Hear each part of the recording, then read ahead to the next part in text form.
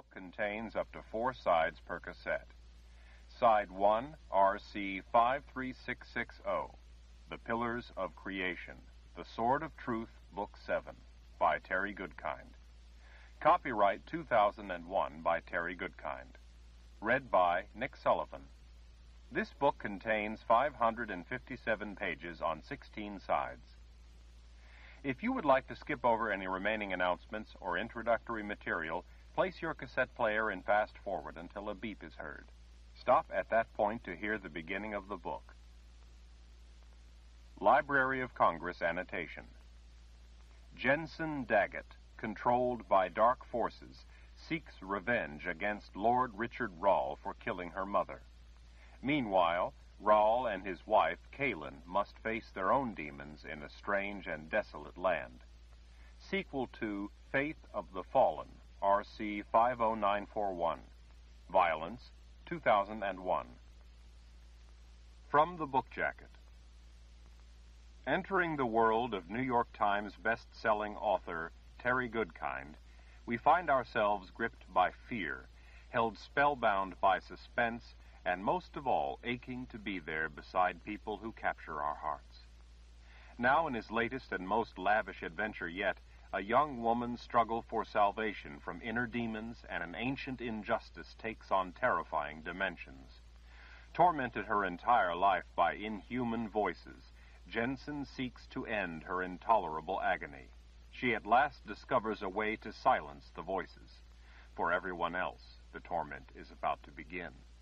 Richard Rahl and his wife, Kahlan, have been reunited after their long separation. But with winter descending and the paralyzing dread of an army of annihilation occupying their homeland, they must venture deep into a strange and desolate land. Their quest turns to terror when they find themselves the helpless prey of a tireless hunter. Exploited by those intent on domination, Jennsen finds herself drawn into the center of a violent struggle for conquest and revenge. Worse yet, she finds her will seized by dark forces more abhorrent than anything she ever envisioned. Only then does she come to realize that the voices were real.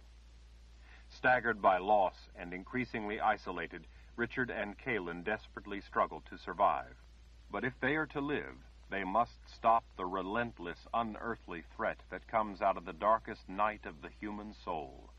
To do so, Richard will be called upon to face the demons stalking among the pillars of creation. Enter a world without rival. Discover breathtaking adventure and true nobility of spirit. Find out why millions of readers the world over have elevated Terry Goodkind to the ranks of legend. About the author. Terry Goodkind lives in the western United States. Other books by Terry Goodkind. Wizard's First Rule, Stone of Tears, Blood of the Fold, Temple of the Winds, Soul of the Fire. Dedicated to the people in the United States intelligence community who for decades have valiantly fought to preserve life and liberty while being ridiculed, condemned, demonized, and shackled by the jackals of evil. Evil thinks not to beguile us by unveiling the terrible truth of its festering intent, but comes instead disguised in the diaphanous robes of virtue, whispering sweet-sounding lies intended to seduce us into the dark bed of our eternal graves. Translated from Koloblicin's Journal. The Pillars of Creation. Chapter 1 Picking through the dead man's pockets, Jennsen Daggett came across the last thing in the world she would ever have expected to find. Startled, she sat back on her heels. The raw breeze ruffled her hair as she stared wide-eyed at the words written in precise, blocky letters on the small square of paper. The paper had been folded in half, twice, carefully, so that the edges had been even. She blinked, half expecting the words to vanish like some grim illusion.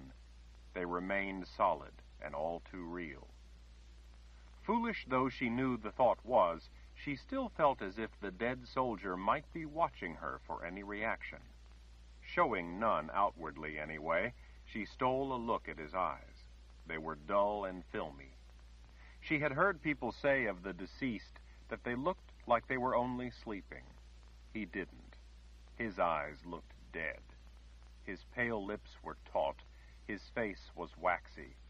There was a purplish blush at the back of his bull neck. Of course, he wasn't watching her. He was no longer watching anything. With his head turned to the side toward her, though, it almost seemed as if he might be looking at her. She could imagine he was. Up on the rocky hill behind her, bare branches clattered together in the wind like bones clacking. The paper in her trembling fingers seemed to be rattling with them. Her heart, already thumping at a brisk pace, started to pound harder. Jennsen prided herself in her level headedness. She knew she was letting her imagination get carried away. But she had never before seen a dead person, a person so grotesquely still.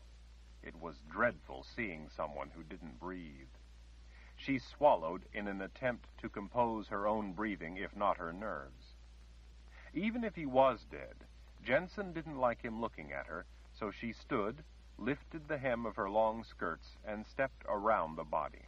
She carefully folded the small piece of paper over twice, the way it had been folded when she had found it, and slipped it into her pocket. She would have to worry about that later. Jennsen knew how her mother would react to those two words on the paper. Determined to be finished with her search, she squatted on the other side of the man. With his face turned away, it almost seemed as if he were looking back up at the trail from where he had fallen, as if he might be wondering what had happened and how he had come to be at the bottom of the steep, rocky gorge with his neck broken. His cloak had no pockets. Two pouches were secured to his belt. One pouch held oil, whetstones, and a strop. The other was packed with jerky, Neither contained a name. If he'd known better, as she did, he would have taken the long way along the bottom of the cliff rather than traverse the trail across the top, where patches of black ice made it treacherous this time of year. Even if he didn't want to retreat the way he had come in order to climb down into the gorge, it would have been wiser for him to have made his way through the woods, despite the thick bramble that made travel difficult up there among the deadfall. Done was done. If she could find something that would tell her who he was, maybe she could find his kin, or someone who knew him. They would want to know. She clung to the safety of the pretense. Almost against her will, Jennsen returned to wondering what he had been doing out here. She feared that the carefully folded piece of paper told her only too clearly. Still, there could be some other reason.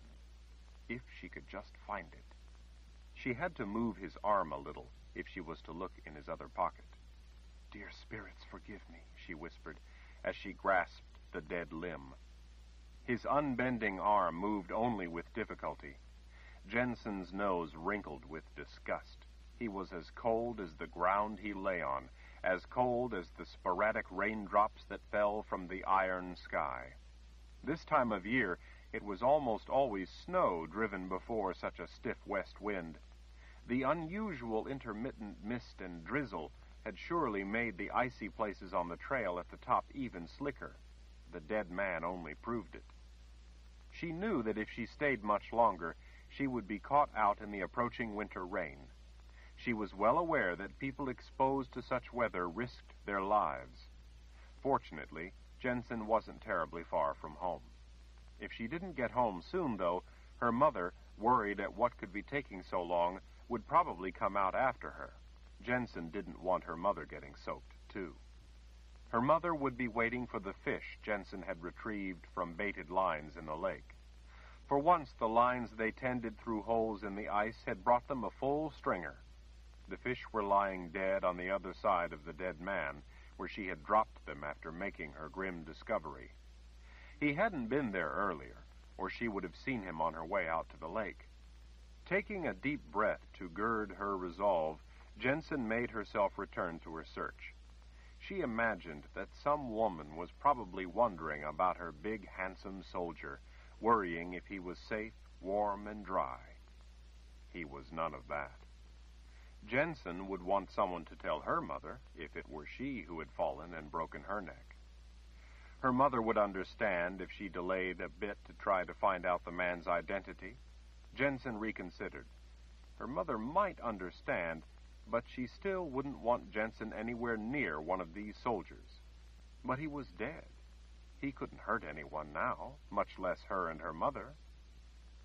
Her mother would be even more troubled once Jennsen showed her what was written on the little piece of paper. Jennsen knew that what really drove her search was the hope for some other explanation. She desperately wanted it to be something else. That frantic need kept her beside his dead body when she wanted nothing so much as to run for home. If she didn't find anything to explain away his presence, then it would be best to cover him and hoped that no one ever found him. Even if she had to stay out in the rain, she should cover him over as quickly as possible. She shouldn't wait. Then no one would ever know where he was. She made herself push her hand down into his trouser pocket all the way to the end. The flesh of his thigh was stiff. Her fingers hurriedly gathered up the nest of small objects at the bottom. Gasping for breath at the awful task, she pulled it all out in her fist. She bent close in the gathering gloom and opened her fingers for a look. On top were a flint, bone buttons, a small ball of twine, and a folded handkerchief. With one finger, she pushed the twine and handkerchief to the side, exposing a weighty clutch of coins, silver and gold. She let out a soft whistle at the sight of such wealth. She didn't think that soldiers were rich, but this man had five gold marks among a large number of silver marks. A fortune by most any standard. All the silver pennies, not copper, silver, seemed insignificant by contrast, even though they alone were probably more than she had spent in the whole of her twenty years. The thought occurred to her that it was the first time in her life that she had ever held gold, or even silver, marks the thought occurred to her that it might be plunder. She found no trinket from a woman, as she had hoped, so as to soften her worry about what sort of man he had been. Regrettably, nothing in the pocket told her anything of who he might be. Her nose wrinkled as she went about the chore of returning his possessions to his pocket. Some of the silver pennies spilled from her fist. She picked them all up from the wet, frozen ground and forced her hand into his pocket again in order to return them all to their rightful place. His pack might tell her more, but he was sprawled atop it, and she wasn't sure she wanted to try to have a look, since it was likely to hold only supplies. His pockets would have held anything he considered valuable, like the piece of paper. She supposed all the evidence that she really needed was in plain sight, he wore stiff leather armor under his dark cloak and tunic. At his hip was a simple but ruggedly made and wickedly sharp soldier's sword in a torn, utilitarian black leather scabbard. The sword was broken at mid-length, no doubt in the long tumble from the trail. Her eyes glided more carefully over the remarkable knife sheathed at his belt. The hilt of the knife, gleaming in the gloom, was what had riveted her attention from the first instant. The sight of it had held her frozen until she realized its owner was dead. She was sure that no simple soldier would possess a knife that exquisitely crafted. It had to be more expensive than any knife she had ever seen. On the silver hilt was the ornate letter R. Even so, it was a thing of beauty. From a young age, her mother had taught her to use a knife. She wished her mother could have a knife as fine as this. Jennsen. Jennsen jumped at the whispered word. Not now. Dear spirits, not now, not here. Jennsen. Jennsen was not a woman who hated much in life, but she hated the voice that sometimes came to her. She ignored it now, as always, forcing her fingers to move to try to discover if there was anything else about the man that she should know. She checked the leather straps for concealed pockets, but found none. The tunic was a plain cut, without pockets. Jennsen, came the voice again. She gritted her teeth. Leave me be, she said aloud, if under her breath. Jennsen. It sounded different this time, almost as if the voice wasn't in her head, as it always was. Leave me alone, she growled. Surrender, came the dead murmur. She glanced up and saw the man's dead eyes staring at her. The first curtain of cold rain, billowing in the wind, felt like the icy fingers of spirits caressing her face. Her heart galloped yet faster. Her breath caught against her ragged poles like silk catching on dry skin. With her wide-eyed gaze locked on the dead soldier's face, she pushed with her feet, scuttling back across the gravel. She was being silly. She knew she was. The man was dead. He wasn't looking at her. He couldn't be. His stare was fixed in death, that's all, like her stringer of dead fish. They weren't looking at anything. Neither was he. She was being silly. It only seemed he was looking at her. But even if the dead eyes were staring at nothing, she would just as soon that they weren't doing it in her direction. Jennsen.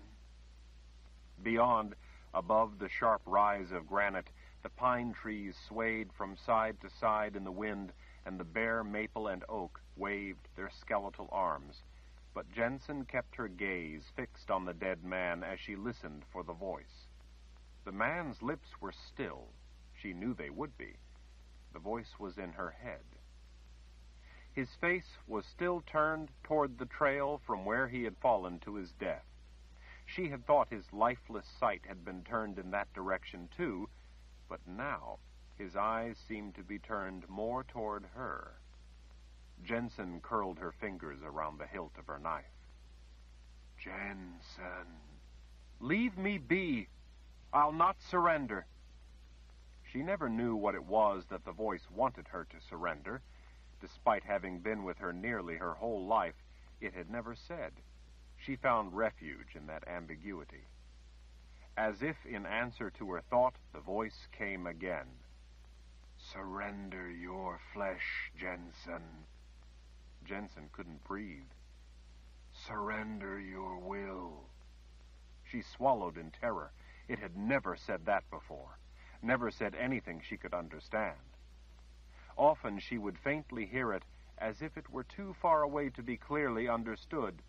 Sometimes she thought she could hear the words but they seemed to be in a strange language. She often heard it when she was falling asleep, calling to her in that distant, dead whisper. It spoke other words to her, she knew, but never so as she could understand more than her name and that frighteningly seductive single word command to surrender. That word was always more forceful than any other. She could always hear it, even when she could hear no other. Her mother said that the voice was the man who, nearly Jennsen's whole life, had wanted to kill her. Her mother said that he wanted to torment her. Jen, her mother would often say, it's all right. I'm here with you. His voice can't hurt you. Not wanting to burden her mother, Jennsen often didn't tell her about the voice. But even if the voice couldn't hurt her, the man could if he found her. At that moment, Jennsen desperately wished for the protective comfort of her mother's arms. One day he would come for her. They both knew he would. Until then, he sent his voice. That's what her mother thought, anyway. As much as that explanation frightened her, Jennsen preferred it to thinking herself mad. If she didn't have her own mind, she had nothing. What's happened here? Jennsen gasped in a cry of fright as she spun, pulling her knife. She dropped into a half crouch, feet spread, knife held in a death grip. It was no disembodied voice, this. A man was walking up the gully toward her. With the wind in her ears and the distraction of the dead man and the voice, she hadn't heard him coming. As big as he was, as close as he was, she knew that if she ran, and if he was of a mind, he could easily run her down. Chapter 2 The man slowed when he saw her reaction and her knife. I didn't mean to give you a scare. His voice was pleasant enough. Well, you did. Although the hood of his cloak was up and she couldn't see his face clearly, he seemed to be taking in her red hair the way most people did when they saw her. I can see that. I apologize. She didn't slacken her defensive posture in acceptance of the apology, but instead swept her gaze to the sides, checking to see if he was alone, to see if anyone else was with him and might be sneaking up on her. She felt a fool for being caught by surprise like that.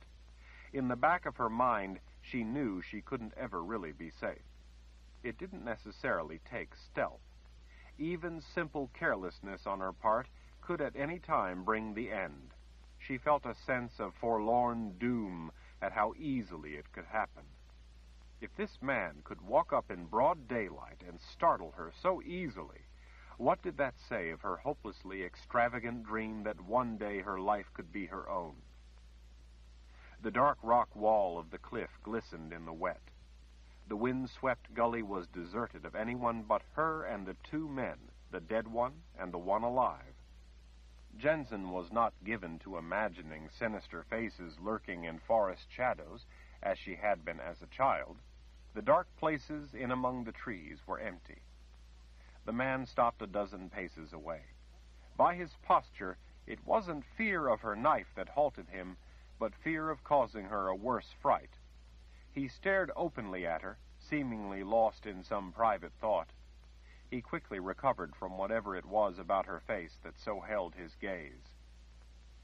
I can understand why a woman would have cause to be frightened when a stranger suddenly walks up on her I would have passed on by without alarming you, but I saw that fellow on the ground, and you there bent over him. I thought you might need help, so I rushed over. The cold wind pressed his dark green cloak against his sinewy build and lifted the other side away to reveal his well-cut but simple clothes. His cloak's hood covered his head against the first trailers of rain, leaving his face somewhat indistinct in its shadow. His smile was one of courteous intent no more. He wore the smile well. He's dead, was all she could think to say. Jennsen was unaccustomed to speaking to strangers. She was unaccustomed to speaking to anyone but her mother. She was unsure as to what to say, how to react, especially under the circumstances. Oh, I'm sorry. He stretched his neck a little without coming any closer, trying to see the man on the ground. Jennsen thought it a considerate thing to do, not trying to come closer to someone who was clearly nervous. She hated that she was so obvious. She had always hoped she might appear to others somewhat inscrutable. His gaze lifted from the dead man to her knife to her face. I suppose you had cause. Perplexed for a second, she finally grasped his meaning and blurted out, I didn't do it. He shrugged. Sorry, from over here I can't tell what happened. Jennsen felt awkward holding a knife on the man. She lowered the arm with the weapon. I didn't mean to, to appear a mad woman. You just startled the wits out of me. His smile warmed. I understand. No harm done. So, what happened? Jennsen gestured with her empty hand toward the cliff face. I think he fell from the trail up there. His neck's broken. At least I think it is. I only just discovered him. I don't see any other footprints. My guess is that he was killed in a fall. As Jennsen returned her knife to its sheath on her belt, he considered the cliff. Glad I took the bottom rather than the trail up there. She inclined her head in invitation toward the dead man. I was looking for something that might tell me who he was. I thought maybe I should notify someone but I haven't found anything. The man's boots crunched through the coarse gravel as he approached. He knelt on the other side of the body rather than beside her, perhaps to give the knife-wielding madwoman a precautionary bit of space so she would feel a little less jumpy. I'd guess you were right, he said, after taking in the abnormal cant of the head. Looks like he's been here at least part of the day. I was through here earlier. Those are my tracks there. I don't see any others about. She gestured toward her catch, lying just behind her. When I went to the lake to check my lines earlier, he wasn't here. He twisted his head in order to better study the still face. Any idea who he was? No, I don't have a clue, other than that he's a soldier. The man looked up. Any idea what kind of soldier? Jennsen's brow drew tight. What kind? He's a D'Haran soldier. She lowered herself to the ground in order to look at the stranger more directly. Where are you from that you wouldn't recognize a D'Haran soldier? He ran his hand under his cloak's hood and rubbed it along the side of his neck. I'm just a traveler passing through. He looked as tired as he sounded. The answer perplexed her. I've moved around my whole life, and I don't know of anyone who wouldn't know a D'Haran soldier when they saw one. How can you not? I'm new to D'Hara. That's not possible. D'Hara covers most of the world. This time, his smile betrayed amusement. Is that so? She could feel her face heat, and she knew it must be going red with how ignorant of the world at large she had shown herself to be. Well, doesn't it? He shook his head. No. I'm from far to the south, beyond the land that is D'Hara. She stared in wonder, her chagrin evaporating in light of the implications that came into her head at such an astonishing notion. Perhaps her dream might not be so extravagant. And what are you doing here, in D'Hara? I told you, traveling. He sounded weary. She knew how exhausting it could be to travel.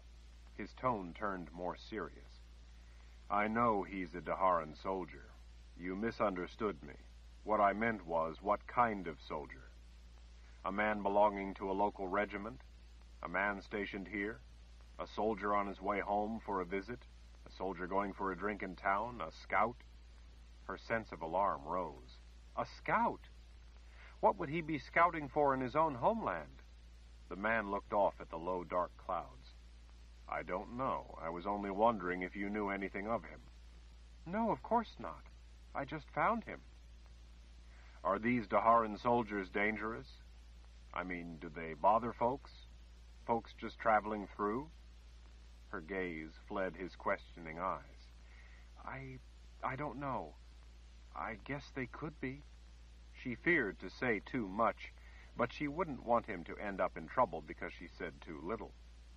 What do you suppose a lone soldier was doing way out here? Soldiers aren't often alone.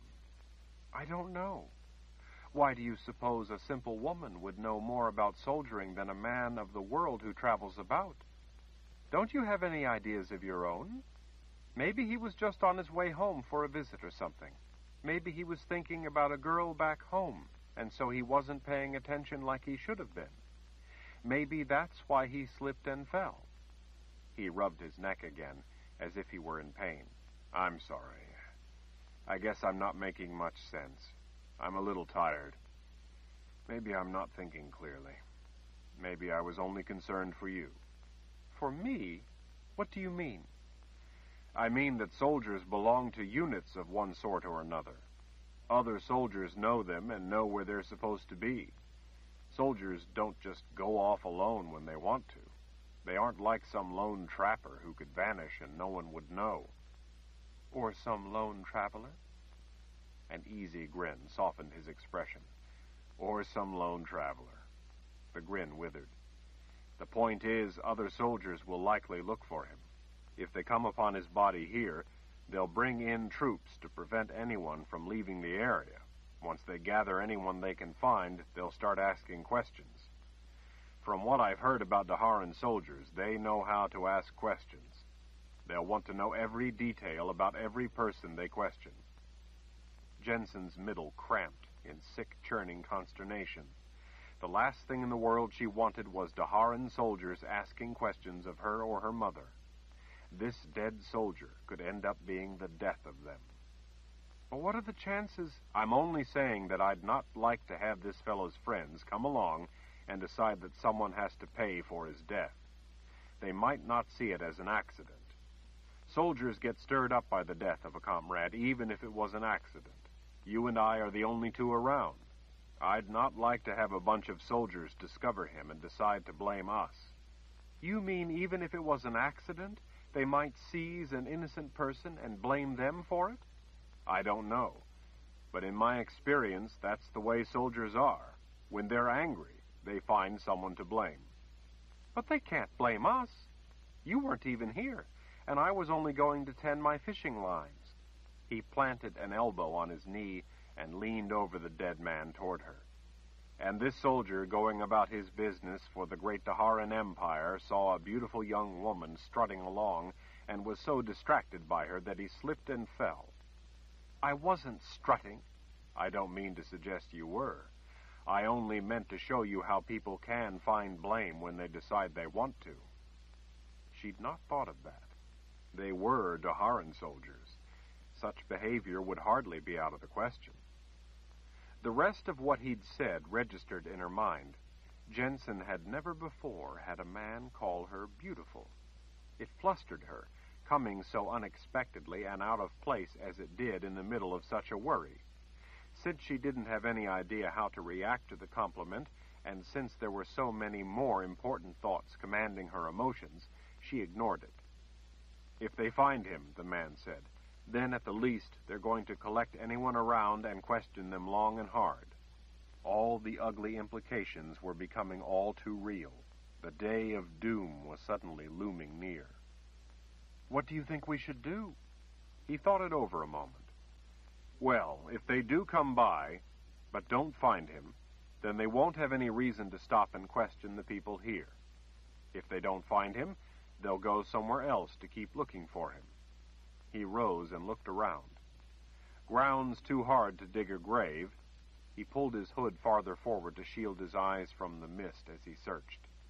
He pointed to a spot near the base of the cliff. There. There's a deep cleft that looks big enough. We could put him in there and cover him over with gravel and rocks. Best burial we can manage this time of year. And probably more than he deserved. She would just as soon leave him, but that wouldn't be wise. Covering him up was what she had planned on doing before the stranger happened along. This would be a better way to do it. There would be less chance that animals would uncover him for passing soldiers to discover. Seeing her trying to hastily weigh the various ramifications and mistaking it for reluctance, he spoke in soft assurance. The man is dead. Nothing can be done about it. It was an accident. Why let that accident bring trouble? We didn't do anything wrong. We weren't even here when it happened. I say we bury him and go on with our lives, without D'Haran soldiers becoming unjustly involved. Jennsen stood. The man might be right about soldiers coming upon a dead friend and deciding to question people. There was abundant reason to be worried about the dead D'Haran soldier without this new concern. She thought again about the piece of paper she'd found in his pocket. That would be reason enough, without any other. If the piece of paper was what she thought it might be, then questioning would only be the beginning of the ordeal. Agreed, she said. If we're to do it, let's be quick. He smiled, more relief than anything, she thought. Then, turning to face her more squarely, he pushed his hood back off his head, the way men did out of respect for a woman. Jennsen was shocked to see, even though he was at most only six or seven years older than she, that his cropped hair was as white as snow. She gazed at it with much the same sense of wonder as people gazed at her red hair. With the shadows of the hood gone, she saw that his eyes were as blue as hers, as blue as people said her father's had been. The combination of this short white hair and those blue eyes was arresting. The way they both went with his clean shaven face was singularly appealing. It all fit together with his features in a way that seemed completely right. He held his hand out across the dead soldier. My name is Sebastian. She hesitated a moment, but then offered her hand in return. Even though his was big and no doubt powerful, he didn't squeeze her hand to prove it, the way some men did. The unnatural warmth of the hand surprised her. Are you going to tell me your name? I'm Jennsen Daggett. Jennsen. He smiled his pleasure at the sound of it. She felt her face going red again. Instead of noticing, he immediately set to the task by grabbing the soldier under his arms and giving him a tug. The body moved only a short distance with each mighty pull. The soldier had been a huge man. Now he was a huge dead weight. Jennsen seized the soldier's cloak at the shoulder to help. Sebastian moved his hold to the cloak at the other shoulder, and together they dragged the weight of the man, who loomed as dangerous to her in death as he would have in life, across the gravel and slick patches of smooth rock. Still panting from the effort, and before pushing the soldier into the crevice that was to be his final resting place, Sebastian rolled him over. Jennsen saw for the first time that he wore a short sword strapped over his shoulder under his pack. She hadn't seen it before because he was lying on it. Hooked on the weapons belt around his waist at the small of his back hung a crescent-bladed battle axe. Jennsen's level of apprehension rose at seeing how heavily armed the soldier had been. Regular soldiers didn't carry this many weapons, or a knife like he had. Sebastian tugged the straps of the pack down off the arms. He unstrapped the short sword and set it aside. He pulled off the weapons belt and tossed it atop the sword. Nothing too unusual in the pack, he said after a brief inspection. He added the pack to the short sword, the weapons belt, and the axe. Sebastian started searching the dead man's pockets. Jennsen was about to question what he was doing when she recalled that she had done the same. She was somewhat more disturbed when he returned the other items after picking out the money. She thought it rather cold-blooded, stealing from the dead. Sebastian held the money out to her. What are you doing? she asked. Take it. He offered the money again, more insistently this time. What good is it going to do in the ground?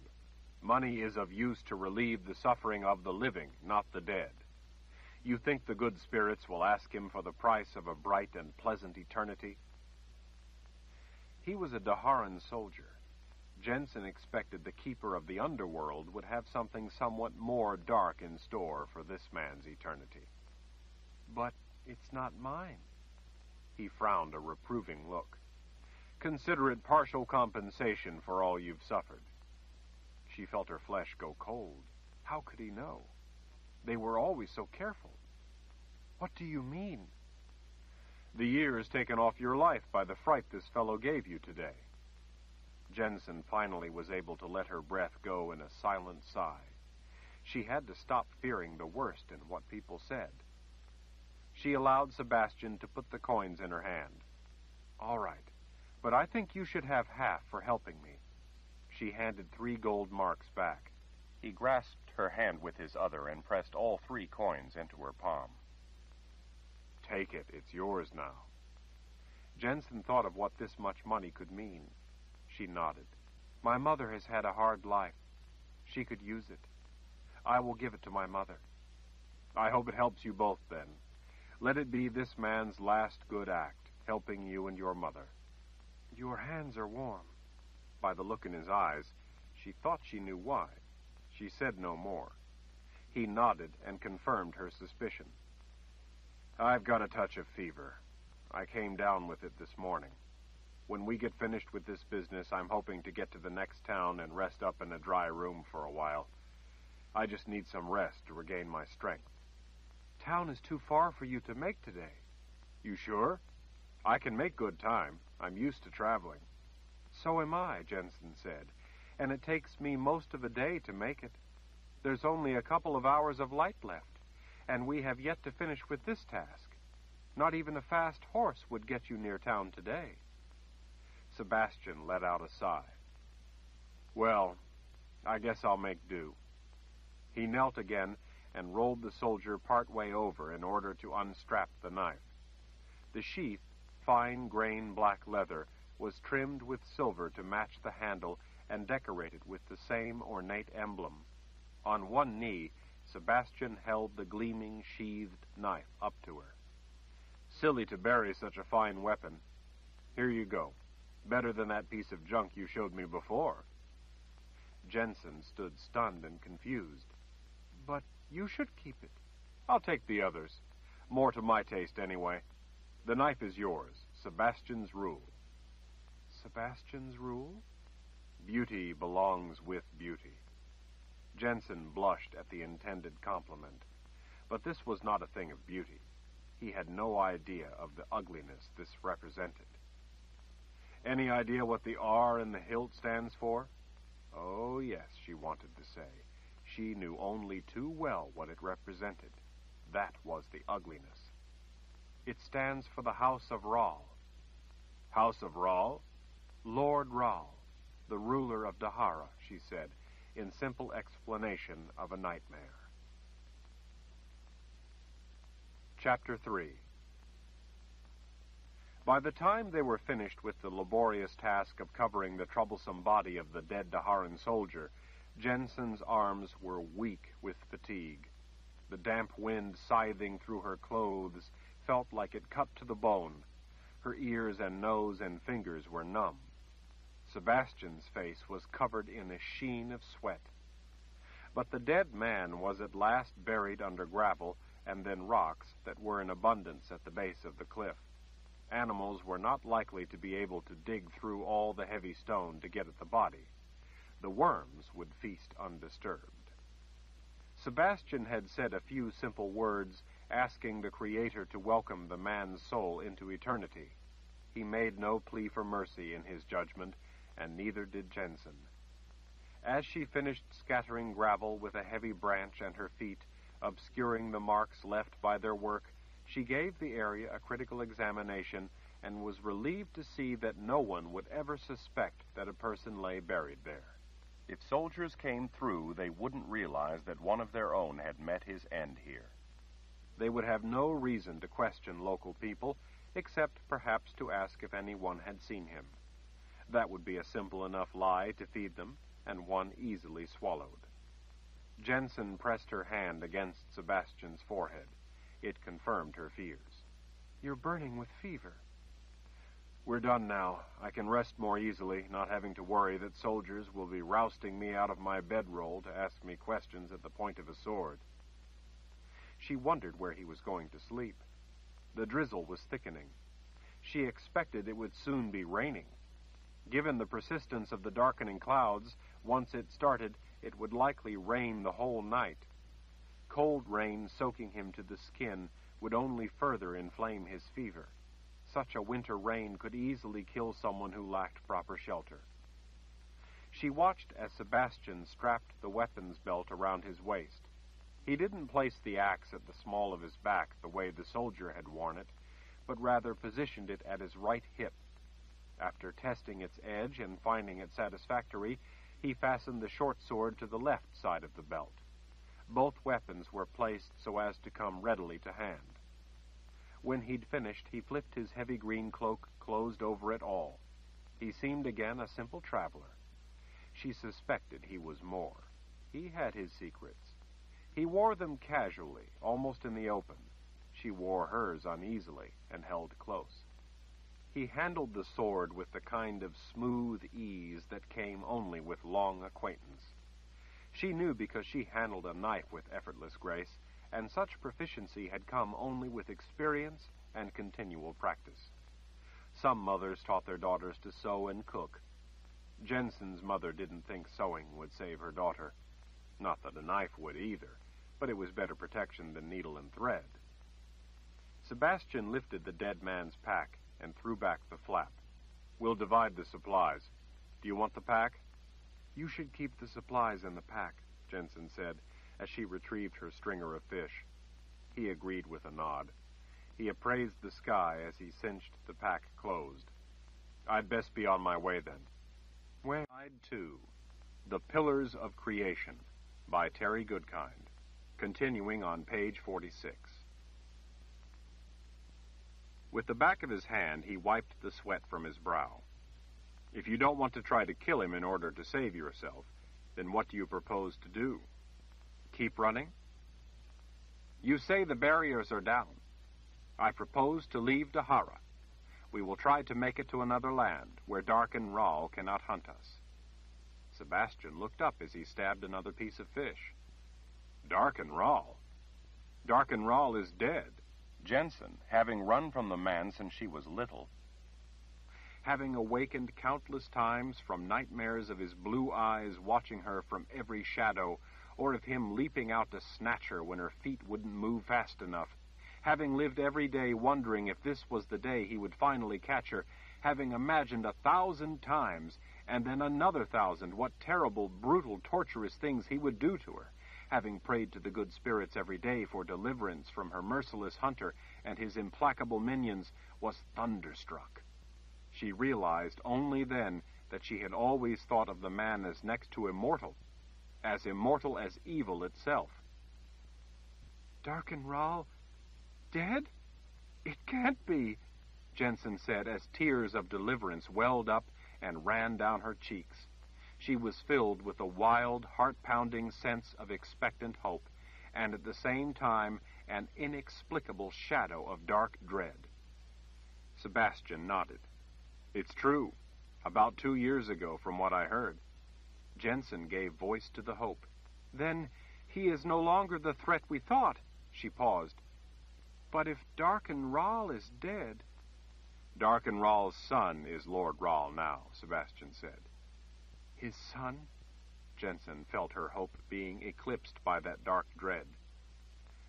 The Lord Rahl hunts us, her mother said, her voice calm and enduring, betraying no evidence of even a moment of exalted hope. The Lord Rahl is the Lord Rahl. It is now as it has always been, as it will always be, as immortal as evil itself. Richard Rahl, Sebastian put in. He's the Lord Rahl now. Richard Rahl. So, now Jennsen knew her hunter's new name. A terrifying thought washed over her. She had never before heard the voice say anything more than surrender and her name, and occasionally those strange foreign words she didn't understand. Now it demanded she surrender her flesh, her very will. If it was the voice of the one who hunted her, as her mother said, then this new Lord Rahl must be even more terrifyingly powerful than his wicked father. Fleeting salvation had left behind grim despair. This man, Richard Rahl, her mother said, searching for understanding amid all the startling news. He ascended to rule as the Lord Rahl of D'Hara when his father died, then? Sebastian leaned forward, a cloaked rage unexpectedly surfacing in his blue eyes. Richard Rahl became the Lord Rahl of D'Hara when he murdered his father and seized rule. And if you are next going to suggest that perhaps the son is less of a threat than his father, then let me set you straight. Richard Rahl is the one who brought down the barriers. At that, Jennsen threw up her hands in confusion. But that would only give those who wish to be free their opening to escape D'Hara to escape him. No, he brought those ancient protective barriers down so he could extend his tyrannical rule to the lands that were beyond the reach of even his father. Sebastian thumped his chest once with a tight fist. My land he wants. Lord Rahl is a madman. D'Hara is not enough for him to rule. He lusts to dominate the entire world. Jennsen's mother stared off into the flames, looking dispirited. I always thought, hoped, I guess, that if Darken Rahl were dead, then maybe we might have a chance.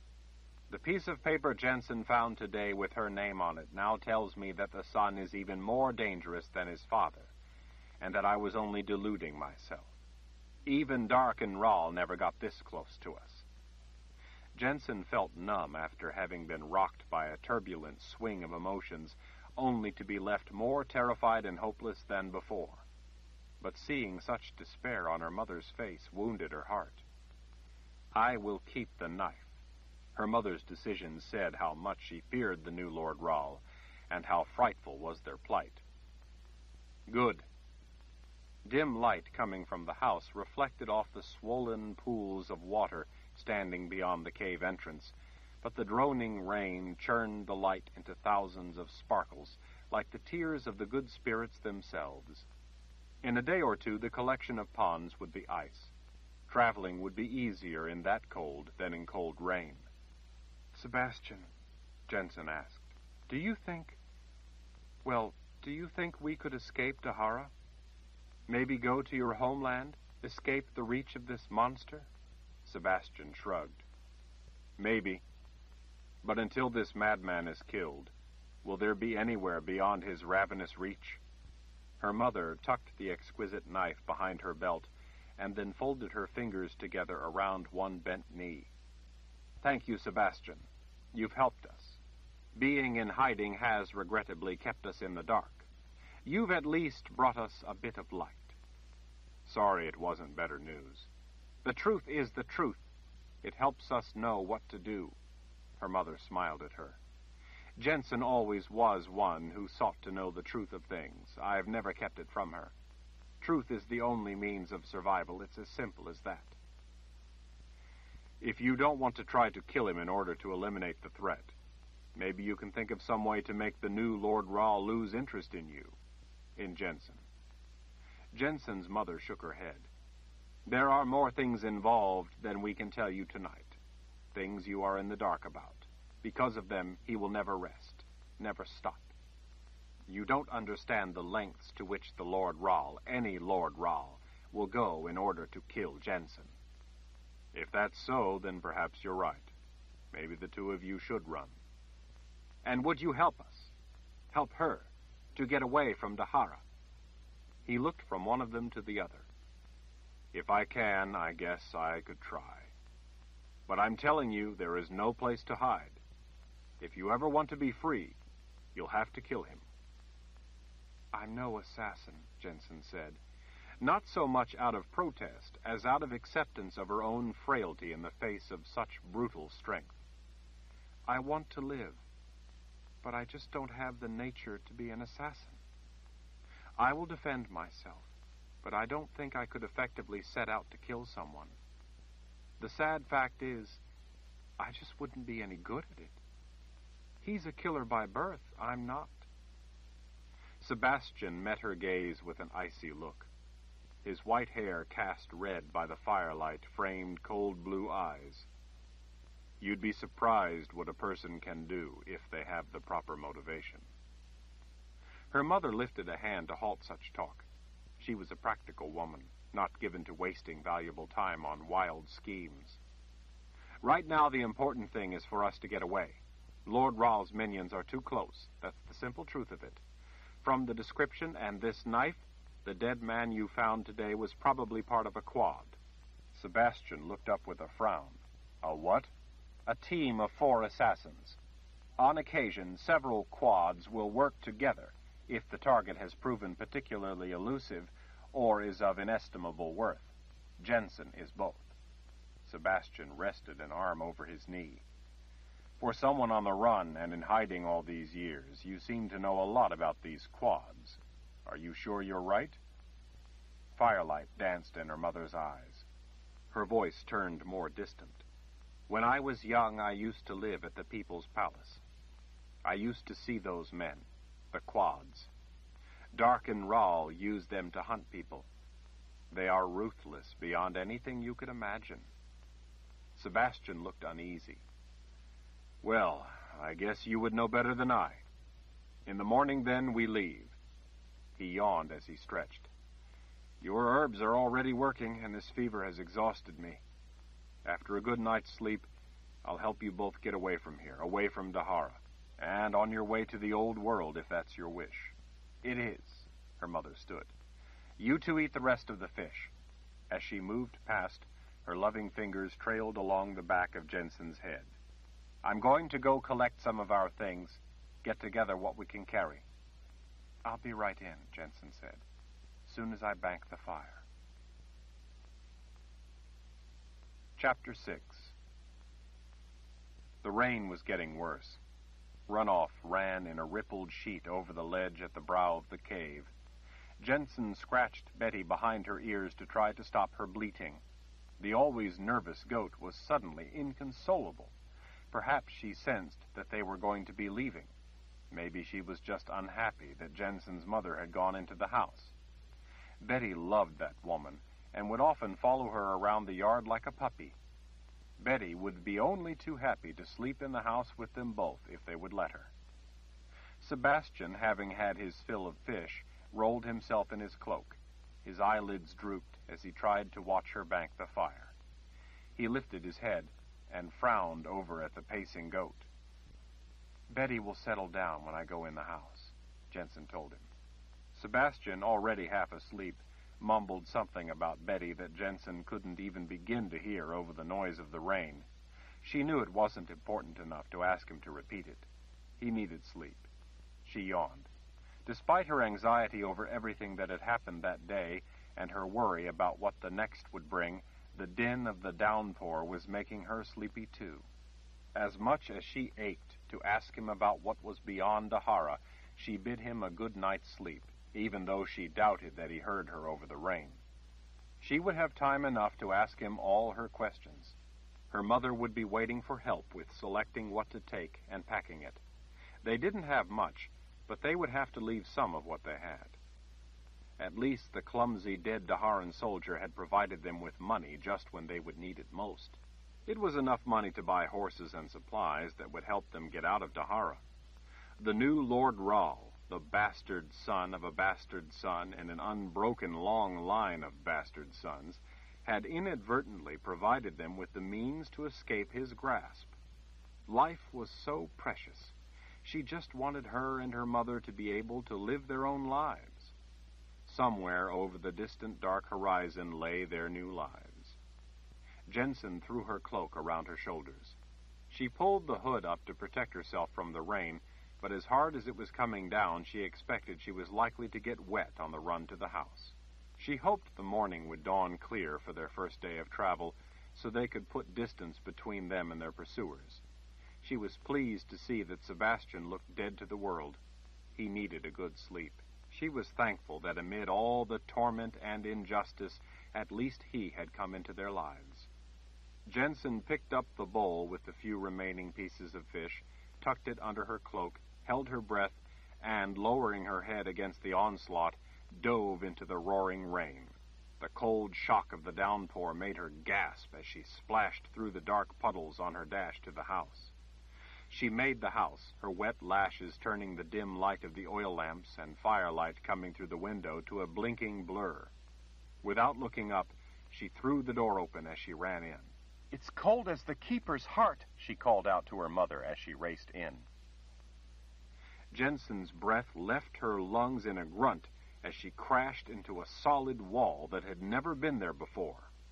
Rebounding from the collision, she looked up to see a broad back turning, to see a huge hand snatching for her. The hand caught only her cloak. The heavy wool cloak stripped away from her as she fell back. The bowl thudded to the floor, spinning like a crazy top. The door bounced back from hitting the wall, banging closed behind her, trapping her just before her back slammed into it. Gasping, Jennsen reacted. It was wild instinct, not deliberate thought. Jennsen. Terror, not technique. Surrender. Desperation, not design. The man's blocky face was clearly lit by the fire from the hearth. He plunged toward her, a monster with stringy wet hair.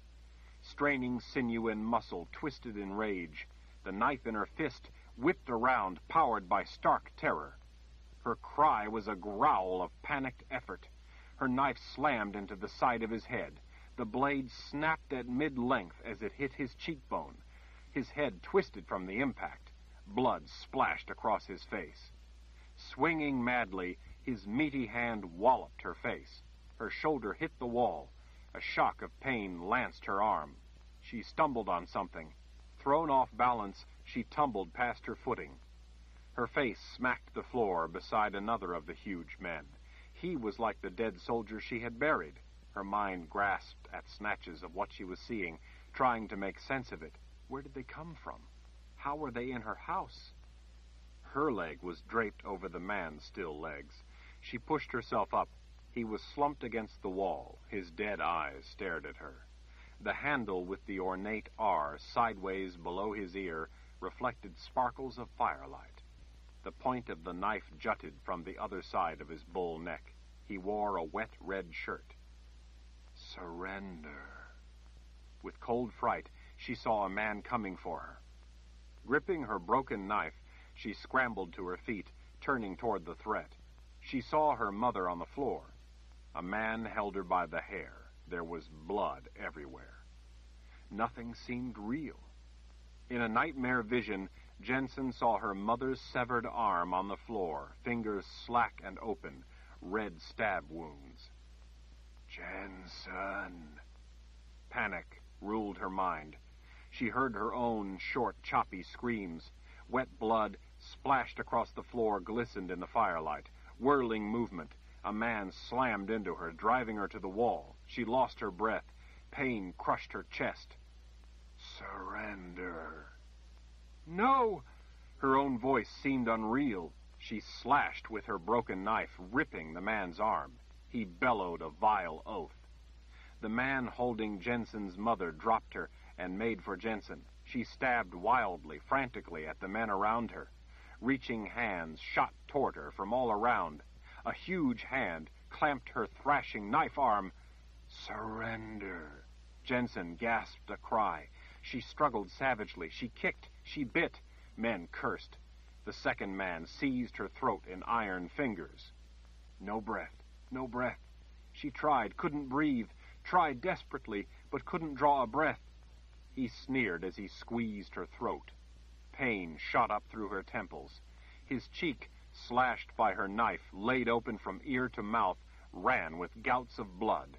She could see glistening red teeth through the gaping wound. Jennsen struggled but couldn't pull a breath. A fist slammed her stomach. She kicked him. He seized her ankle before she could kick him again. One was dead. Two had her. Her mother down. Her vision was narrowing to a black tunnel. Her chest burned. It hurt so much, so much. Sound was muffled. She heard a bone-jarring thunk. The man in front of her, squeezing her throat, staggered once as his head jerked. It made no sense to her. His grip went slack. She gasped an urgent breath.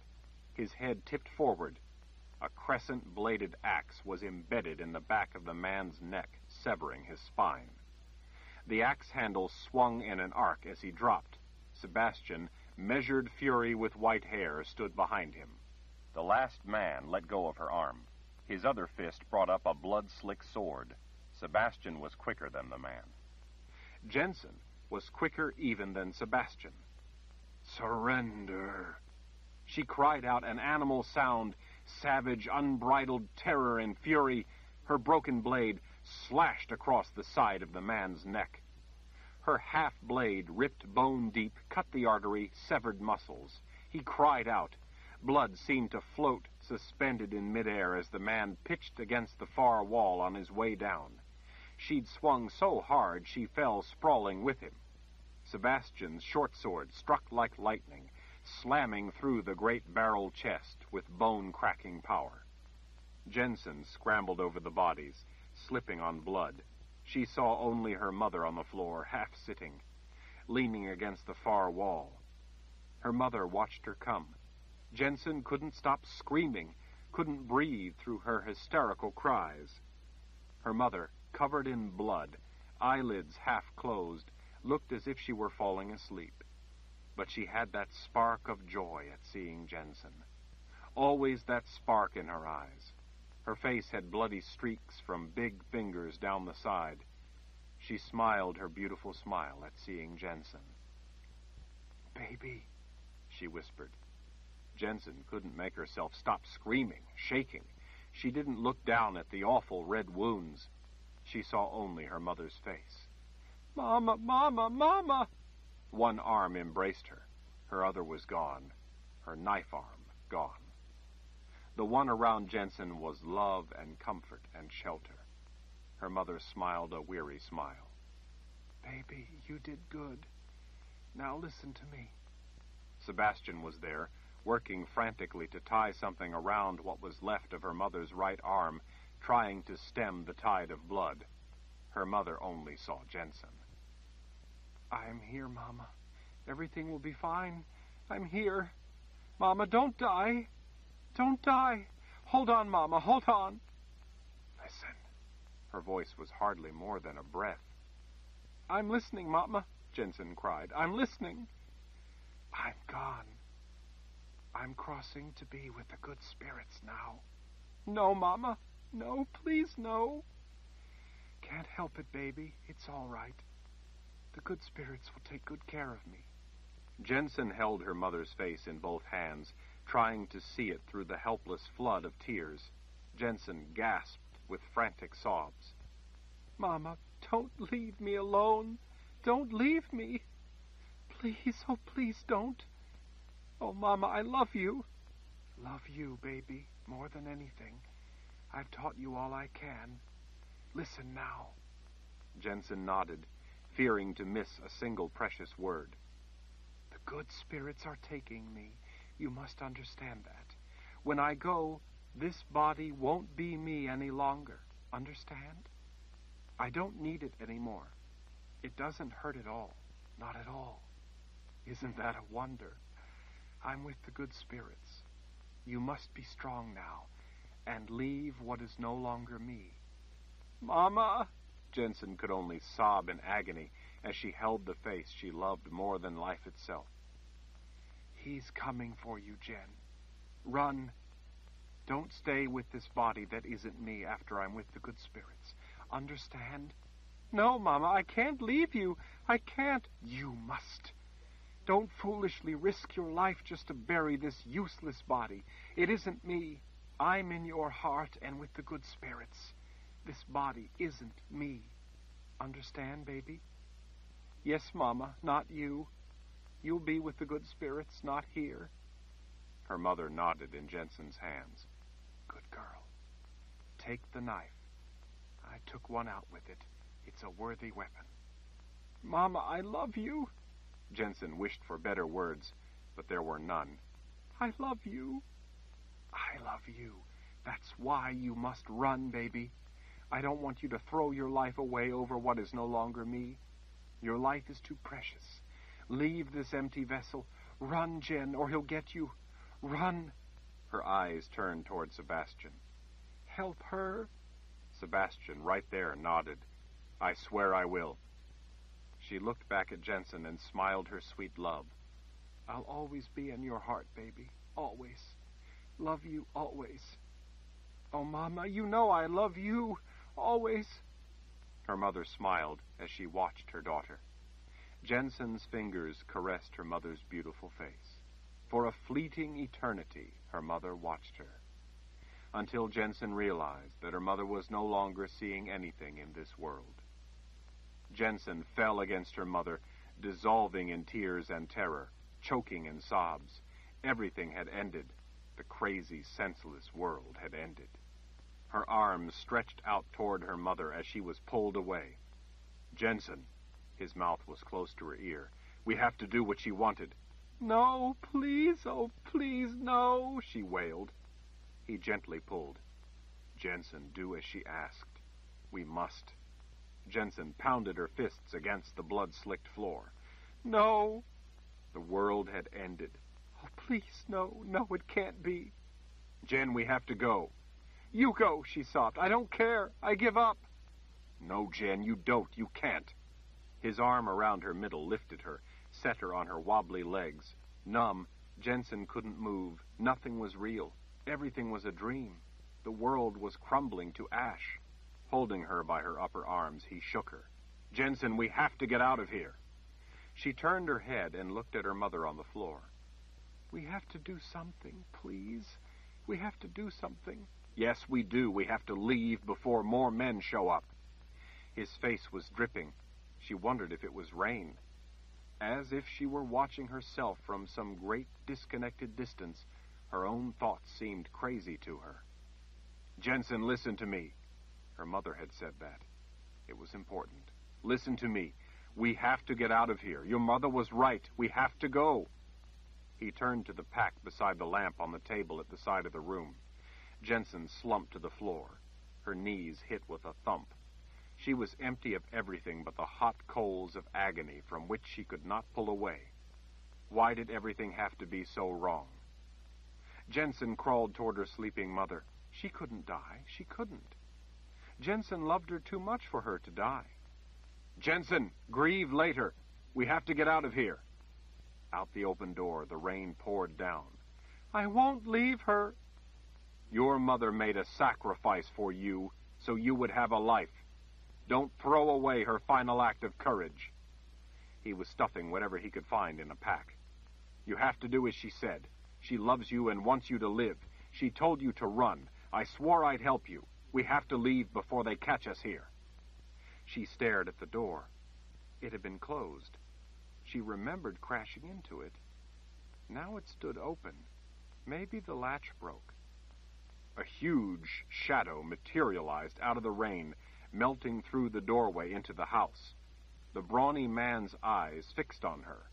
Feral fright surged through her. He moved toward her, faster and faster.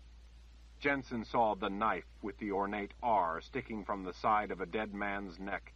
The knife her mother told her to take. It wasn't far. Her mother had lost her arm, her life, to kill him. The man, seemingly oblivious of Sebastian, dove for Jennsen. She dove for the knife. Her fingers, greasy with blood, seized the handle. The worked metal gave good grip. Art with purpose, deadly art. With teeth gritted, she yanked the blade free and rolled. Before the man reached her, Sebastian growled with the effort of burying his axe in the back of the man's head. The soldier crashed to the floor beside her, his meaty arm falling across her middle. Jennsen, crying out, wriggled out from under the arm as blood grew in a dark pool beneath his head. Sebastian pulled her up. Get whatever you want to take, he ordered. She moved through the room, walking in a dream. The world had gone mad. Perhaps it was she who had finally gone mad. The voice in her head whispered to her in its strange language. She found herself listening, almost comforted by it.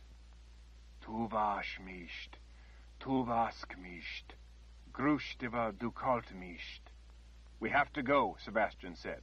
Get what you want to take. She couldn't think. She didn't know what to do.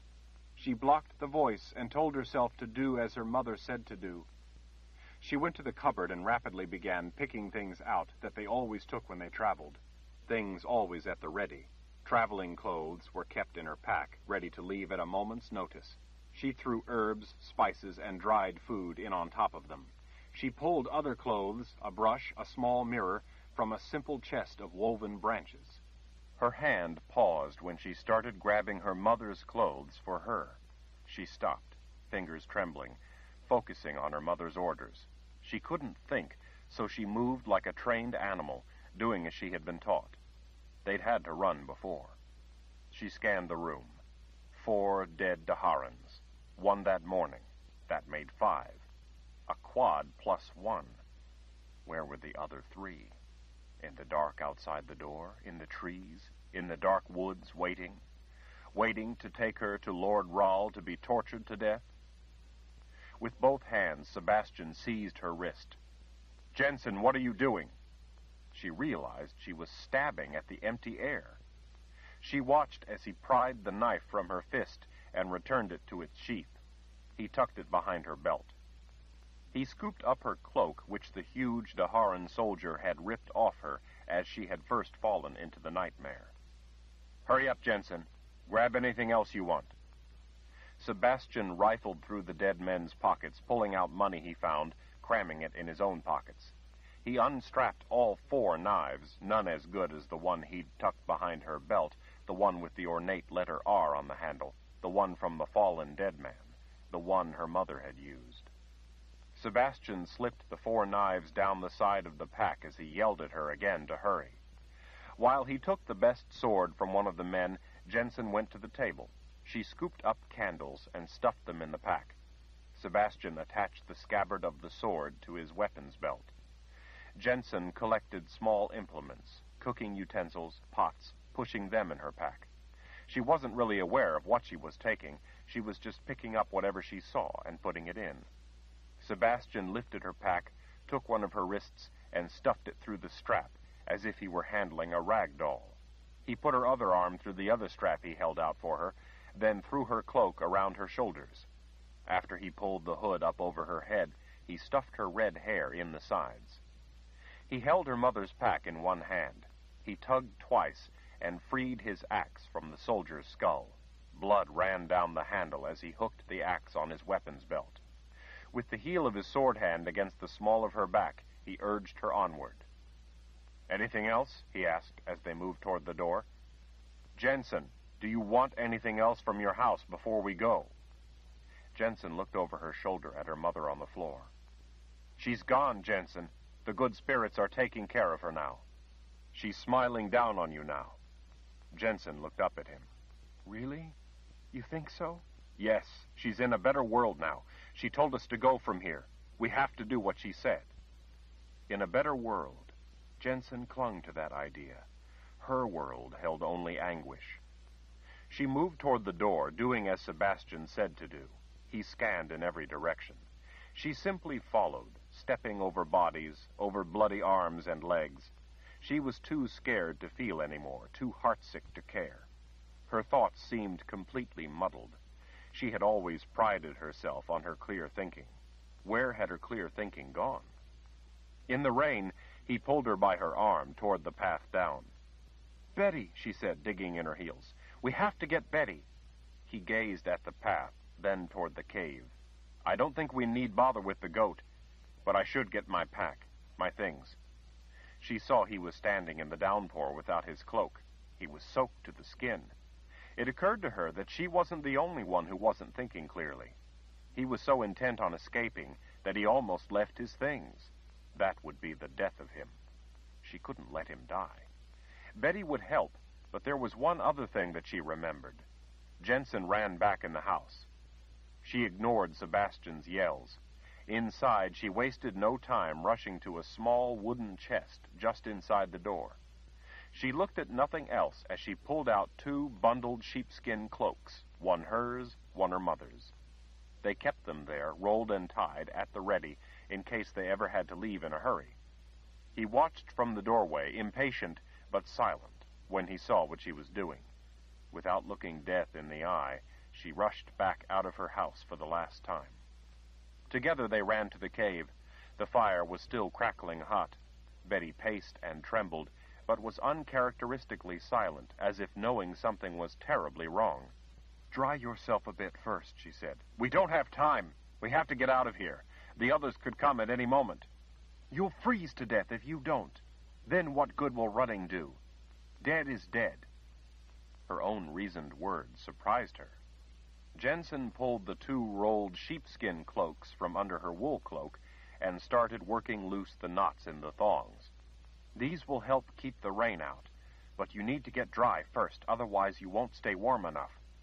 He was nodding as he shivered and rubbed his hands before the fire, the sense of what she said finally overcoming his urgency to be gone. She wondered how he managed to do all he had done with a fever, and after having taken herbs. Fear, she guessed. Stark, raving fear. That she understood. Her whole body ached. Not only had she been banged around, but she saw now that her shoulder was bleeding.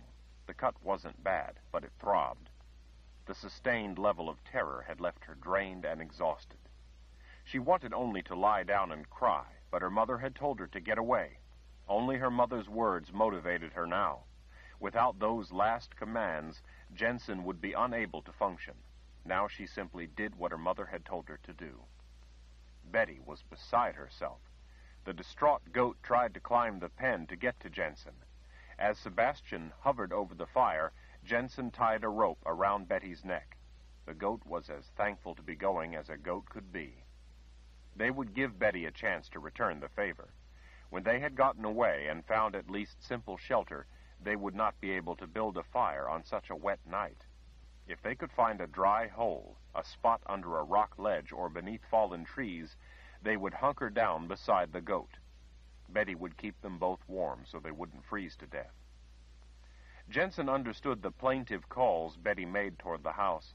The goat's ears were at attention. Betty was worried for the woman who wasn't going. Jennsen collected all the carrots and acorns off the shelf, stuffing them in pockets and packs. When Sebastian was as dry as he was going to allow himself to get, they donned their wool cloaks and topped them with the sheepskin. With Jennsen leading Betty by the rope, they started out into the drenching darkness. Sebastian headed for the trail down from the front, the way he had come in. Jennsen seized his arm, stopping him. They might be waiting down there. But we have to get out of here. I have a better way. We made an escape route. He gazed at her a moment through the fall of icy rain separating them, then, without further protest, followed her into the unknown.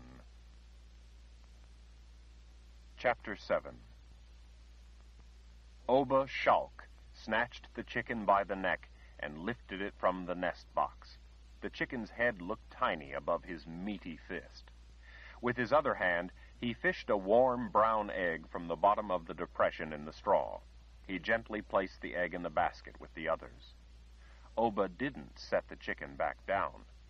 He grinned as he lifted it closer to his face, watching its head twist from side to side, its beak open and close, open and close. He put his own lips close so the beak was touching his lips, then with all his might he blew in the chicken's open mouth. The chicken squawked and flapped, madly trying to escape the vice-like fist. A deep laugh rolled up from Oba's throat. Oba! Oba, where are you? When he heard his mother hollering for him, Oba plopped the chicken back on its nest. His mother's voice had come from the nearby barn. Squawking its terror, the chicken fled the henhouse. Oba followed it out of the coop and then trotted toward the door to the barn. The week before, they had had a rare winter downpour. By the following day, the standing water had frozen and the rain had turned to snow. Wind-swept snow now hid the ice, making for treacherous footing. Despite his size, Oba negotiated the icy conditions without much difficulty. Oba prided himself on being light on his feet. It was important for a person not to let their body or mind become slow and dull. Oba believed it was important to learn new things. He believed it was important to grow. He thought it was important for a person to use what they had learned. That was how people grew. The barn and house were one small structure made of wattle and daub, woven branches covered with a mixture of clay, straw, and dung. Inside, the house and barn were separated by a stone wall. After he'd built the house, Oba had made the wall inside by stacking flat gray rocks from the field. He had learned the technique from observing a neighbor stack rocks at the side of his field. The wall was a luxury most homes didn't have. Hearing his mother yell his name again, he tried to think of what he could have done wrong.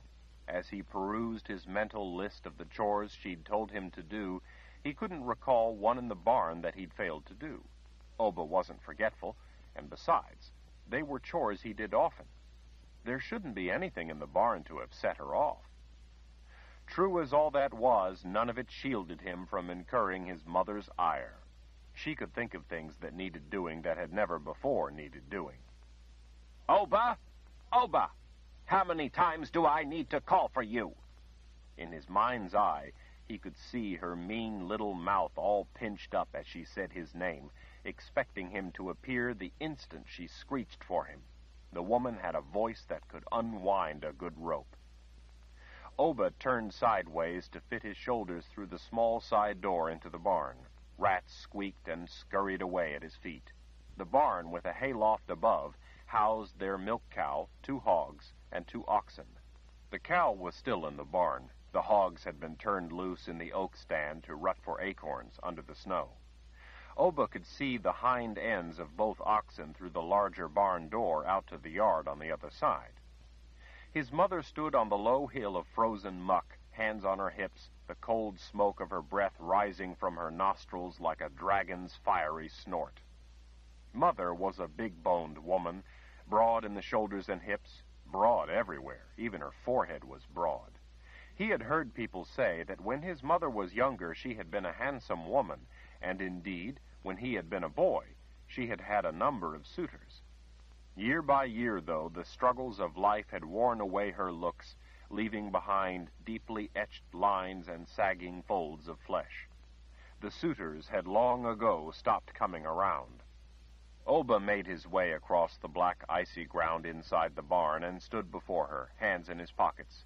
She walloped the side of his shoulder with a stout stick. Oba! He flinched when she whacked him three times more, each swat punctuating his name. Oba! Oba! Oba! When he had been young, such a thrashing would have left him black and blue. He was too big and strong now for her stick to hurt him. That made her angry, too. While he wasn't bothered much by the stick now that he was grown, the condemnation in her voice whenever she spoke his name still made his ears burn. She reminded him of a spider with a mean little mouth, a black widow spider. He hunched, trying not to look so big. What is it, Mama? Where are you loafing when your mother calls? Her face screwed up, a plum long ago turned to a prune. Oba the ox, Oba the dimwit, Oba the oaf, where were you? Oba lifted his arm defensively as she cracked him with the stick again. I was getting the eggs, Mama. Getting the eggs. Look at this mess. Don't it ever occur to you to do anything round here unless someone with brains tells you to? Oba looked around, but didn't see what needed doing other than the regular work that would have set her off so. There was always work to do. Rats stuck their noses out from under boards in the stalls, whiskers twitching as they sniffed, watching with beady black eyes, listening with little rat ears. He looked back at his mother but had no answer. None would suit her anyway. She pointed at the ground. Look at this place. Don't you ever think to scoop out the muck? Soon as it thaws, it'll be running under the wall and into the house where I sleep. Do you think I feed you for nothing? Don't you think you have to earn your keep, you lazy oaf? Oba the oaf? She had already used the last invective. Oba was surprised sometimes that she wasn't more creative, didn't learn new things. When he had been little, she had seemed to him a mind reader of inscrutable ability, with a talented tongue that could cut him with knowing lashes. Now that he had grown so much larger than her, he sometimes wondered if other aspects of his mother were less formidable than he had once feared. Wondered if her power over him wasn't somehow artificial, an illusion. A scarecrow with a mean little mouth. Yet she still had a way about her that could cut him down to nothing. And she was his mother. A person was supposed to mind their mother. That was the most important thing a person could do. She had taught him that lesson well. Oba didn't think he could do much more to earn his keep. He worked from sun up to sundown. He prided himself on not being lazy. Oba was a man of action. He was strong and worked as hard as any two men. He could best any man he knew. Men didn't give him any trouble. Women, though, stymied him. He never knew what to do around women. Big as he was, women had a way of making him feel puny.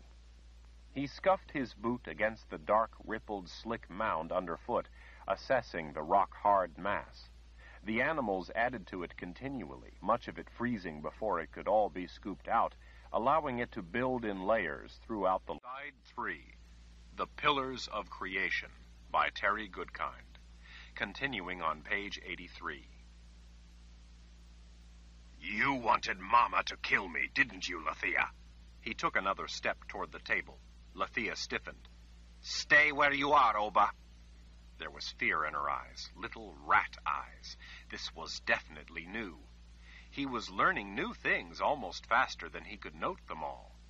He saw her hands, the weapons of a sorceress, lifting. Oba paused. He stood cautiously at attention. Surrender, Oba, and you will be invincible. This was not merely new, it was startling. I think you want to kill me with your cures, don't you, Lethea? You want me dead. No. No, Oba, that isn't true. I swear it isn't. He took another step, testing what the voice promised. Her hands rose, a glow of light coming to life around her clawed fingers. The sorceress was conjuring magic. Oba, her voice was more forceful, more sure. Stay where you are, now. Surrender, Oba, and you will be invincible. Oba felt his thighs bump the table as he advanced. The jars rattled and clanked together. One of them wobbled. Lethea watched it teeter and almost right itself, only to topple and spill its thick red liquid. Lethea's face abruptly twisted with hatred, with rage, with effort. She cast her clawed hands forward, toward him, cast the full force of her power at him. With a thunderous clap, light ignited, the flash making everything in the room go white for an instant. He saw a flare of a yellow white light knife through the air toward him, deadly lightning sent to kill.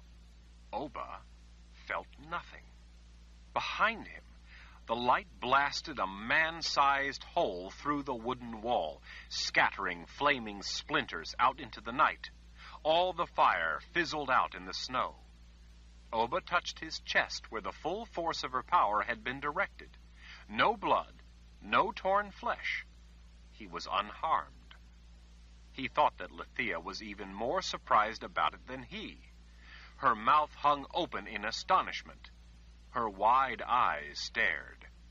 All his life he had feared this scarecrow. Lathea quickly recovered, and again her face twisted with effort as she drew her hands up. This time an eerie blue hiss of light formed.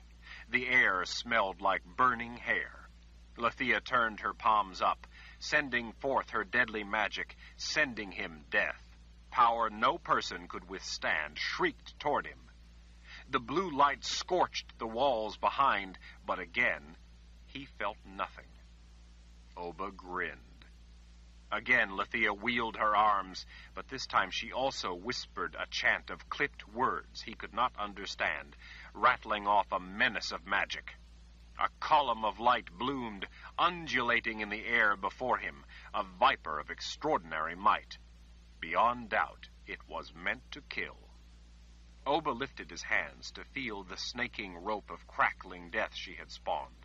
He ran his fingers through it, but could feel nothing.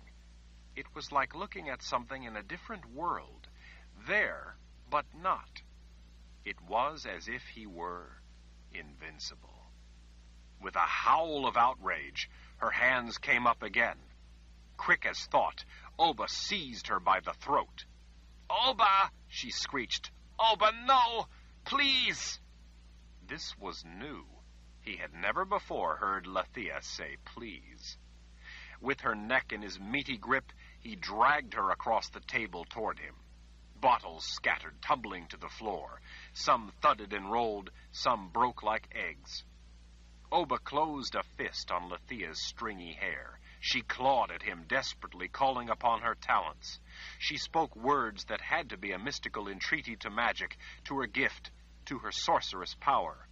While he didn't recognize the words, he understood their lethal intent. Oba had surrendered, though, and he had become invincible. He had watched her unleash her rage. Now he unleashed his. He slammed her up against her cabinet. Her mouth grew wide with a silent scream. Why did you want Mama to get rid of me? Her eyes, big and round, were fixed on the object of her terror, Oba. All his life she had delighted in terrifying others, now all that terror had returned to haunt her. Why did you want Mama to get rid of me? A series of small, panting cries were her only answer. Why? Why? Oba ripped her dress from her body. Coins spilled from the pocket, raining across the floor. Why? He clutched the white shift she wore underneath the dress. Why? She tried to hold the shift to herself, but he stripped it away, sending her tumbling across the floor, bony arms and legs sprawling. Her wasted breasts hung like shriveled udders. This powerful sorceress was now naked before him, and she was nothing. Her cries, full and round, came to life at last. Teeth gritted, he snatched her by the hair and hauled her to her feet. Oba rammed her against the cabinet. Wood splintered. Bottles cascaded out. He seized a bottle as it rolled out and broke it against the cabinet. Why, Lathea? He brought the neck of a broken bottle up against her body. Why? She shrieked all the louder. He twisted it against her soft middle. Why? Please, oh dear Creator, please, no. Why, Lathea? Because, she wailed, you are the bastard son of that monster, Darken Rahl. Oba hesitated. This was stunning news, if it was true. Mama was forced. She told me so. She said it was some man she didn't know who fathered me. Oh, she knew him, she did. She worked at the palace when she was younger. Your mother had big breasts and bigger ideas back then. Poorly conceived ideas. She wasn't smart enough to realize that she was no more than a night's diversion for a man with a limitless supply of women. Those eager like her, and those not. This was definitely something new. Darken Rahl had been the most powerful man in the world. Could that noble Rahl blood flow in his veins? The heady implications made his head swim. If the sorceress was telling the truth. My mother would have stayed there at the People's Palace if she carried Darken Rahl's son. You aren't his gifted heir. But still, if I was his son, Despite her pain, she managed to give him that smile that said he was but dirt to her. You are not gifted. Your kind were vermin to him. He ruthlessly exterminated all he discovered. He would have tortured you and your mother to death if he knew of you. Once she learned this, your mother fled. Oba was overwhelmed with new things. They were beginning to become a jumble in his mind. He pulled the sorceress close. Darken Rahl was a powerful wizard. If what you say is true, he would have hunted us. He slammed her against the cabinet again. He would have hunted me. He shook her to elicit an answer. He would have. He did, but he could not see the holes in the world. Her eyes were rolling. Her frail body was no match for Oba's strength. Blood ran from her right ear. What? Oba reasoned that Lathea was babbling nonsense now. Only Althea can. She had ceased to make sense. He wondered how much of what she had said was true. Her head lolled to the side. I should have saved us all when I had the chance. Althea was wrong. He shook her, trying to get her to say more. Red froth bubbled from her nose. Despite his yelling, his demanding, his shaking her, no more words came. He held her close, his heavy, hot breath lifting thin strands of her hair as he glared into her aimless eyes. He had learned all he would from her. He remembered all the burning powder he'd had to drink, the potions she had mixed for him, the days he'd spent in the pen. He remembered all the times he'd vomited his guts out, and it still wouldn't stop burning his insides. Oba growled as he lifted the bony woman. With a roar of anger, he slammed her against the wall. Her cries were fuel for the fire of his vengeance. He reveled in her helpless agony. He smashed her down against the heavy trestle table, breaking it and breaking her. With each crash, she became more limp, bloody, incoherent. But Oba had only just begun to rage at her. Chapter 10 Jennsen didn't want to go back to the inn, but it was dark and cold, and she didn't know what else to do. It was disheartening that Lathea wouldn't answer their questions. Jennsen had pinned her hopes on the woman's help. What shall we do tomorrow? Sebastian asked. Tomorrow? Well, do you still want me to help you leave D'Hara, as you and your mother asked of me? She hadn't really thought it out. In view of what little Lathea had told her, Jennsen wasn't sure what to do. She stared absently out into the empty night as they trudged across the crusted snow. If we went to the People's Palace, I would have some answers, she said, thinking out loud, and hopefully Althea's help. Going to the People's Palace was by far the most dangerous alternative. But no matter where she ran, where she hid, Lord Rahl's magic would haunt her. Althea might be able to help. Maybe, somehow, she would be able to conceal Jennsen from him so she could have her own life. He seemed to give her words serious thought, a long cloud of his breath trailing away in the wind. We'll go to the People's Palace then. Find this Althea woman. She felt somehow uneasy when she realized that he wasn't offering any argument or trying to talk her out of it. The People's Palace is the heart of D'Hara. It's not just the heart of D'Hara, but the home of the Lord Rahl. Then he wouldn't be likely to expect you to go there, would he?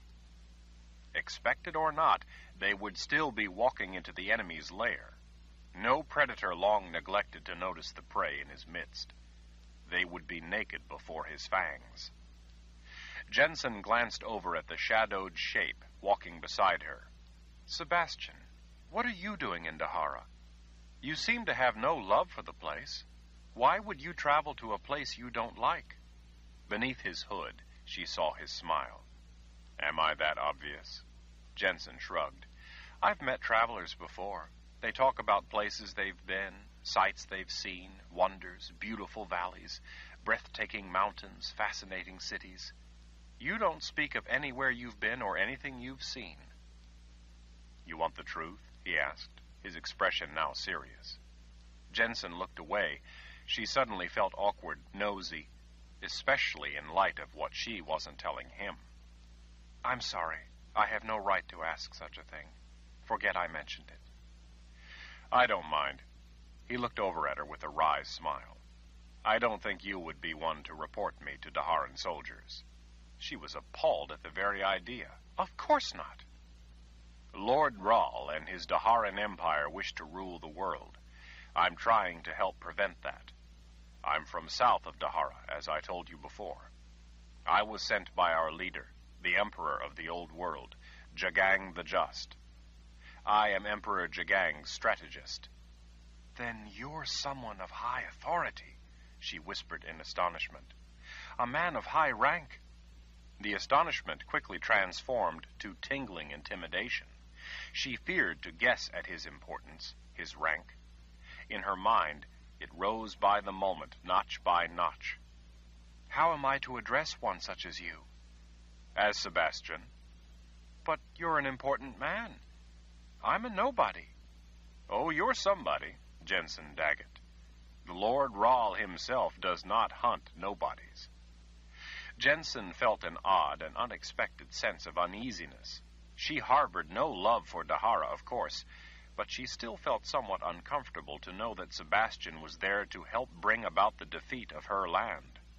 The twinge of loyalty confused her. After all, the Lord Rahl had sent the men who had murdered her mother. The Lord Rahl hunted Jennsen, wanted her dead. But it was the Lord Rahl who wanted her dead, not necessarily the people of her land.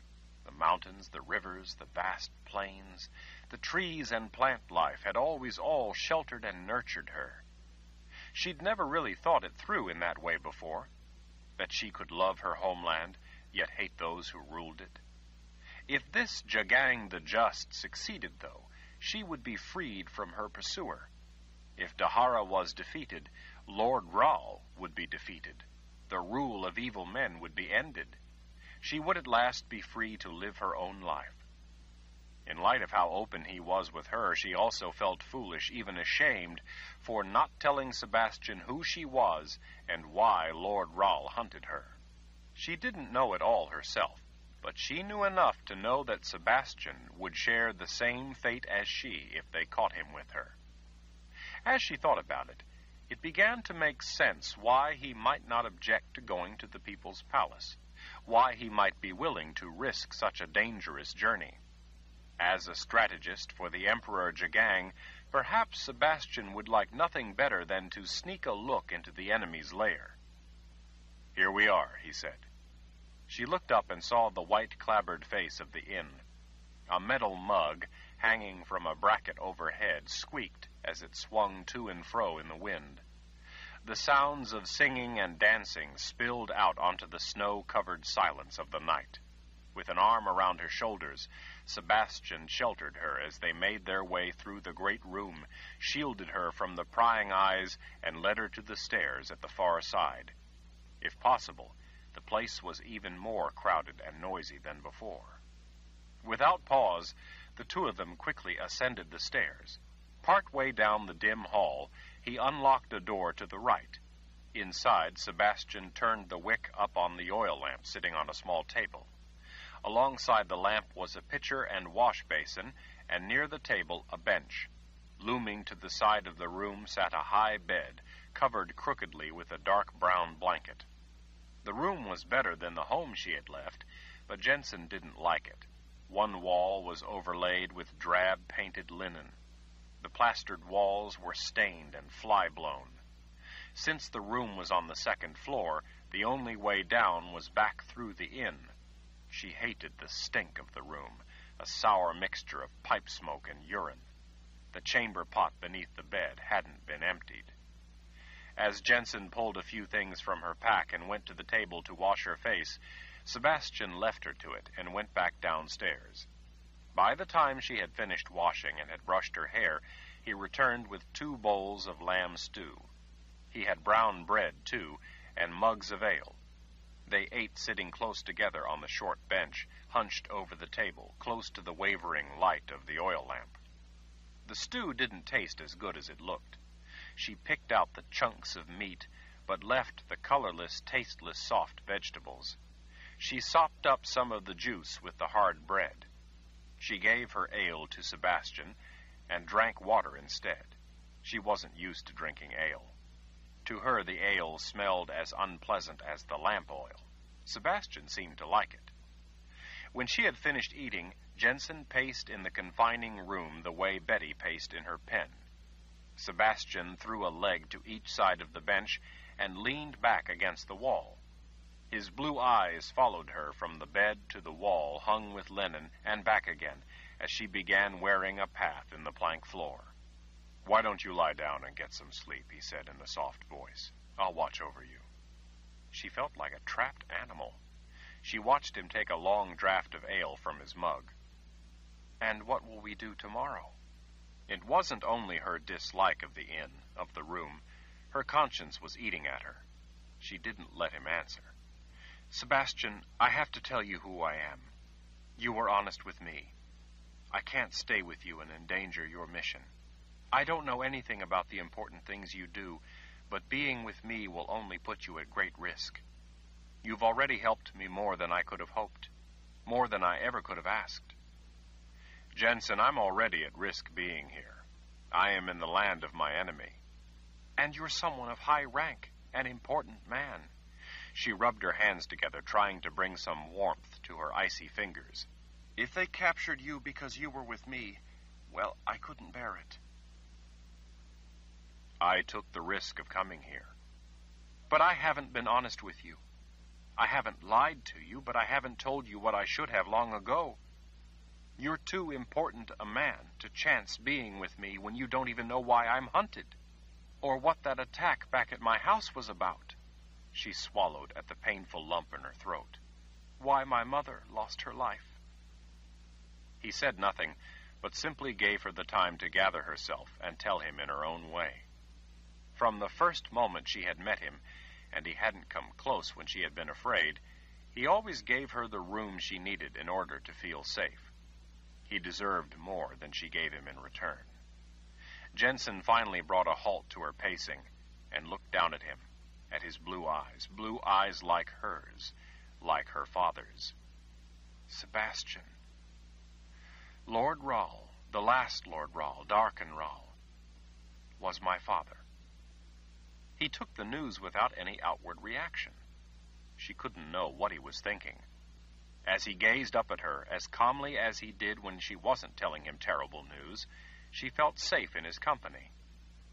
My mother worked at the People's Palace. She was part of the palace staff. Darken Rahl, he noticed her. It is the Lord Rahl's prerogative to have any woman he wants. Jennsen, you don't. She lifted a hand, silencing him. She wanted the whole thing out before she lost her nerve. Having always been with her mother, she feared being alone now. She feared he would abandon her, but she had to tell him what she knew. She was fourteen, Jennsen said, beginning the story as calmly as she could. Too young to really understand about the ways of the world, of men. You saw how beautiful she was. At that young age, she was already pretty as could be, growing into a woman sooner than many her age. She had a bright smile and an innocent exuberance for life. She was a nobody, though, and to an extent excited to be noticed, desired by a man of such power, a man who could have any woman he wanted. That was foolish, of course, but at her age and station it was flattering. And in her innocence, I suppose it might have even seemed glamorous. She was bathed and pampered by older women on the palace staff, her hair done up like a real lady. She was dressed in a beautiful gown for her meeting with the great man himself. When she was brought to him, he bowed and gently kissed the back of her hand. Her, a servant in his great palace, and he kissed her hand. From all accounts, he was so handsome that he shamed the finest marble statues. She had dinner with him in a great hall and ate rare and exotic foods she had never tasted before.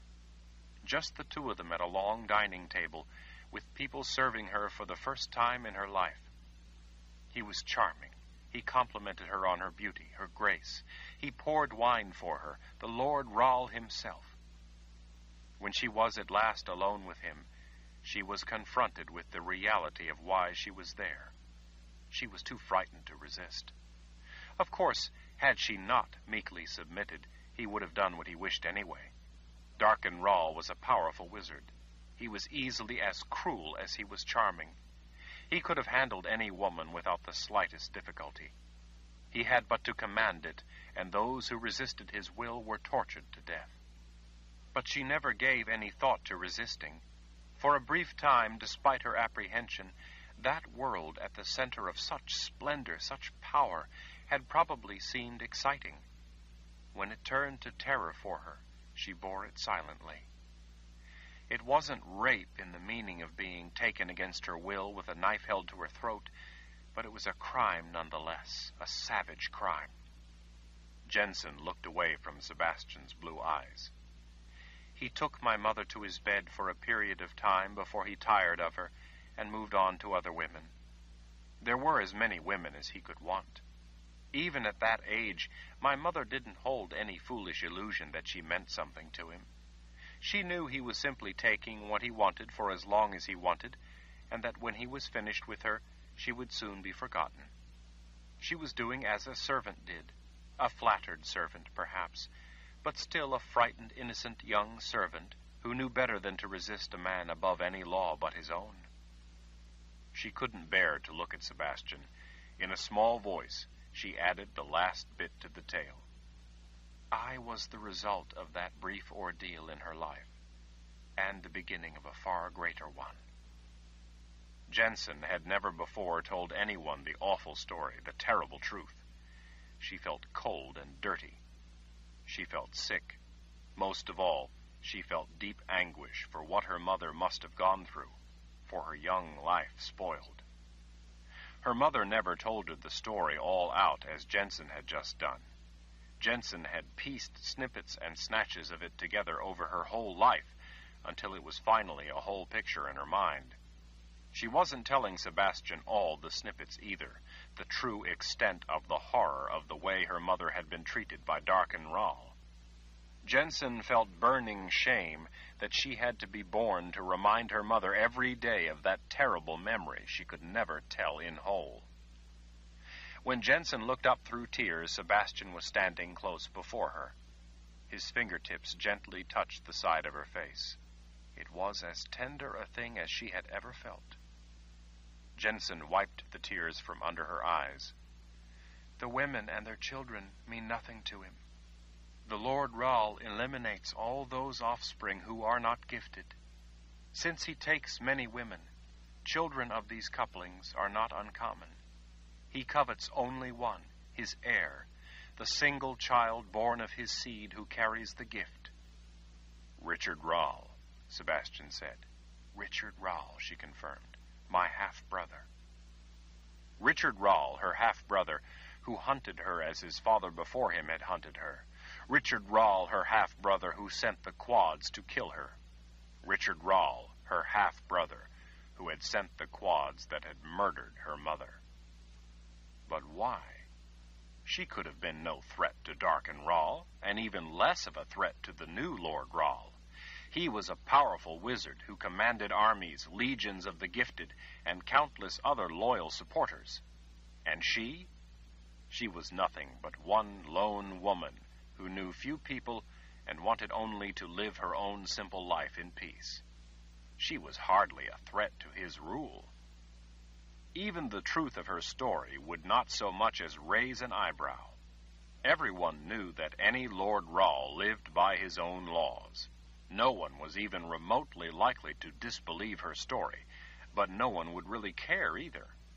At most, they might wink or give one another a knowing elbow at the lives of powerful men, and Darken Rahl had been the most powerful man alive. Jennsen's whole life seemed suddenly to come down to that central question. Why would her father, a man she never knew, have wanted so desperately to kill her? And why would his son, Richard Rahl, her own half brother, and now the Lord Rahl, also be so intent on killing her? It made no sense. What could she possibly do that could harm either of them? What threat could she possibly constitute to such power? Jennsen checked that the knife at her belt, her knife displaying the emblem of the House of Rahl, was secure. She lifted the blade to be sure it was free in its scabbard. The steel made a pleasing metallic click as she pushed it home. She scooped her cloak off the bed and threw it around her shoulders. Sebastian swiped a hand back across his white spikes of hair as he watched her quickly tie the cloak shut. What do you think you're doing? I'll be back in a while. I'm going out. He reached for his weapons and cloak. All right. I'll. No, leave me to it, Sebastian. You've put yourself at risk enough on my behalf. I wish to go alone. I'll be back when I've finished. Finished what? She hurried to the door. What I have to do. He stood in the center of the room, fists at his sides, apparently hesitant to go against her explicit wishes. Jennsen quickly pulled the door shut tight behind herself, closing off her view of him. She took the steps two at a time, intent on being quickly out of the inn and gone before he changed his mind and followed. The crowd downstairs was as rowdy as they had been before. She ignored the men, their gambling, their dancing, their laughter, and headed for the door. Before she made it, though, a bearded man hooked his arm around her middle and jerked her back into the press of people. She let out a small cry that was lost in the gale of revelry. Her left arm was pinned against her waist. He swung her around, catching her right hand, dancing her across the floor. Jennsen tried to reach up to pull back her hood, to free her red hair in order to give him a scare, but she couldn't liberate her arm. He held her other hand in an iron grip not only could she not free her hair, she couldn't reach her knife to defend herself. Her breath came in a frightened pant. The man laughed with his fellows and swirled her to the music, holding her tight lest he lose his dance with her. His eyes shone with merriment, not menace, but she knew that was only because she had not yet forcefully resisted. She knew that when he discovered that she was unwilling, his pleasant demeanor was sure to change. He released her waist and spun her around.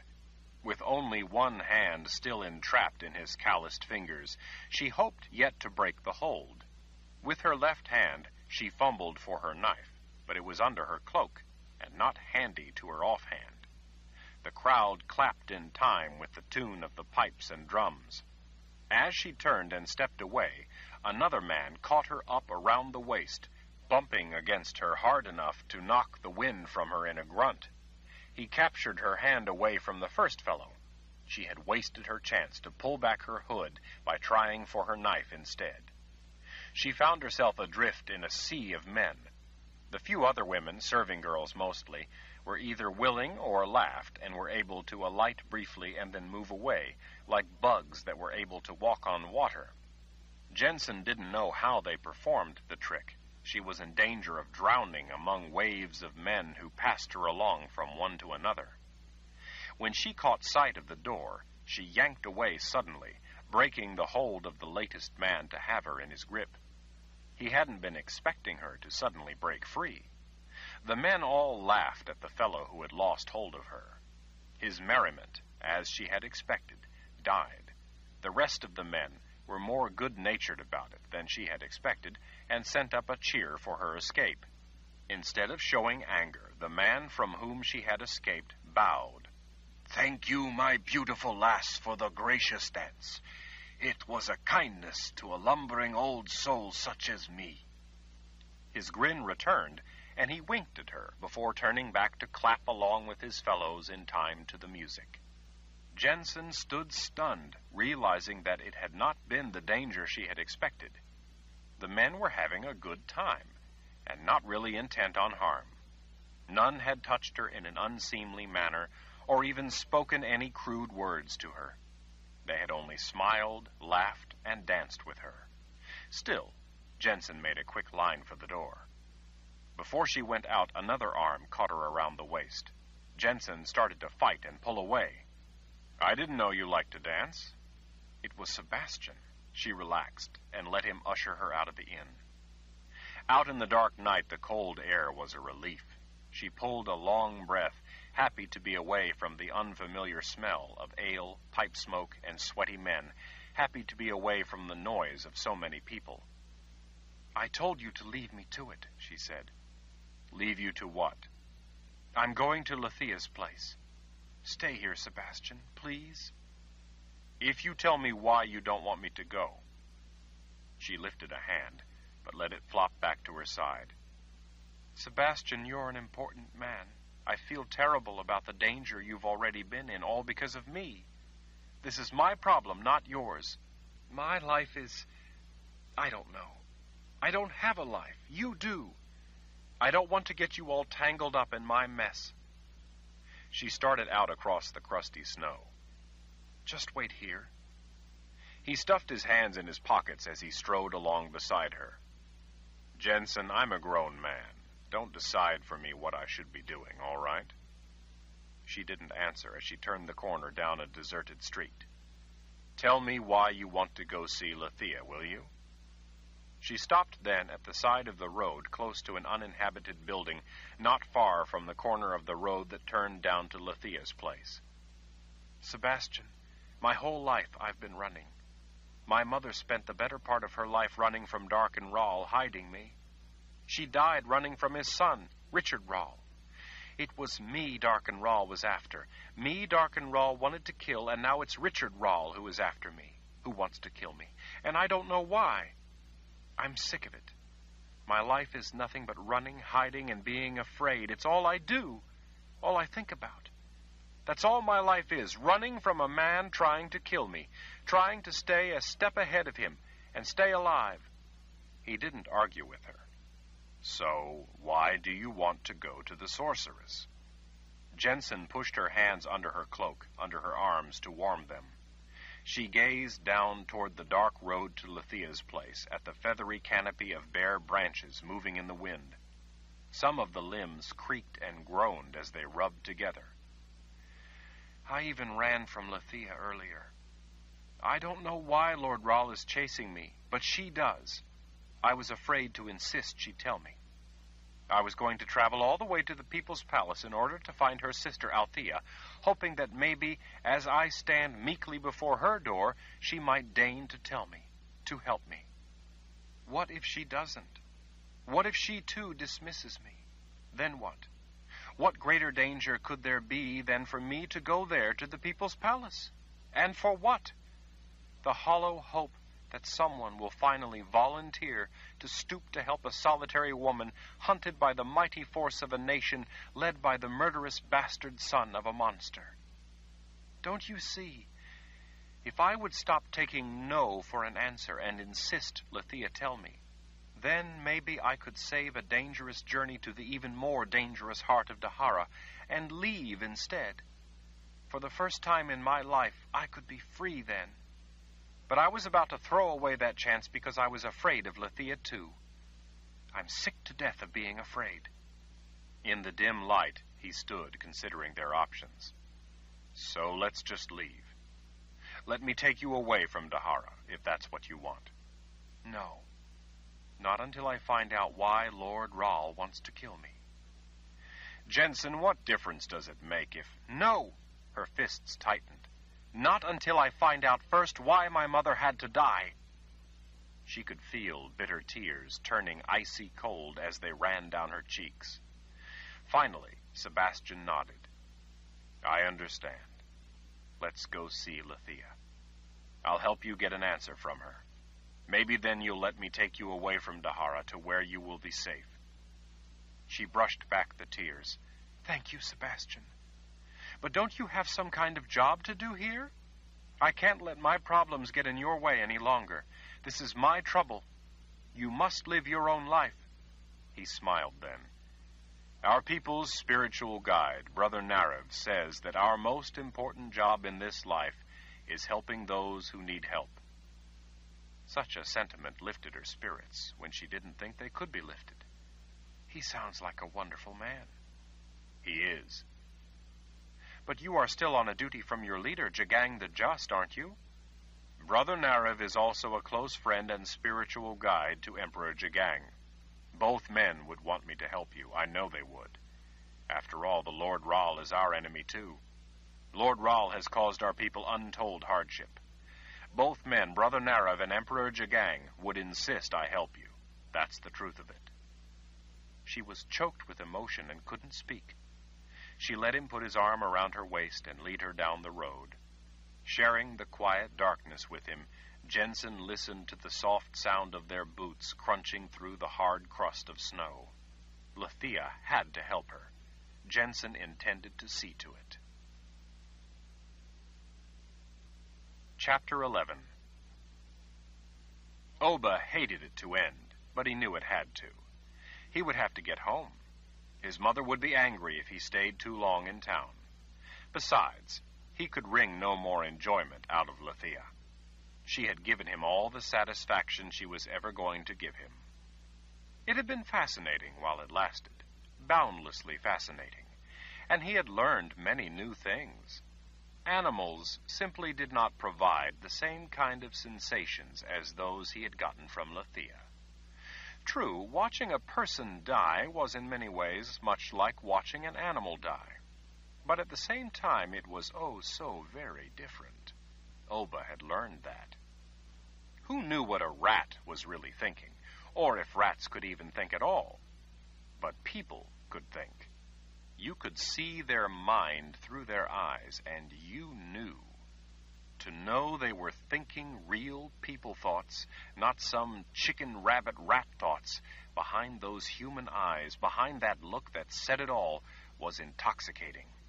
Witnessing Lathea's ordeal had been rapture, especially as he waited for that singular inspirational instant of ultimate anguish when her soul fled her human form and the keeper of the dead received her into his eternal realm. Animals did give him a thrill, though, even if they lacked that human element. There was tremendous enjoyment to be had in nailing an animal to a fence or a barn wall and skinning them while they were still alive. But he didn't think they had a soul. They just died. Lathea had died, too, but it had been a whole new experience. Lathea had made him grin like he had never grinned before. Oba unscrewed the top of the lamp, pulled out the woven wick, and dribbled lamp oil across the floor over the broken pieces of the trestle table around Lathea's medicine cabinet lying face down in the center of the room. As much as he knew he would enjoy it, he couldn't just leave her there to be discovered. There would be questions, if she was found like this.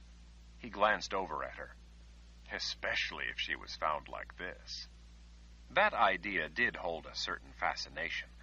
He would enjoy listening to all the hysterical talk. He would love to hear people tell him all the macabre details of the monstrous death Lathea had suffered. The very idea of a man who could have taken the powerful sorceress out in such a grisly fashion would cause a sensation. People would want to know who had done it. To some folk, he would be an avenging hero people everywhere would be abuzz. As word spread about Lathea's ordeal and gruesome end, the gossip would heat to a fever pitch. That would be fun. As he emptied the last of the lamp oil, he saw his knife where he'd left it beside the overturned cabinet. He tossed the empty lamp on the heap of ruin and bent to retrieve his knife. It was a mess. Couldn't have an omelet without breaking eggs, his mother always said. She said it a lot. In this case, Oba thought her tired old saw fit. With one hand, he took Lathea's favorite chair and tossed it into the center of the room, then began carefully cleaning his blade on the quilted throw from the chair. His knife was a valuable tool, and he kept it razor sharp. He was relieved to see the shine returning when the blood and slop was wiped off. He'd heard that magic could be troublesome in untold ways. Oba had briefly worried that the sorceress might be made up of some kind of dreadful acid sorceress blood that once spilled would eat through steel. He looked around. No, just regular blood, lots of it. Yes, the sensation this would create would be exciting. But he didn't like the idea of soldiers coming around to ask questions. They were a suspicious lot, soldiers. They would poke their noses into it sure as cows gave milk.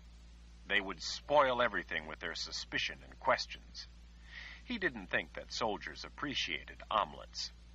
No, best if Lathea's house burned down. That wouldn't provide nearly the enjoyment that all the conversation and scandal would, but it also wouldn't be so suspicious. People's houses burned down all the time, especially in winter. Logs rolled out of fireplaces, spilling flaming coals. Sparks shot into curtains and set homes ablaze. Candles melted down and fell, catching things on fire. Happened all the time. Not really suspicious, a fire in the dead of winter. With all the lightning and sparks the sorceress sent flying willy nilly, it was a wonder the place hadn't already burned down. The woman was a menace. Of course, someone might notice the blaze way down at the end of the road, but by then it would be too late. By then the fire would be too hot for anyone to be able to come near the place. Tomorrow, if no one found the place ablaze, there would be nothing but ashes. He let out a sad sigh for the stillborn gossip, for what might have been, if not for the tragic fire that would be blamed for Lathea's end.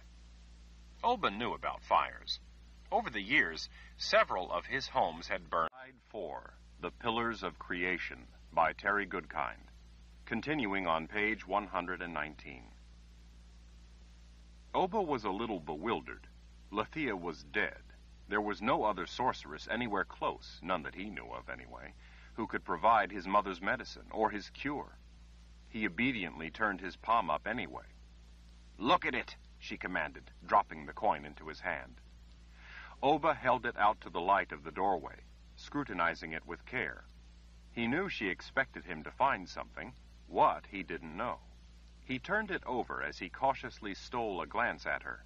He carefully inspected the other side, but still saw nothing out of the ordinary. Yes, Mama? Notice anything unusual about it, Oba? No, Mama. It doesn't have a scratch along the edge.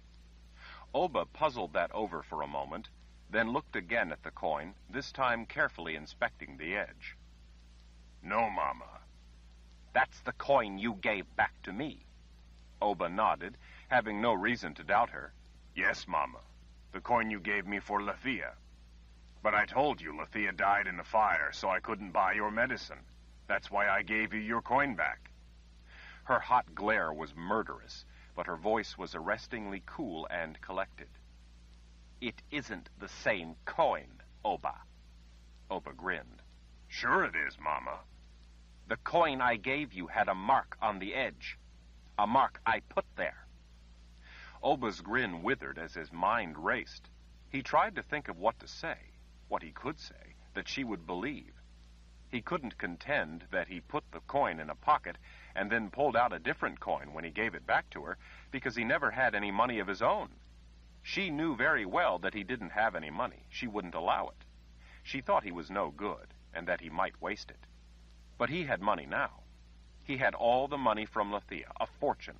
He remembered hurriedly gathering up all the coins that had spilled from Lathea's pocket, including the coin he'd only just given her. When he later set aside a coin to return to his mother, he hadn't known that she had marked the one she'd given him. Oba had the bad luck of returning a different coin than the one she had originally given him. But, Mama, are you sure? Maybe you only thought you marked the coin. Maybe you forgot. She slowly shook her head. No, I marked it so that if you spent it on drinking or on women, I would know because I could go look for it if I had to and see what you had done. The conniving bitch. She didn't even trust her own son.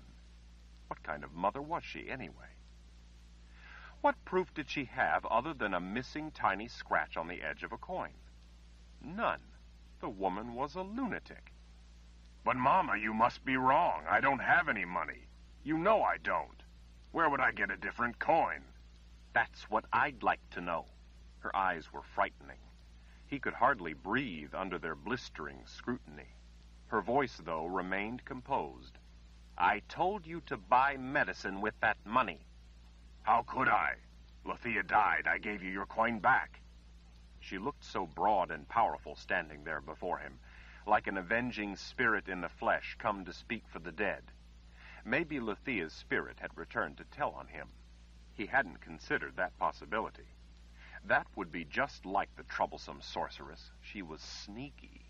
This might be just what she had done, intent on denying him his importance, his due prestige. Do you know why I named you Oba? No, Mama. It's an ancient D'Haran name. Did you know that, Oba? No, Mama. His curiosity got the best of him. What does it mean? It means two things servant and king. I named you Oba hoping you might someday be a king, and if not, then you would at least be a servant of the Creator. Fools are rarely made kings. You will never be a king. That was just a silly dream of a new mother. That leaves servant. Who do you serve, Oba? Oba knew very well who he served. In so doing, he had become invincible. Where did you get this coin, Oba? I told you, Mama, I couldn't get your medicine because Lathea had died in the fire at her place. Maybe the mark on your coin rubbed off against something in my pocket. She seemed to consider his words. Are you sure, Oba? Oba nodded, hoping that maybe he was at last turning her mind away from the coin mix-up. Of course, Mama. Lathea died. That's why I gave you your coin back. I couldn't get your medicine. His mother lifted an eyebrow. Really, Oba? She slowly drew her hand from the pocket of her dress. He couldn't see what it was she had, but he was relieved that he was finally bringing her around. That's right, Mama. Lathea was dead.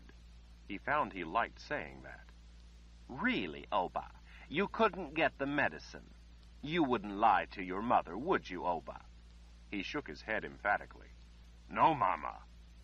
Then what's this? She turned over her hand and held out the bottle of medicine Lathea had given him before he had dealt with her. I found this in your jacket pocket, Oba. Oba stared at the cursed bottle, at the troublesome sorceress's revenge. He should have killed the woman right off before she gave him the telltale bottle of medicine. He had completely forgotten that he had put it in a pocket of his jacket, intending to toss it in the woods on his way home that night. What with all the important new things he had been learning, he had completely forgotten about the cursed bottle of medicine. Well, I think. I think it must be an old bottle. An old bottle? It's full. Her razor edged voice was back. How did you manage to get a bottle of medicine from a woman who was dead, in her house that had already burned down?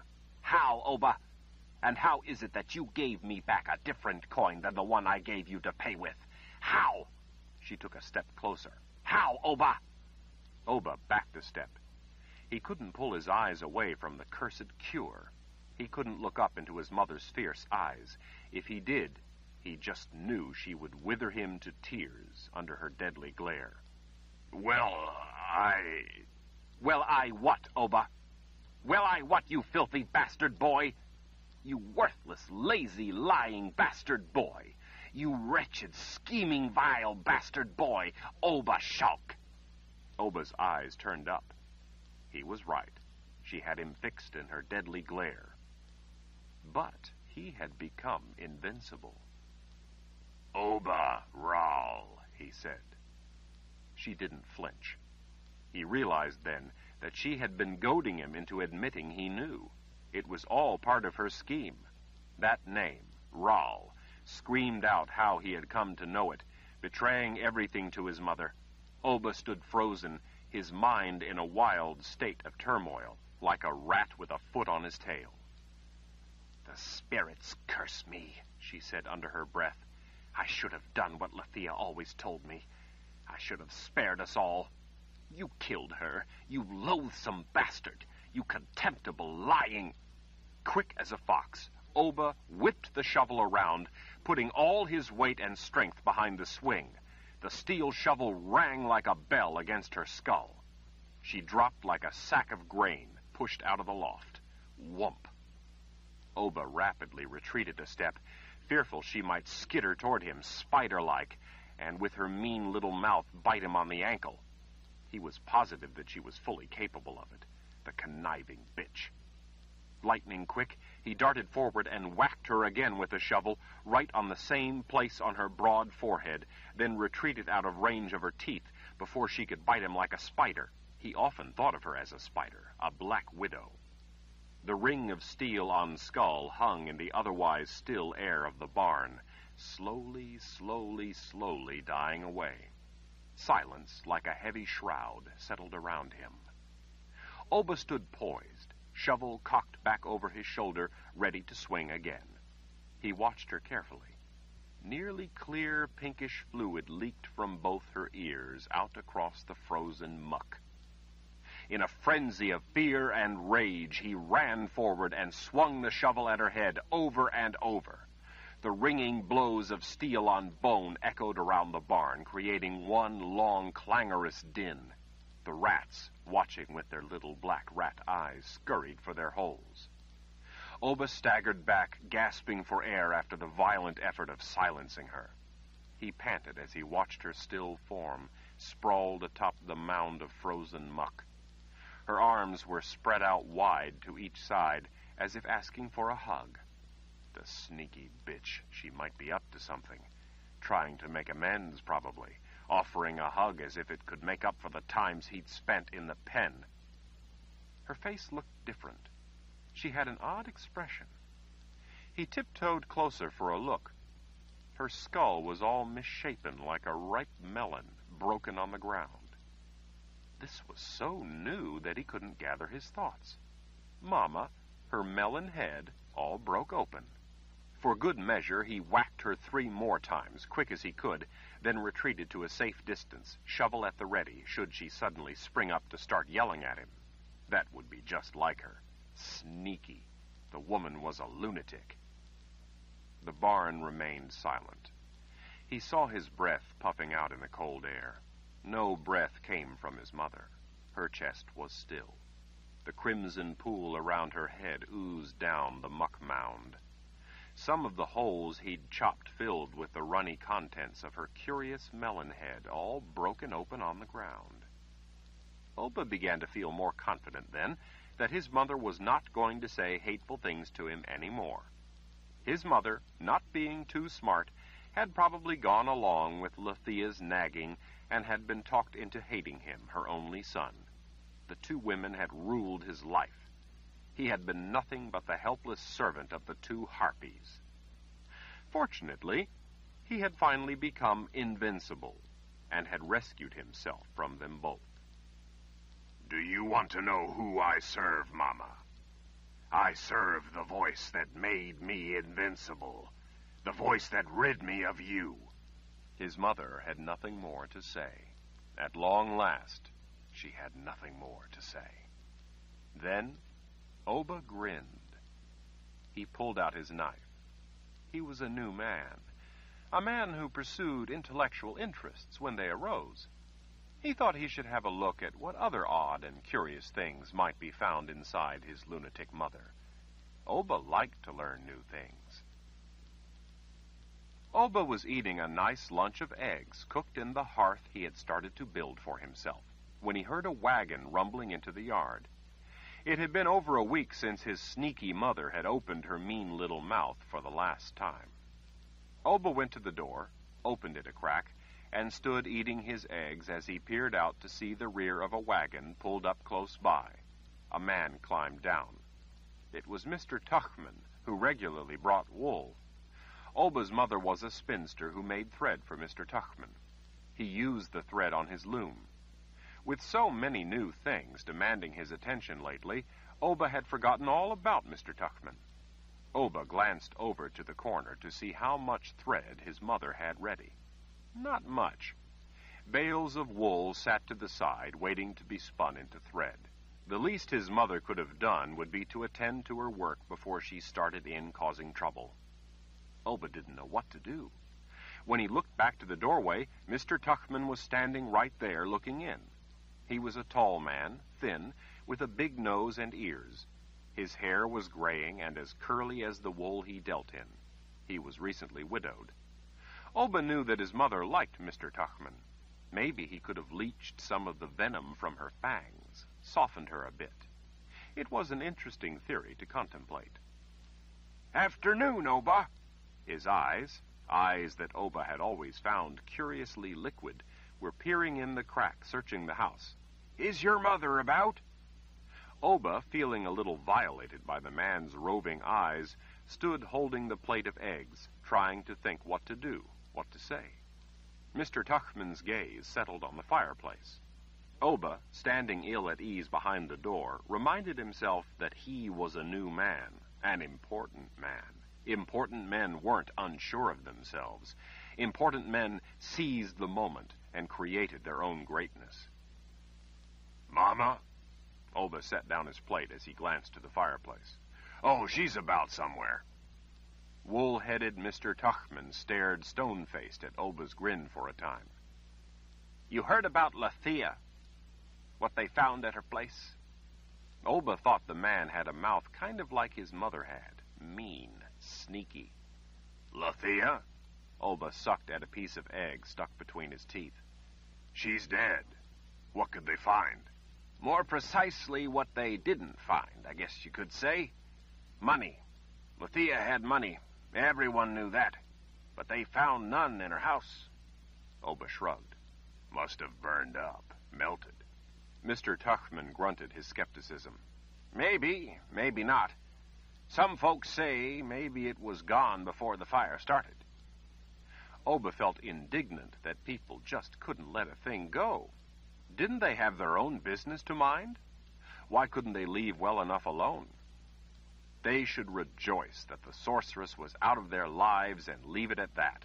They had to keep picking at it, though. Peck, peck, peck, like a gaggle of geese at the grain. Busybodies, that's what they were. I'll tell Mama you were here. I need the thread she spun. I have another load of wool for her. I need to be on my way. and Got other people waiting. The man had a whole bevy of women who spun wool for him, didn't he ever give his poor spinsters a chance to catch their breath? Well, I'm afraid that Mama hasn't had time to. Mr. Tuchman was staring at the fireplace again, only more intently this time. The look on his face was more than curious. It bordered on anger. The man, accustomed to ordering people around and always more bold than Oba felt comfortable around, stepped through the door and into the house to the center of the room, still staring at the fireplace. His arm rose, pointing. What's. what's that? Dear Creator. Oba looked where he was pointing, at the new fireplace being built against the stone wall that separated the house from the barn. Oba thought his work was quite well done, sturdy and straight. He had studied other fireplaces and learned how they were done. Even though the chimney wasn't built all the way up yet, he was using it. He had put it to good advantage. Oba saw then what Mr. Tuchman was really pointing at. Mama's jawbone. Well, wasn't this just something?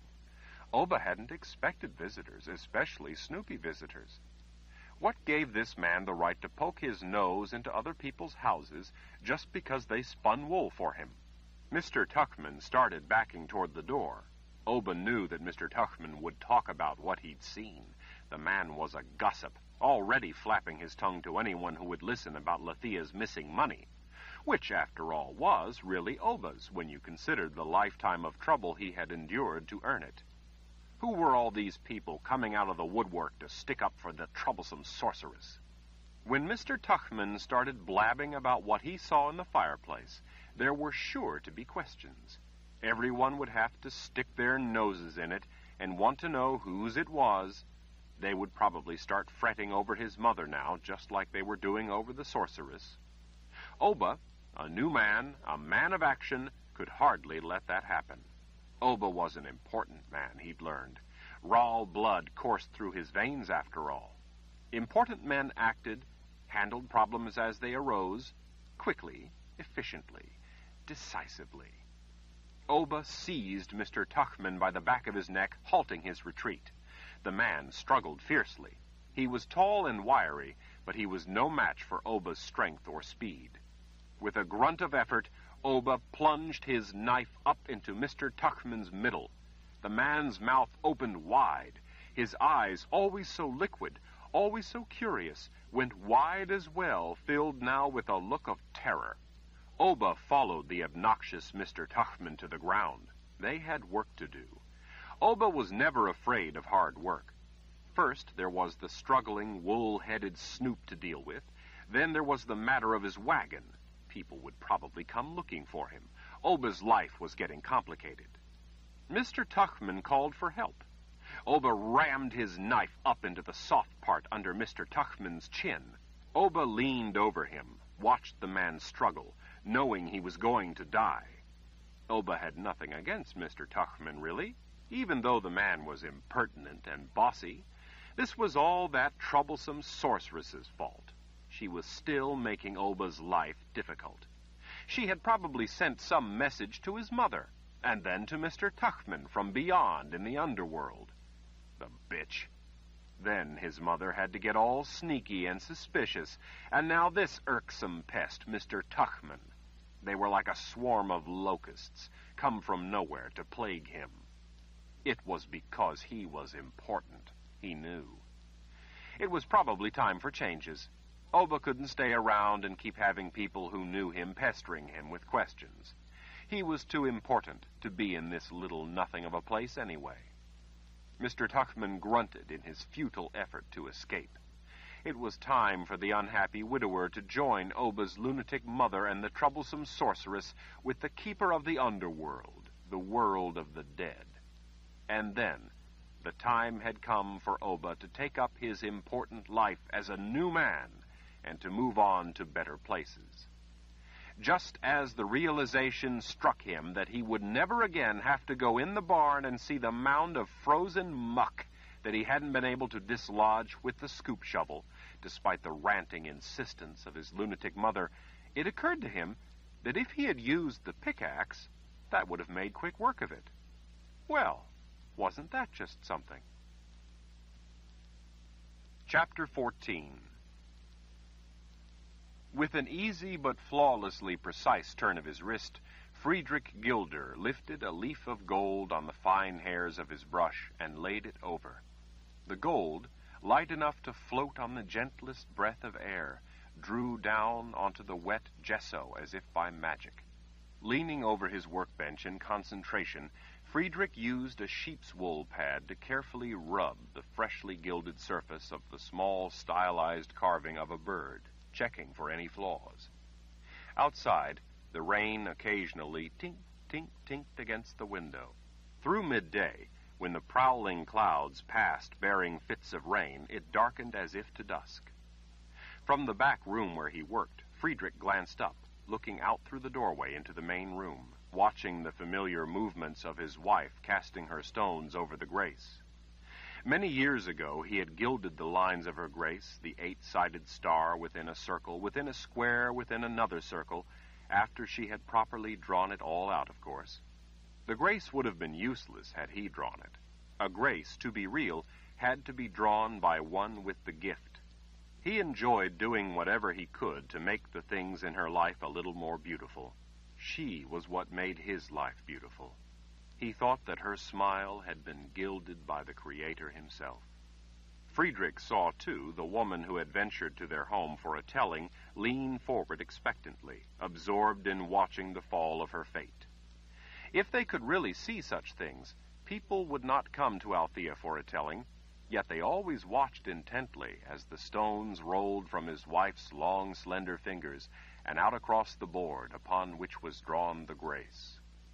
This woman, middle aged and widowed, was a pleasant sort and had been to see Althea twice before, but that had been several years back. As he had concentrated on his own work, he'd absently heard her tell Althea about her several grown children who were married and lived close to her, and that her first grandchild was on the way. Now, though, it was the drop of stones, not a child, that held the woman's interest. Again? she asked. It was not a question so much as astonishment. They did it again. Althea said nothing. Friedrich burnished the freshly laid gold as he listened to the familiar sounds of his wife gathering up her stones from the board. Do they do that often? the woman asked, her wide eyes turning from the grace to Althea's face. Althea didn't answer. The woman rubbed her knuckles so hard that Friedrich thought the skin might come off. What does it mean? Hush, Althea murmured as she rattled the stones. Friedrich had never heard his wife be so uncommunicative with a customer. The stones, clacking in Althea's loose fist, seemed to have an urgency to their bony knock. The woman rubbed her knuckles, awaiting her destiny. Again, the seven stones rolled out across the board, come to divulge the holy secrets of the fates. From where he sat, Friedrich couldn't see the stones fall, but he could hear the familiar sound of their uneven shapes rolling across the board. After all these years, he rarely watched Althea practice her profession, that is, watched the stones themselves. He did, though, despite the years, savor watching Althea. As he looked out, seeing the side of her strong jaw, her hair still mostly a golden sweep down past her jaw, falling like sunlight over her shoulder, he smiled. The woman gasped. Again? As if to make the woman's point, thunder in the distance rolled over the house. Mistress Althea, what could it mean? Her voice carried the unmistakable timbre of apprehension. Althea, on her pillow on the floor, leaning on one arm, her withered legs out to the side, used the arm against the floor to straighten herself. She finally looked at the woman. It means, Marjorie, that you are a woman of strong spirit. That's one of those two stones? Me? A strong spirit? That's right, Althea confirmed with a nod. And the other, then? It can't be good. Not there. It can only mean the worst. I was about to tell you that the other stone, which follows with each throw, is also a strong spirit. A man of strong spirit. Marjorie peered again at the stones on the board. She rubbed her knuckles.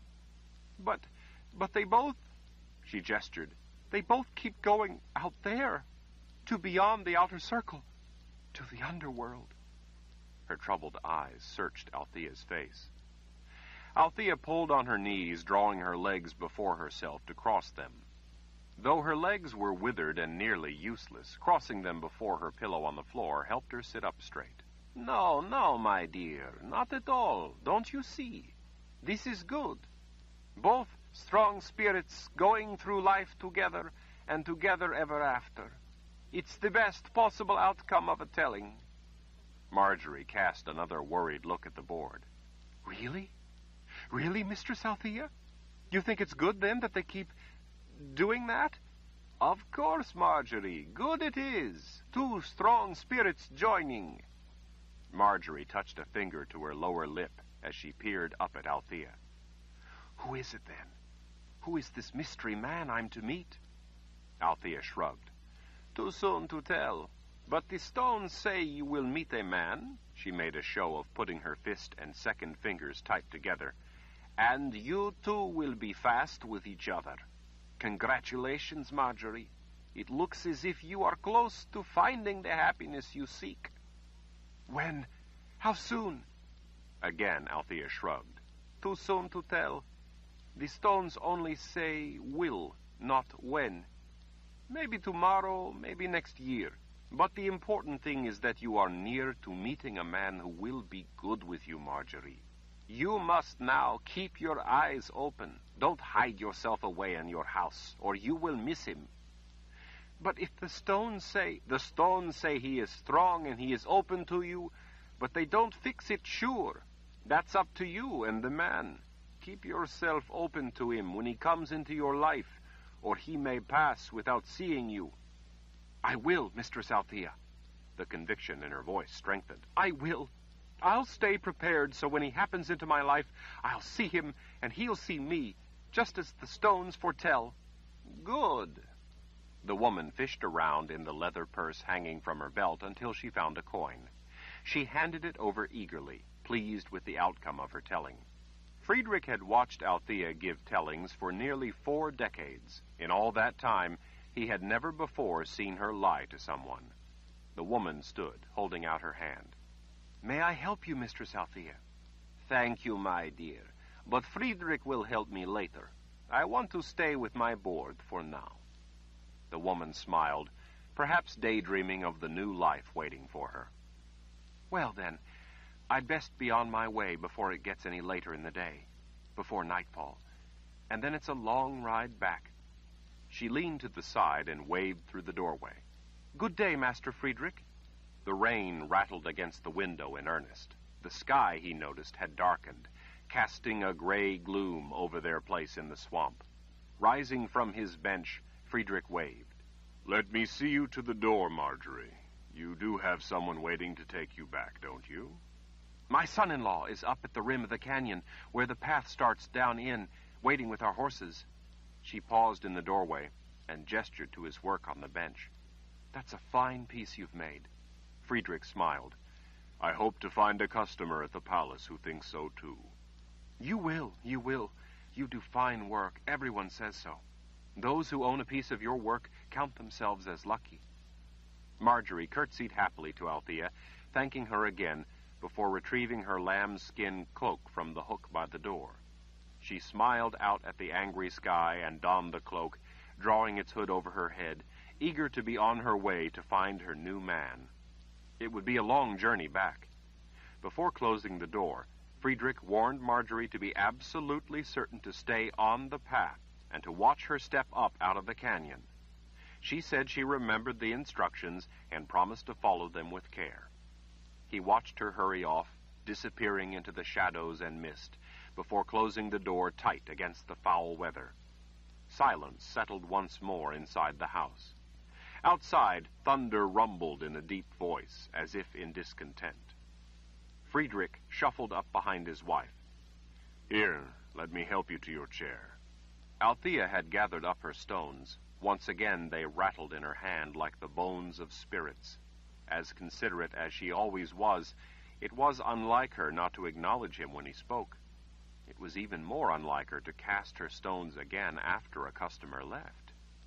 Casting her stones for a telling called upon her gift in ways he could not fully understand, but he did understand how it fatigued her. Casting her stones for a telling drew down her strength so that it left her detached from the world and wanting anything but to cast them again for a while. Now, though, she was in the spell of some tacit need. She turned her wrist and opened her hand, casting the stones at her board as easily, as gracefully as he handled his ethereal leaves of gold. Smooth, dark, irregular shaped stones rolled forth, bouncing on the board, tumbling across the gilded grace. In their life together, Friedrich had seen her cast her stones tens of thousands of times. There were times when, much like her customers, he had tried to discern a pattern in the fall of the stones. He never could. Althea always did. She saw meaning no mere mortal could see. She saw in the random fall of the stone some obscure omen only a sorceress could decipher, patterns of magic. There was no pattern expressed through the act of the throw. It was the fall of the stones that was touched by powers he dared not consider, powers that spoke only to the sorceress through her gift. In that random motif of disorder, she could read the flow of powers through the world of life, and even, he feared, the world of the dead, although she never spoke of it. Despite how close they were in body and soul, this was one thing they could not share in their life together. This time, as the stones rolled and wobbled across the board, one stopped in the exact center. Two stopped on opposite corners of the square where it touched the outer circle. Two ended up at opposite points where the square and the inner circle touched. The final two stones came to rest beyond the outer circle, which represented the underworld. Lightning flashed, and seconds later thunder clapped. Friedrich stared in disbelief. He wondered what the odds were of the stones coming to the end of their tumble at these specific points on the grace. He had never before seen them end in any discernible pattern. Althea, too, was staring at her board. Have you ever seen anything like that before? he asked. I'm afraid so, she said under her breath as she raked the stones up with her graceful fingers. Really? He was sure he would have recalled such an unlikely event, such a startling orderliness. When was that? She rattled the stones in her loose fist. The four previous throws. That casting made five, all the same, each individual stone coming to rest in the identical place it had before. Again, she cast the stones at the board. At the same time, the sky seemed to open, letting rain roar down on the roof. The noise reverberated through the house. Involuntarily, he glanced toward the ceiling briefly before watching along with Althea as the stones rolled and bounced across the board. The first stone rolled to a halt in the exact center of the grace. Lightning flashed. The other stones, rolling in what looked to be a completely natural manner, came to rest in what appeared a perfectly normal way, except that they stopped in the exact same places they had before. Six, Althea said under her breath. Thunder boomed.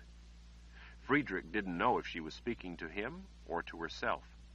But the first four throws were for that woman, Marjorie. You were casting them for her. This is for her telling. Even to himself, it sounded more like a plea than reason. Marjorie came for a telling, Althea said. That does not mean the stones chose to give her one. The stones have decided that this telling is for me. What does it mean, then? Nothing, she said.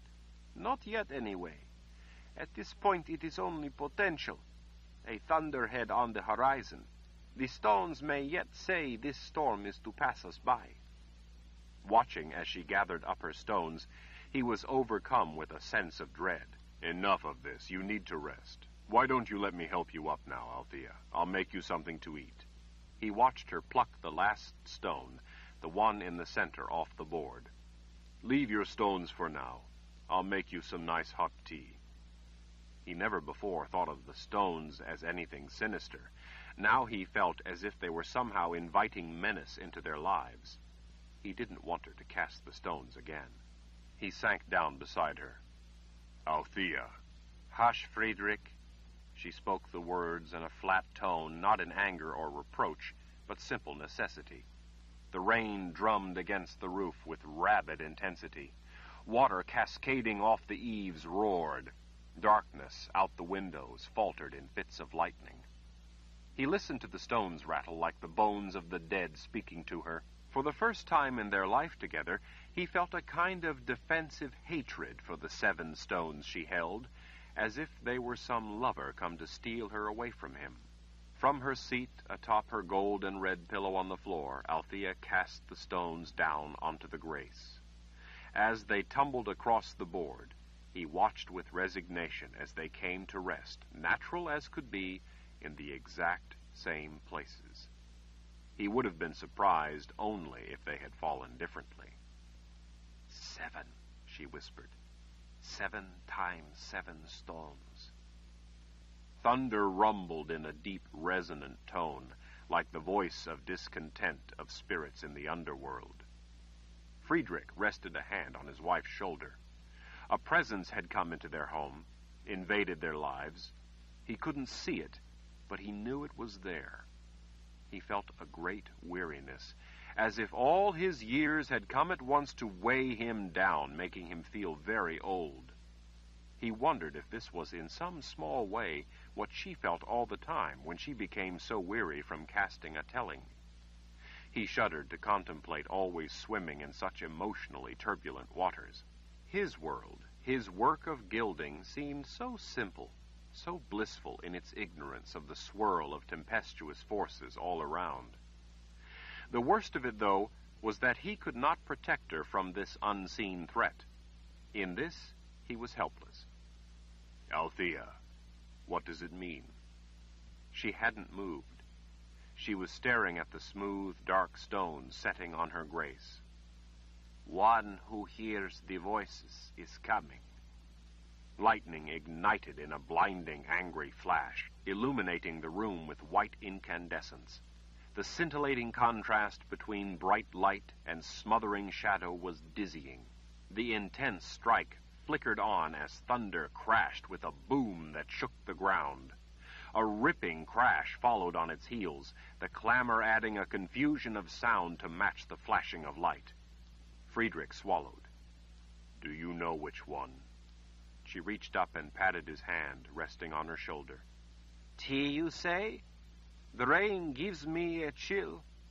I'd like some tea. He looked from the crinkled smile showing in her eyes to the stones on the grace. For whatever reason, she wasn't going to answer that question for now. He asked another instead. Why did your stones fall like that, Althea? What does something like that mean? Lightning struck nearby. The crack of thunder felt as if it split air made of solid stone. Fists of rain beat against the window in petulant fits. Althea finally looked away from the window, from creation's fury, and turned back to the board. She reached out and placed her forefinger on the stone in the center. The Creator, he guessed aloud before she could name it. She shook her head. Lord Rahl. But the star in the center represents the Creator, his gift. It does in the grace, but you must not forget this is a telling. This is different. A telling only uses the grace, and in this telling, the stone in the center represents the one with his gift. Then it could be anyone, Friedrich said. Anyone with the gift? No. The lines coming from the eight points of the star represent the gift as it passes through life, through the veil between the worlds, and beyond the outer circle into the underworld. Thus it represents the gift in a sense that it conveys with no other person. The gift for magic of both worlds, the world of life and the world of the dead additive and subtractive. This stone in the center touches both.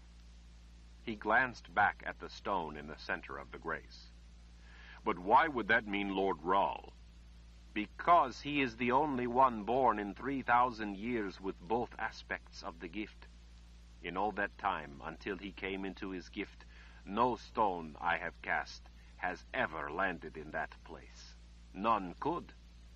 What has it been? Two years now since he succeeded his father? Less since his gift came to life in him, which in itself leaves questions with only troubling answers. But I recall you telling me years ago that Darken Rahl used both sides of the gift. Gazing off into dark memories, Althea shook her head. He also used subtractive powers, but he did not do so by birth. He offered the pure souls of children to the keeper of the underworld in return for the keeper's favors. Darken Rahl had to trade for the limited use of such powers.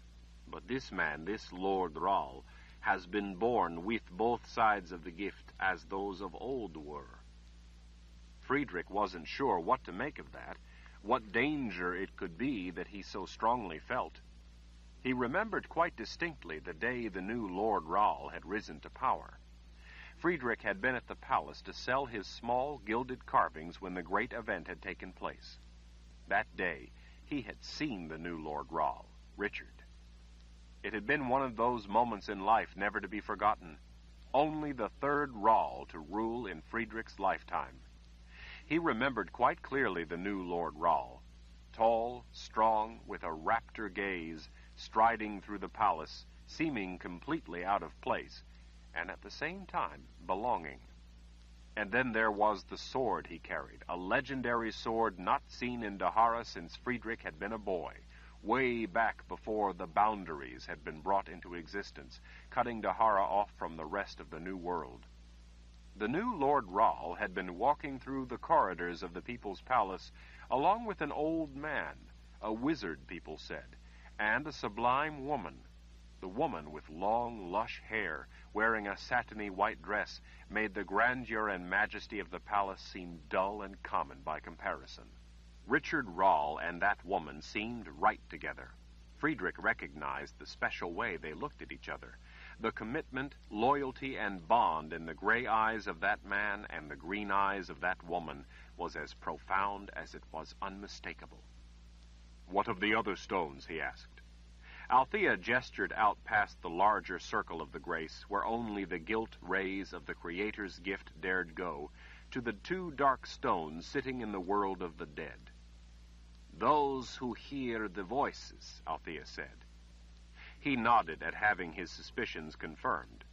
In such things dealing with magic, it wasn't often that he was able to guess the truth from what appeared to be obvious. And the rest? Staring at the four stones resting at the cusps of lines, her voice came softly, mingling with the rain. These are protectors. They protect Lord Rahl? They protect us all. He saw then the tears rolling down her weathered cheeks. Pray, she whispered, that they are enough, or the Keeper will have us all. You mean to say there are only these four who protect us? There are others, but these four are pivotal. Five, The Pillars of Creation by Terry Goodkind. Continuing on page 156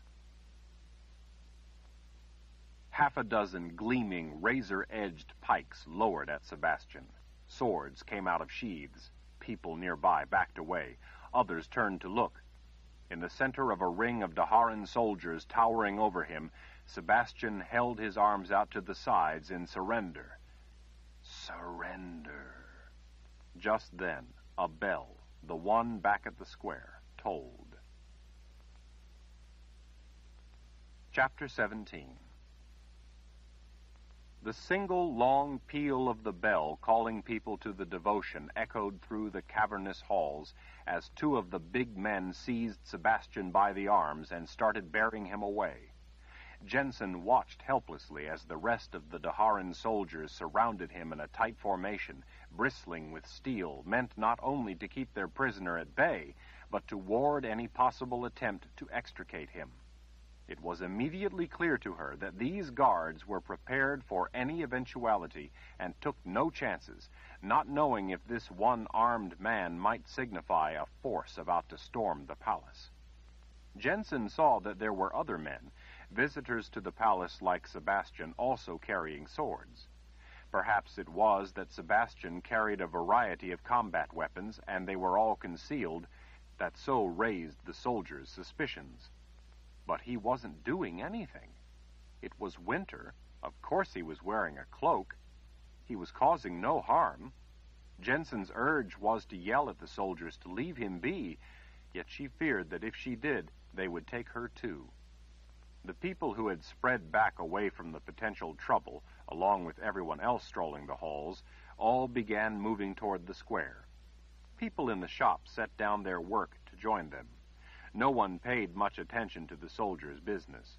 In response to that single chime still hanging in the air, laughter and talking trailed off to respectful whispers.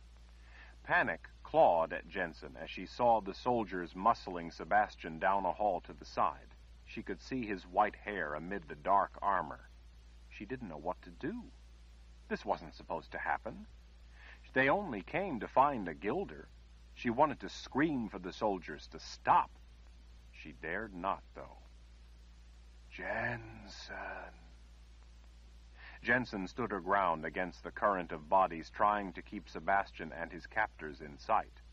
The Lord Rahl was after her, and now they had Sebastian. Her mother had been murdered, and now they were taking Sebastian. It wasn't fair.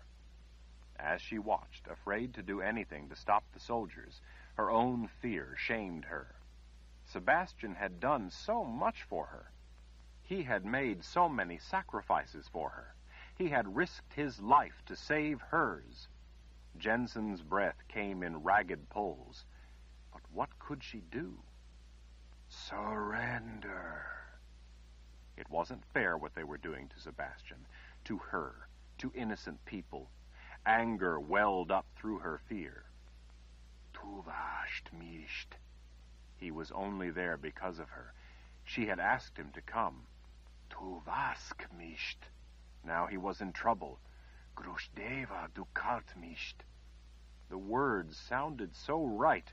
They flared through her, carried on flames of igniting rage. People pushed against her. She growled through gritted teeth as she squeezed her way among the crush of people trying to follow the soldiers who had Sebastian. It wasn't fair. She wanted them to stop. Just stop. Stop. Her helplessness frustrated her. She was sick of it. When they wouldn't stop, when they kept going, it only further enraged her. Surrender. Jennsen's hand slid inside her cloak. The touch of cold steel welcomed her. Her fingers tightened around the hilt of her knife. She could feel the worked metal of the symbol of the House of Rahl pressing into the flesh of her palm. A soldier gently pushed her, turning her in the direction of the rest of the crowd. The devotion square is that way, ma'am. It was spoken as a suggestion, but wrapped around the core of command. Through the rage, she looked up into his hooded eyes. She saw the dead man's eyes. She saw the soldiers at her house, men on the floor, dead, men coming for her, men grabbing her. She saw flashes of movement through a crimson sheen of blood. As she and the soldier stared into each other's eyes, she felt the blade at her waist coming out of its sheath. A hand under her arm tugged at her. This way, dear. I'll show you where it is. Jennsen blinked. It was the lady who had given her directions to Lathea's place.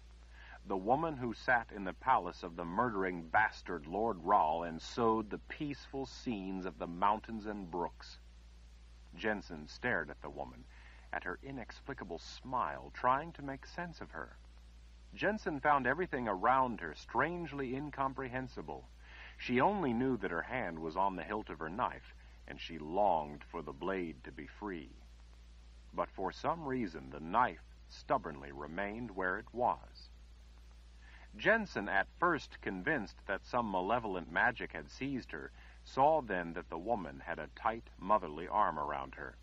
Without realizing it, the woman was keeping Jennsen's blade in its sheath. Jennsen locked her eyes, resisting being pulled along. The woman's eyes now were set with warning. No one misses a devotion, dear. No one. Let me show you where it is.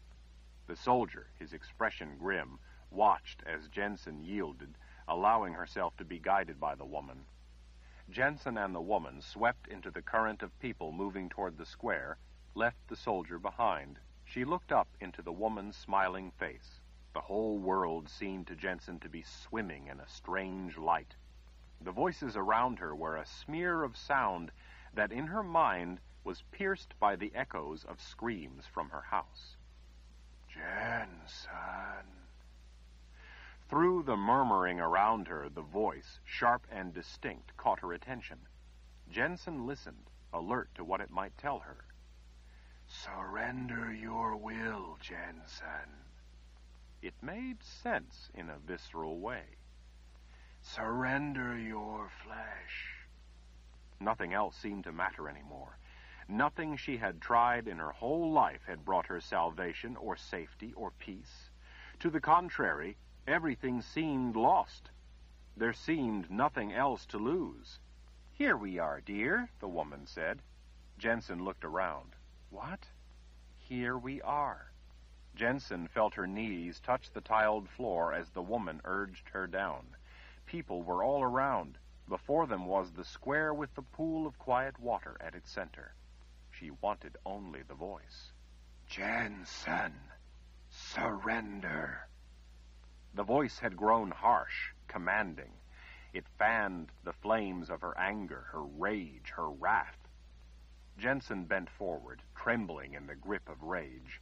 Somewhere in the far corners of her mind screamed a distant terror. Despite that remote sense of foreboding, it was rage that was carrying her will away. Surrender! She saw strings of her saliva hanging, dripping, as she panted through parted lips. Tears dropped to the tiles close beneath her face. Her nose ran, her breath came in gasps, her eyes were open so wide it hurt. She shook all over as if alone in the coldest, darkest winter night. She couldn't make herself stop. People bowed forward deeply, hands pressed to the tiles. She wanted her knife out. Jennsen lusted for the voice. Master Rahl, guide us. It was not the voice, it was the people all around in one voice chanting the devotion. As they began, they all bowed farther forward until their foreheads touched the tile floor. A soldier moved past close behind, patrolling, watching as she knelt, bent over, hands to the floor, quaking uncontrollably. Inch by halting inch, as she gasped, panted, shook, Jennsen's head lowered until her forehead touched the floor. Master Rahl, teach us. That was not what she wanted to hear. She wanted the voice. She raged for it. She wanted her knife. She wanted blood. Master Rahl, protect us, the people all chanted in unison. Jennsen, pulling ragged, jerking breaths, consumed with loathing, wanted only the voice and her blade free but her palms were flat on the tiles. She listened for the voice, but heard only the chant of the devotion. In your light we thrive, in your mercy we are sheltered, in your wisdom we are humbled, we live only to serve, our lives are yours. At first, Jennsen only vaguely remembered it from her youth, from when she had lived at the palace. Hearing it now, that memory came flooding back. She had known the words. She had chanted them when she was little. When they fled the palace running from Lord Rahl, she had banished the words of the devotion to the man who was trying to kill her and her mother. Now, hungering for the voice that wanted her to surrender, almost unbeknownst to her, almost as if it were someone else doing it, her trembling lips began moving with the words. Master Rahl, guide us. Master Rahl, teach us. Master Rahl, protect us. In your light we thrive. In your mercy we are sheltered. In your wisdom we are humbled. We live only to serve. Our lives are yours. The cadence of those murmured words filled the great hall. Many people, but one voice, resounding powerfully off the walls.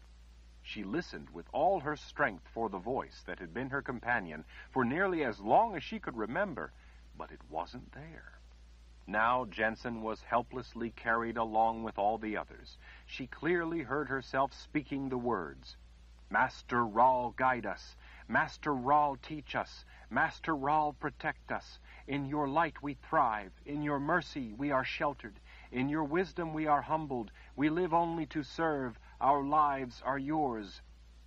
Over and over, Jennsen softly spoke the words of the devotion along with everyone else. Over and over, without pause but for breath. Over and over, yet without haste. The chant filled her mind. It beckoned to her, spoke to her. It was all that filled her thoughts as she chanted it over and over and over. It filled her so completely that it left no room for anything else. Somehow, it calmed her. Time slipped by, incidental, inconspicuous, unimportant. Somehow the soft chant brought her a sense of peace. It reminded her of how Betty calmed when having her ears smoothed. Jennsen's rage was being smoothed. She fought against it, but bit by bit she was pulled into the chant, into its promise, smoothed and gentled. She understood then why it was called a devotion. Despite everything, it drained her and then filled her with a profound calm, a serene sense of belonging. She no longer fought the words. She allowed herself to whisper them, letting them lift away the shards of pain. For that time, as she knelt, her head to the tiles, with nothing to do but say the words, she was free of anything and everything. As she chanted along with everyone else, the shadow cast on the floor from the mullions of the leaded glass overhead moved past her, leaving her in the glow of the full sun. It felt warm and protective. It felt like her mother's warm embrace. Her body felt light. The soft radiance all around reminded Jennsen of how she pictured the good spirits. An instant in time later, the hours of chanting were ended. Jennsen uncurled, slowly pushing away from the floor to sit up with the others. Without warning, a sob poured forth. Anything wrong here? There was a soldier towering over her. The woman to the side put an arm around Jennsen's shoulders. Her mother passed away recently, the woman quietly explained. The soldier shifted his weight, looking ill at ease. I'm sorry, ma'am. My heartfelt sympathy to you and your family. Jennsen saw in his blue eyes that he meant every word. Stunned, speechless, she watched as he turned, huge and muscular, layered in leather, Lord Rahl's killer continuing on his patrol. Empathy in armor. If he knew who she was, he would deliver her into the hands of those who would see to it that she suffered a long and lingering death. Jennsen buried her face in the stranger's shoulder and wept for her mother, whose embrace had felt so good. She missed her mother beyond endurance, and now she was terrified for Sebastian. Chapter 18 Jennsen thanked the woman who sewed country scenes and gave directions. Only after Jennsen had started down the hall did she realize that she didn't even know the woman's name. It didn't really matter. They both had mothers. Both understood and shared the same feelings. Now that the devotion was over, the noise of all the people in the palace rose again to resound off marble walls and columns. Laughter could be heard ringing out across the hall. People had gone back to their own concerns, buying, trading, discussing their wants and needs. Guards patrolled, and palace staff, most in light colored robes, went about their business, carrying messages, seeing to matters Jennsen could only guess at. In one place, workers were at the task of repairing the hinges on a huge oak double door to a side passageway. The cleaning staff was back, too, busy at dusting, mopping, polishing.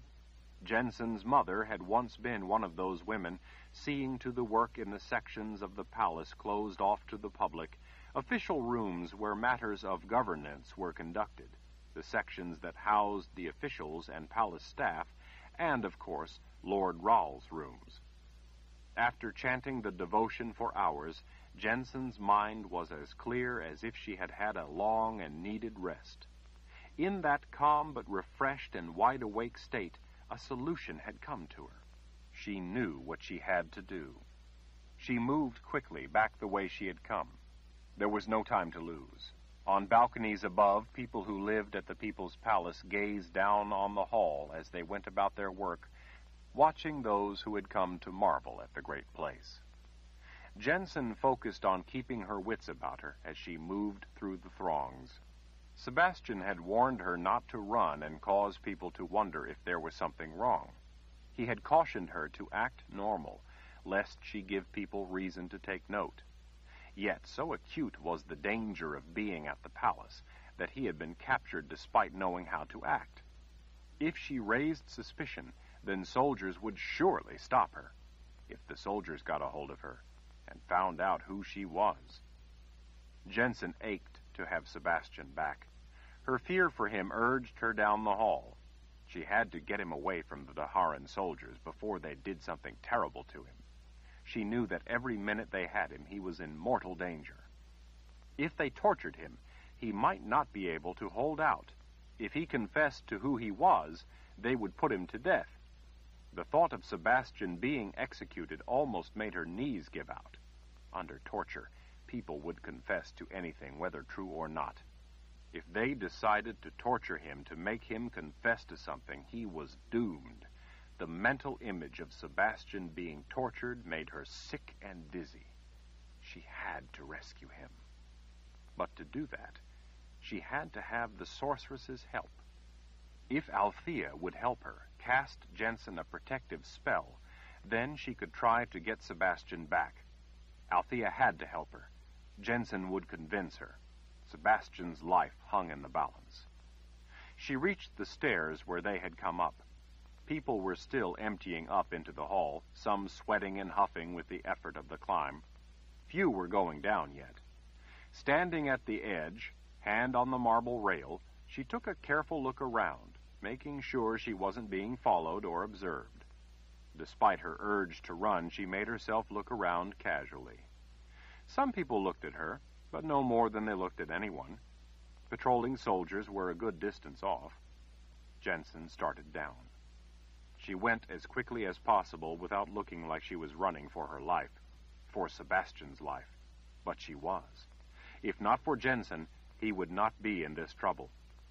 She thought that going down would be easy, but after hundreds of steps, she found that going down was tiring on the legs. Her legs burned with the effort. She told herself that if she couldn't run, she could at least not stop but keep going and in that way make better time. On the landings, she cut the corners, saving steps. When no one was looking, she took the stairs two at a time. When she had to traverse passageways, she tried to screen herself behind clumps of people as she went past watchful guards. People sitting on benches, eating bread and meat pies, drinking ale, talking with friends, casually noted her along with everyone else who passed, just another visitor going by. Lord Rahl's half sister among them. On the steps again, she went quickly, her legs trembling from the non-stop effort. Her muscles burned with the need of a rest, but she gave them none. Instead, she pushed faster when she had the chance. On an empty flight of stairs between two landings screened from sight because they turned from different directions, Jennsen raced recklessly down. She slowed again when a couple, arm in arm, their heads close together as they giggled over whispered words, reached the landing below and headed up. The air grew colder as she descended. On one level, with guards thick as flies in a barn in spring, one of the soldiers looked right into her eyes and smiled. Stunned to a stop for an instant, she realized that he was smiling at her as a man smiled at a woman, not as a killer smiled at his victim. She returned the smile, polite, warm, but not so much as to give the impression that she was encouraging him. Jennsen pulled her cloak tight and turned down the next flight of stairs. When she glanced over her shoulder as she turned the corner on a landing, he stood above, one hand on the rail, watching her. He smiled again and waved a farewell before turning back to his duties. Unable to contain her fear, Jennsen sprinted down the stairs two at a time and ran down the hall, past small stands selling food, brooches, and finely decorated daggers, past visitors sitting on stone benches set before the marble balustrade, on toward the next flight of stairs, until she realized that people were staring at her. She stopped running and fell casually into walking, trying to flounce to make it look as if she had just been dashing from youthful vivacity. The tactic worked. She saw the people who had been eyeing her seem to chalk it up as nothing more than a spirited girl dashing along. They turned back to their own business. Since it worked, Jennsen intermittently used the same trick and was able to make better time. Breathing hard from the long descent, she finally made it to the cave like entrance with the hissing torches. Since there were so many soldiers at the portal into the great plateau, she slowed and walked close behind an older couple to make it look as if she might be a daughter with her parents. The couple was engaged in a spirited debate of a friend's chances of making a go of it with his new shop selling wigs up in the palace. The woman thought it a good business. The man thought his friend would run out of willing sellers of their hair and would end up spending too much of his time looking for more. Jennsen could imagine no more foolish conversation when a man had been taken prisoner and was about to be tortured and probably put to death. To Jennsen, the D'Haran palace was nothing more than a vile death trap. She had to get Sebastian out of there. She would get him out. Neither one of the couple noticed Jennsen close behind, head bowed, matching their slow pace. The gaze of guards skimmed over the three of them.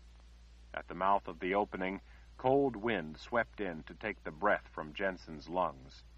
After being in the lamp-lit darkness for so long, she had to squint at the expanse of bright daylight. As soon as they were in the open-air market, she turned down one of the makeshift streets, hurrying to find Irma, the sausage lady. Stretching her neck, she looked about for the red scarf as she rushed down the rows of stalls. The places that before had seemed so splendid now looked shabby after she had been in the palace. In the whole of her life, Jennsen had never seen anything like the People's Palace. She could not imagine how a place of such beauty could hold such ugliness as the House of Rahl. A hawker pushed in close. Charms for the lady. Good luck for sure. Jennsen kept walking. His breath stank. Special charms with magic. Can't go wrong for a silver penny. No, thank you. He walked sideways, right close in front of her, but off to the side a bit. Just a silver penny, my lady. She thought she would trip over the man's feet. No, thank you. Please leave me be now. A copper penny, then? No. Jennsen shoved him each time he bumped into her as he pushed in close, yammering about his charms. He kept putting his face in front of hers, looking back up at her as he stooped and shuffled along, grinning at her. Good charms they are, my lady. He kept bumping her as she tried to walk, as she craned her neck looking for the red scarf. Good luck for you. No, I said. Almost stumbling over the man, she gave him a stiff shove. Please leave me be. Jennsen sighed in relief as an older man came past going in the opposite direction, and the hawker turned to him. She could hear his voice fade behind, trying to sell the man a magic charm for a silver penny. She thought about the irony that here this man was offering magic, and she turned it down because she was in a hurry to be off to try to get magic from someone else. Past an empty space before a table with wine casks, Jennsen halted abruptly. She looked up and saw the three brothers. One was pouring wine into a leather goblet for a customer, while the other two were lifting a full cask from the back of their wagon. Jennsen turned and stared at the empty place. That was where Irma had been. Her heart felt as if it came up in her throat. Irma had their horses. Irma had Betty. In a panic, she seized the arm of the man behind the table as the customer departed. Please, could you tell me where Irma is? He looked up, squinting in the sunlight. The sausage lady? Jennsen nodded. Yes, where is she? She couldn't be gone already. She had her sausages to sell. The man grinned. She said that being beside us selling our wine had helped sell her sausages faster than she ever sold them before. Jennsen could only stare. She's gone? Too bad, too. Having sausages for sale next to us really helped sell wine. People ate those spicy goat sausages of hers and had to have some of our wine. Her what? Jennsen whispered. The man's smile flagged. Her sausages. What's wrong, ma'am? You look as if a spirit from the underworld just tapped you on the shoulder. What did you say she sells? Goat sausages? He nodded, looking concerned. Among others. I tried them all, but I liked the spicy goat sausages best. He lifted a thumb over his shoulder, indicating his two brothers. Joe liked her beef sausages best, and Clayton, well, he liked the pork. But I favored her goat sausages. Jennsen was shivering, and it wasn't the cold. Where is she? I have to find her. The man scratched his head of disheveled blond hair. I'm sorry, but I don't know. She comes here to sell sausages. Most folks around here have seen her before. She's a nice lady, always a smile and a good word. Jennsen felt freezing tears run down her cheeks. But where is she? Where does she live? I have to find her. The man grasped Jennsen's arm as if fearing she might fall. Sorry, ma'am, but I don't know. Why? What's wrong? She has my animals, my horses, and Betty. Betty? My goat. She has them. We paid her to watch them until we got back. Oh. He looked gloomy to have no better news for her. Sorry, her sausages pretty much sold steady till they were gone. It usually takes her all day long to sell what she cooks up, but sometimes it just goes better, I guess. After her sausages were gone, she sat around and talked to us for a long spell. Finally, she let out a sigh and said she had to get home. Jennsen's mind raced. The world felt as if it were spinning around her. She didn't know what to do. She felt dazed, confused. Jennsen had never felt so alone. Please, she said, her voice choked with tears, please, could I rent one of your horses? Our horses? Then how would we get our wagon home? Besides, they're draft horses. We don't have any saddle or tack for riding or any. Please, I have gold. Jennsen groped at her belt. I can pay. Feeling around at her waist, she couldn't find her small leather pouch with her gold and silver coins. Jennsen threw back her cloak, searching. There on her belt, beside her knife, she found only a small piece of a leather thong, parted cleanly. My purse. My purse is gone. She couldn't get her breath. My money. The man's face sagged with sorrow as he watched her pull the remnant of the drawstring from her belt. There are wicked people prowling around, looking to steal. But I need it. He fell silent. She looked back behind, searching for the hawker selling charms. It all flashed back through her mind. He had bumped into her, jostled her. He was really cutting her purse. She couldn't even recall what he looked like, just that he was scruffy and ill kept. She hadn't wanted to look at his face, meet his eyes. She couldn't seem to get her breath as she frantically looked this way and that, trying to find the man who had stolen her money. No, she whined, too overcome to know what to say. No, oh, please, no. She sank down, sitting on the ground beside the table. I need a horse. Dear spirits, I need a horse. The man hurriedly poured wine in a cup and squatted down beside her as she sobbed.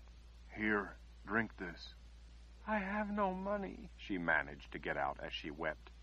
No charge, he said, giving her a sympathetic, lopsided smile of straight white teeth. It'll help. Drink it down. The other two blond headed brothers, Joe and Clayton, stood behind the table, hands in their pockets, heads lowered with regret for the woman their brother was tending to. The man tipped the cup up, trying to get her to drink as she cried.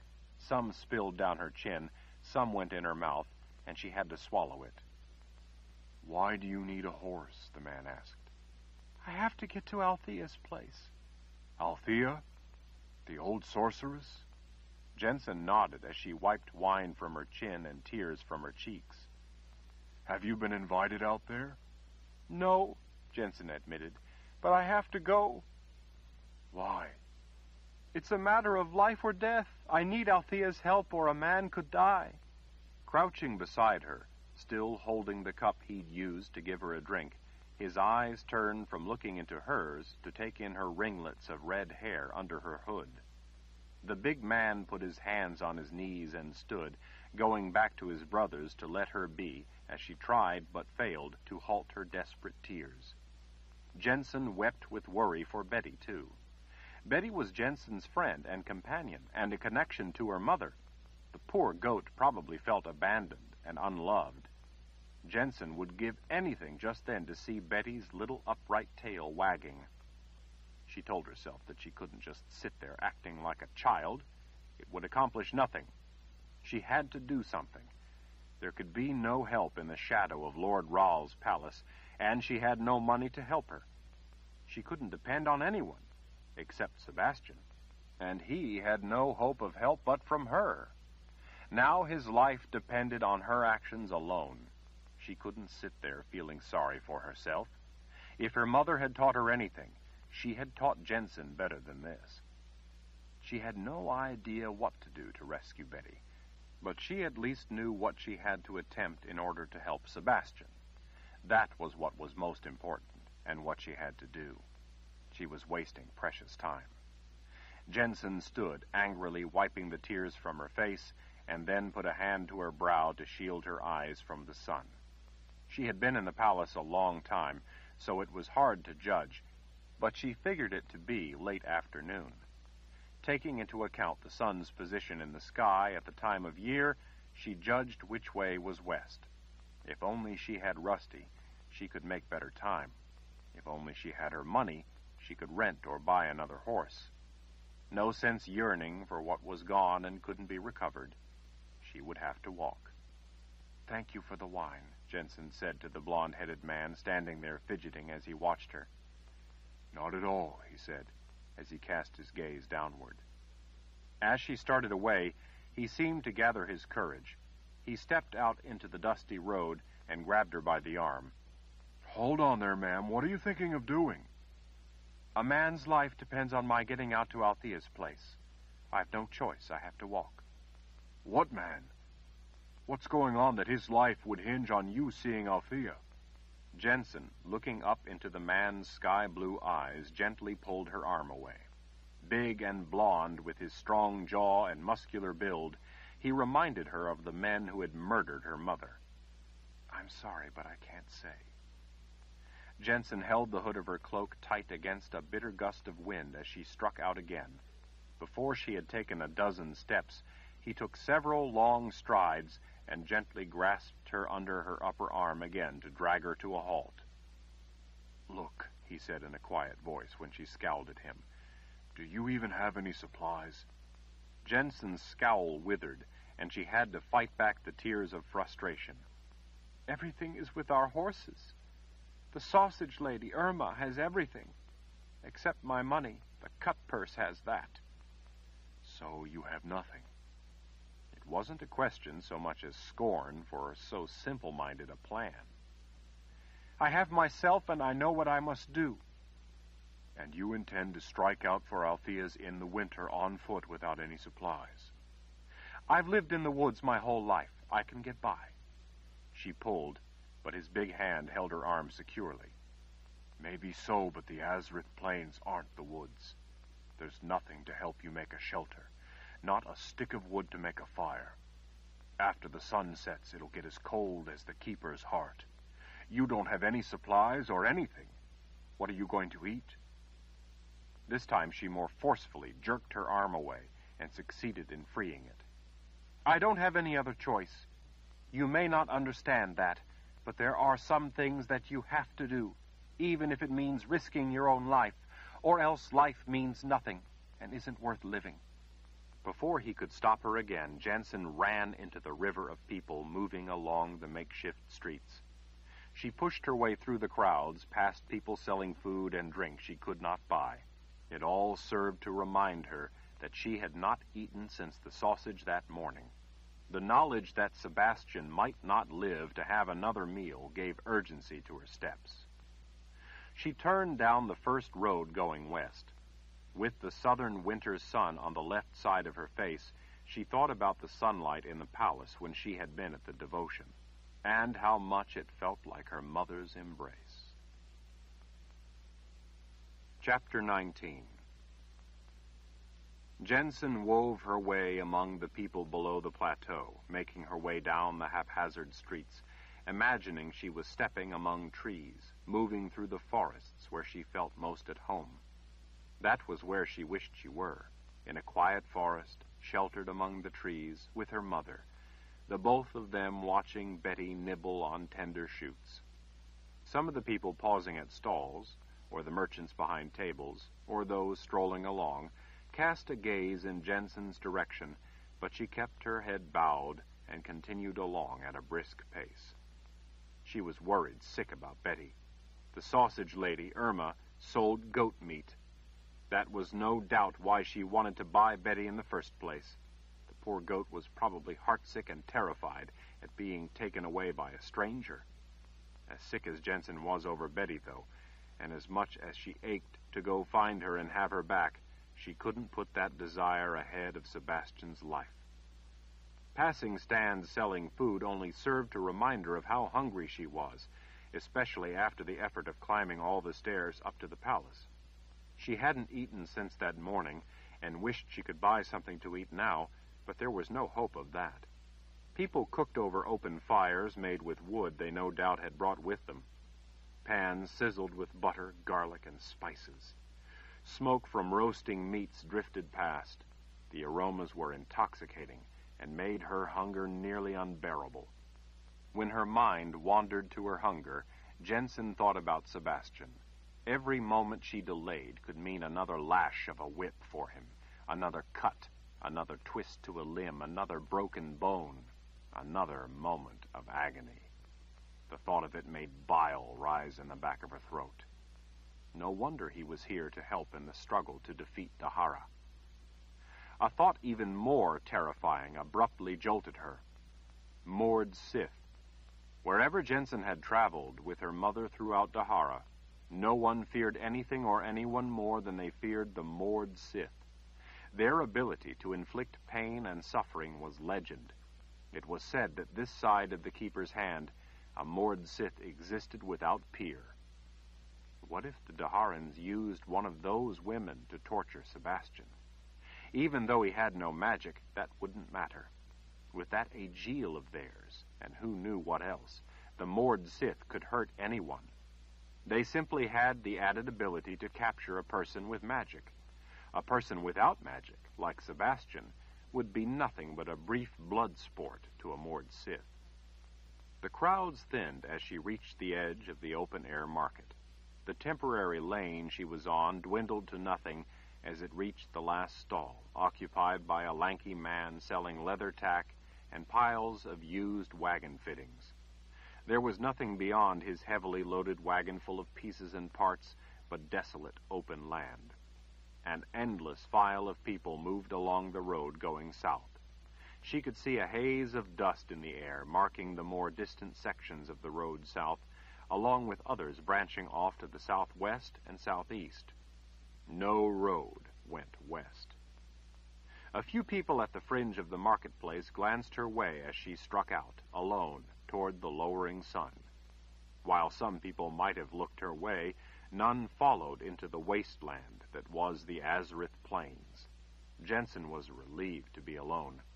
Being around people had proven as dangerous as she had always feared. The market scene was quickly left behind as she marched west. Jennsen slid her hand in under her cloak, feeling the reassuring presence of her knife. Lying against her body, it was warm to the touch, as if it were a living thing rather than silver and steel. At least the thief had taken her money and not her knife. Given a choice of the two, she would rather have the knife. She had lived her whole life without much money, her and her mother providing for themselves, but a knife was vital to that means of survival. If you lived in a palace, you needed money. If you lived out of doors, you needed a knife, and she had never seen a better knife than this one, despite its provenience. Her fingers idly traced the ornate letter R on the silver handle. Some people needed a knife even if they lived in a palace, she guessed. She turned back to look and was relieved to see that no one followed her. The plateau had shrunk in the distance until all the people below it looked like slow little ants moving about. It was good to be away from the place, but she knew she would have to return after seeing Althea if she was to rescue Sebastian. As she walked backward for a spell to gain a reprieve from the icy wind in her face, her gaze rose along the road, switching back and forth up the steep cliffs to the massive stone wall surrounding the palace itself. Coming in from the south, she hadn't seen the road. At one place along its length, a bridge spanned a particularly treacherous gap in the rock. The bridge was pulled up as if the cliff itself were not deterrent enough, the high stone walls around the people's palace would defeat any attempt to get inside unless you were allowed in. She hoped it would not be that hard to get in to see Althea. Somewhere in that vast complex, Sebastian was held prisoner. She wondered if he thought himself forever abandoned, as Betty probably did. She whispered a prayer to the good spirits, asking that he not give up hope and that the good spirits somehow let him know she was going to get him out. When she tired of walking backward and of seeing the people's palace, she turned around. Then she had to endure the wind buffeting her, sometimes ripping the breath right out of her mouth. Sharp gusts kicked the dry, gritty ground up into her eyes. The land was flat, dry, and featureless, mostly hardpan cut through here and there with a swath of coarse sandy soil. In places, the tawny landscape was stained a darker brown as if strong tea had been stirred through. There was only occasional vegetation, and that was a low, scruffy plant, now winter brown and brittle. Gathered to the west lay a ragged line of mountains.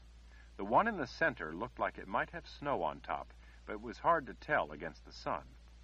She had no guess at how far it was. Being unfamiliar with such land, she found it difficult to judge distances out on the plain. It could be hours or even days for all she knew. At least she didn't have to trudge through snow, as they often had to do on their way up to the people's palace. Jennsen realized that even in winter, she was going to need water. She guessed that in a swamp there would be water aplenty. She realized, too, that the woman who had given her directions said that it was a long way, but hadn't described what was to her a long way. Maybe to her a long way was what Jennsen would consider only a brisk walk of a few hours. Maybe the woman had meant days. Jennsen whispered a prayer under her breath that it wouldn't be days, even though she didn't at all relish the idea of going into a swamp. Slide 6 The Pillars of Creation by Terry Goodkind. Continuing on page 194. She was on her back, lying in water with a heavy snake wrapped around her. She wouldn't be able to balance or use her weight to help her. Her arm was weak from the struggle and ached from being twisted. She was exhausted. With all that working against her, it would be no easy matter to dispatch an animal so big and powerful. Even if they were on dry land, such a task would be difficult. The yellow eyes watched her. She wondered if it was a venomous snake. She hadn't yet seen its fangs. If it went for her face, she wondered if she could be quick enough to stop it. I'm sorry I stepped on you, she said. She didn't actually believe the snake could understand her. She was, in a way, talking to herself, reasoning out loud. We've both scared each other. The snake remained stone still as it watched her. The tongue remained inside the mouth. Its head, lifted several inches by the tip of the knife, could probably feel the sharp point. Maybe it conceived the threat of the blade as a fang. Jennsen didn't know. She just knew that it would be better not to have to battle such a creature.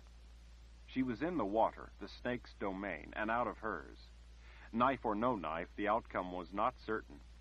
Even if she killed it, the weight of the creature, its coils locked around her in a death grip, could still drag her under and drown her.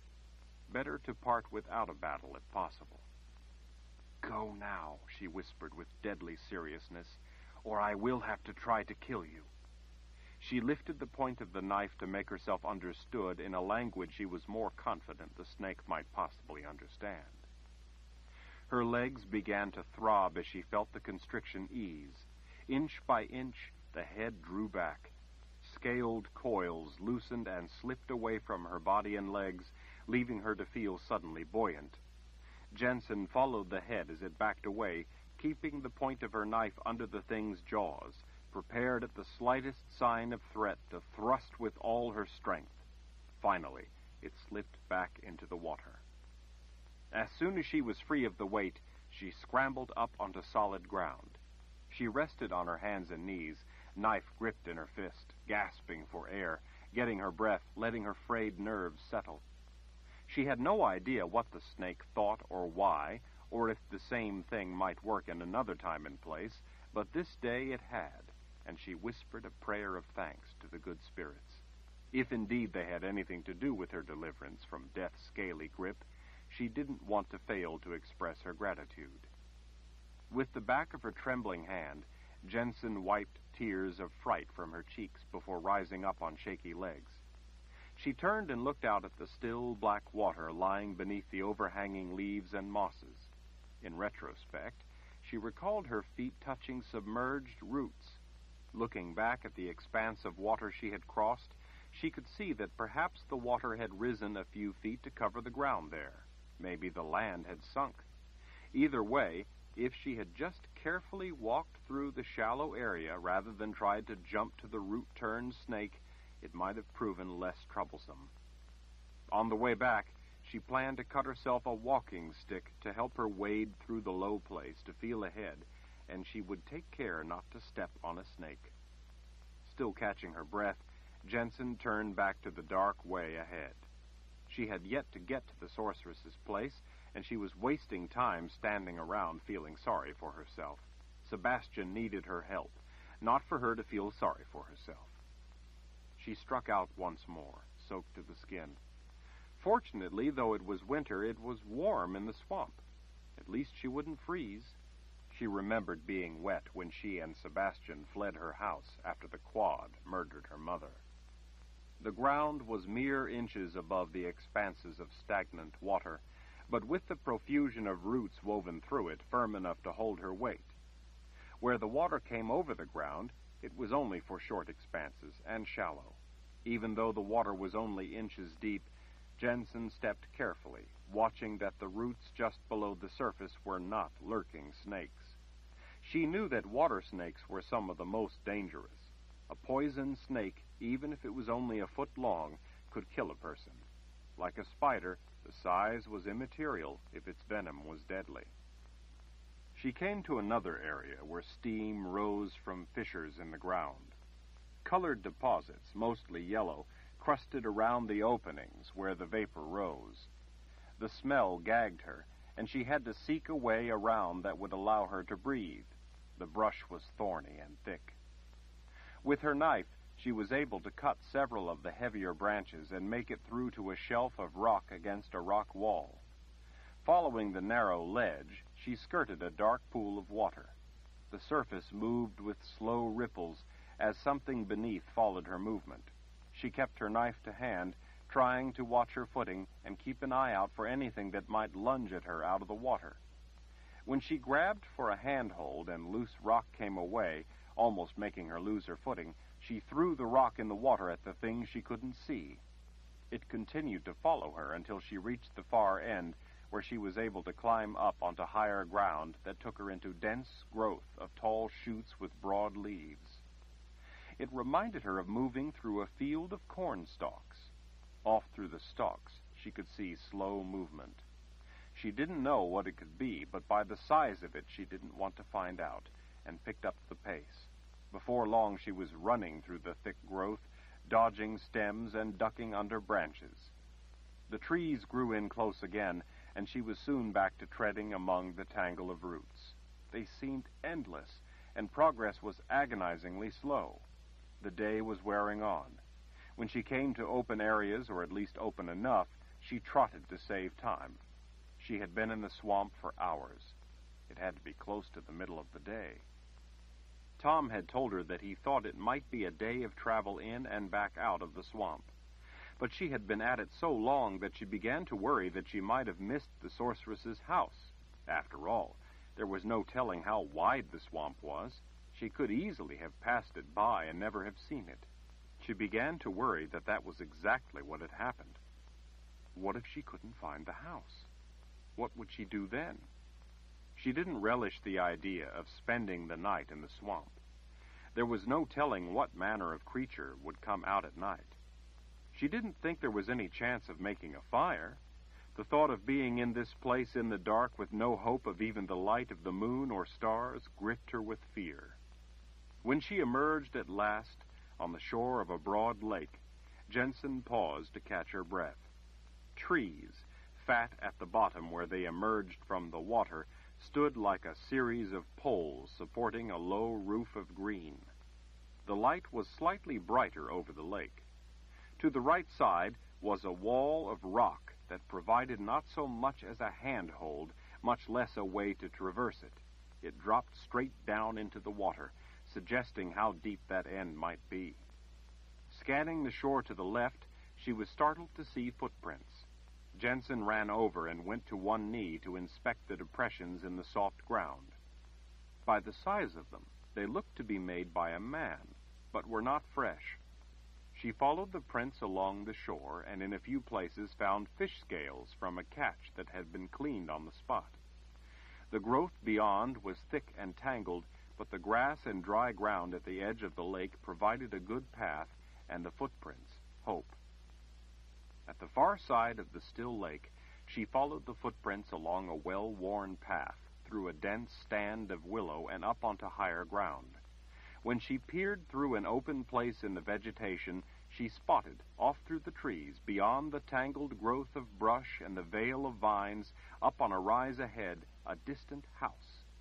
Wood smoke curled from a chimney to blend into the gray fog overhead, almost as if the smoke itself was creating the ashen overcast. In the gray gloom of the dark swamp, the light coming from a window at the side of the house shone like a golden jewel, a beacon to welcome the lost, the desperate, the forsaken and defenseless. The sight of her journey's end after so much terror and loss brought tears of relief.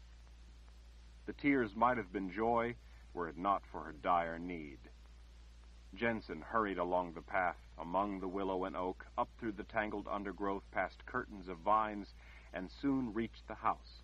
It was set on a foundation of stone, painstakingly fit without mortar. The walls were made of cedar logs. The roof overhung a narrow porch running around the side, with steps down the back to the path to the nearby lake from where she had come. Taking the steps two at a time, up to the narrow porch and following it around the house, brought her to a door flanked by pillars of stout logs supporting a simple but welcoming portico. From the door, down wide steps, was a broad and well maintained path out through the swamp in front. That was the way people came when they were invited to visit the sorceress. After the way she had come in, it looked like a road. Wasting no time, Jennsen knocked. Impatient, she rapped her knuckles again. Her knocking was interrupted when the door swung inward. An older man stood staring out at her in surprise. Gray hair was taking over from the dark brown and looked to have receded some, but it was still thick. He was neither lean nor stout, and average height. His clothes were not the clothes of a trapper or a man of the swamp, but those of a craftsman.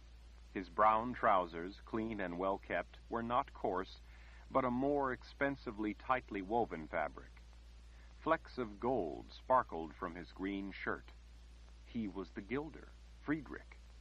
His discerning face scrutinized her more carefully, taking in the red hair under her hood. What are you doing here? he asked. His deep voice fit well with the rest of him, but it was none too friendly. I came to see Althea, if I may. His eyes turned to the path, then back to her. How did you get here?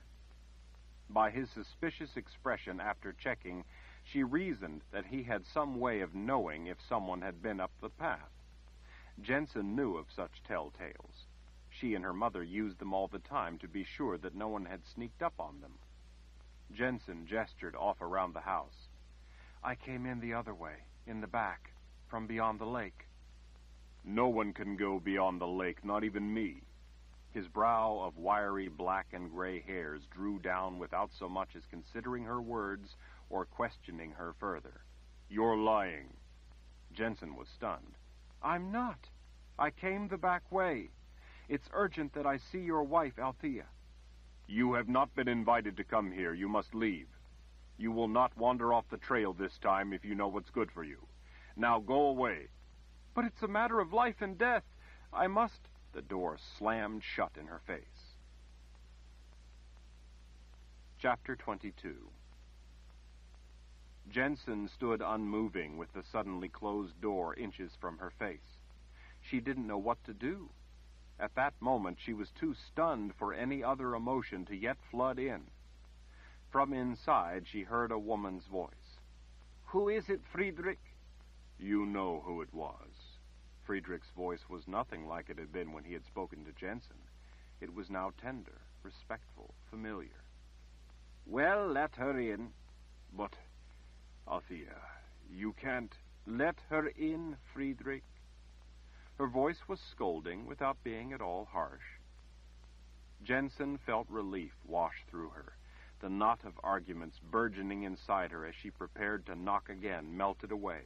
The door opened, more slowly this time. Friedrich gazed out at her, not as a man defeated or reprimanded, but as a man come to face fate with dignity. Please come in, Jennsen, he said in a quieter, more kind-hearted voice. Thank you, Jennsen said, in a small voice of her own, somewhat astonished and slightly troubled that he knew her name. She took in everything as she followed him into the home. Despite how warm it was in the swamp, the small fire crackling in the stone fireplace gave the air a sweet smell along with a welcome dry feel. That was the sense of it, more than heat, dryness. The furnishings were simple but well made and embellished with carved designs. The main room had only two small windows on opposite side walls. There were rooms to the back, and in one of them a workbench lined with orderly tools sat before another small window. Jennsen didn't remember the house, if indeed this was the same place. Her memory of coming to Althea's home was more of an impression of friendly faces than an actual memory of a place. The walls, decorated with things for her eyes to feast upon, seemed familiar. As a child, she would have noticed such visual treats. There were carvings of birds, fish, and animals everywhere, either hanging by themselves or grouped on small shelves. That would be the most captivating to a small child. Some of the carvings were painted, some left plain, but the feathers, scales, and fur had been carved with such fine texture that they looked like animals magically turned to wood. Other carvings were more stylized and beautifully gilded. A mirror on one wall down low was framed with a starburst, each ray alternately gilded gold and silver. Toward the fireplace, a large red and gold pillow sat on the floor. Jennsen's eye was drawn to a square board with a gilded grace upon it sitting on the floor before the pillow.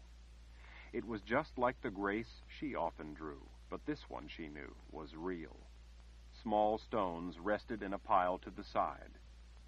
In a beautifully made chair, with a high back and carved arms, sat a slight woman with big dark eyes made all the more striking by golden hair flecked through with gray. The fall of hair surrounded her face and swept down to lie upon her shoulders. Her wrists rested over the arms of the chair, while her long, slender fingers gracefully traced the curve of the spiral carved in the end. I am Althea. Her voice was gentle, but carried a clear ring of authority. She didn't get up. Jennsen curtsied. Mistress, please forgive my bursting in uninvited and unexpected like this. Perhaps uninvited, but not unexpected, Jennsen. You know my name? Jennsen realized too late how foolish the question sounded. The woman was a sorceress. There was no telling what her powers could discern. Althea smiled, and a pleasant look it was on her. I remember you. One does not forget meeting one like you. Jennsen wasn't sure what that meant, but said, Thank you anyway. The smile on Althea's face widened, crinkling her eyes. My, but you look just like your mother. Were it not for the red hair, I would think I had flown back in time to when I saw her last, when she was just the age you are now. She held a hand out level before her. And you were only this big. Jennsen felt her face going as red as her hair. Her mother had been beautiful, not just wise and loving. Jennsen didn't believe she could compare to such an attractive woman, or ever live up to the kind of example her mother set. And how is she? Jennsen swallowed. My mother. My mother is gone. In anguish, Jennsen's gaze sank to the floor. She was murdered. I'm so sorry, said Friedrich, standing behind her. He put a hand to her shoulder in sympathy. I truly am. I knew her some from the palace. She was a good woman. How did it happen? Althea asked. They finally caught up with us. Caught up with you? Althea's brow twitched. Who? Why, the D'Haran soldiers. Lord Rahl's men. Jennsen drew her cloak back, showing them both the handle of the knife. This came from one of them. Althea's gaze took in the knife, then returned to Jennsen's face. I'm so sorry, dear. Jennsen nodded. But I have to warn you. I went to see your sister, Lathea. Did you see her before she died? Jennsen stared in surprise. Yes, I did. Althea shook her head with a sad smile. Poor Lathea. How was she? I mean, did she have a good life? I don't know. She had a nice house, but I only saw her briefly. I got the impression she lived alone. I went to her because I needed help. I recalled my mother mentioning the name of a sorceress who had helped us, but I guess I got the names wrong. I ended up at your sister's. She didn't even want to talk to me. She said she could do nothing, that it had been you who had helped me before. That's why I had to come here. How did you get in? Friedrich asked as he gestured to the path out front. You must have wandered off the path. Not that way. I came from the back way. Now even Althea frowned. There is no back way. Well, there was no path as such, but I made my way through. No one can come in from that side, Althea insisted. There are things back there that ward that side. I know. I had a run-in with a huge snake. You saw the snake? Friedrich asked. Jennsen nodded. I stepped on it accidentally. I thought it was a root. We had a time of it, and I had a swim. They were both peering at her in a way that made Jennsen nervous. Yes, yes, Althea said, sounding unconcerned about the snake, waving a hand as if to brush away such petty news. But surely you had to see the other things. Jennsen looked from Friedrich's wide eyes to Althea's frown. I never saw anything but the snake. The snake is just a snake, Althea said, dismissing the fearsome beast with another impatient wave of her hand. There are dangerous things back there. Things that would let no one through. No one. How in the name of creation were you able to get past them? What sort of things? Things of magic, Althea said in a grim tone. I'm sorry, but all I can tell you is that I got through, and I never saw anything but the snake. She frowned toward the ceiling as she thought again. Although I did see things in the water, dark things under the water. Fish, Friedrich scoffed. And in the bushes. I saw things in the bushes. Well, I didn't see them exactly, but I saw the bushes move, and I know something was in there.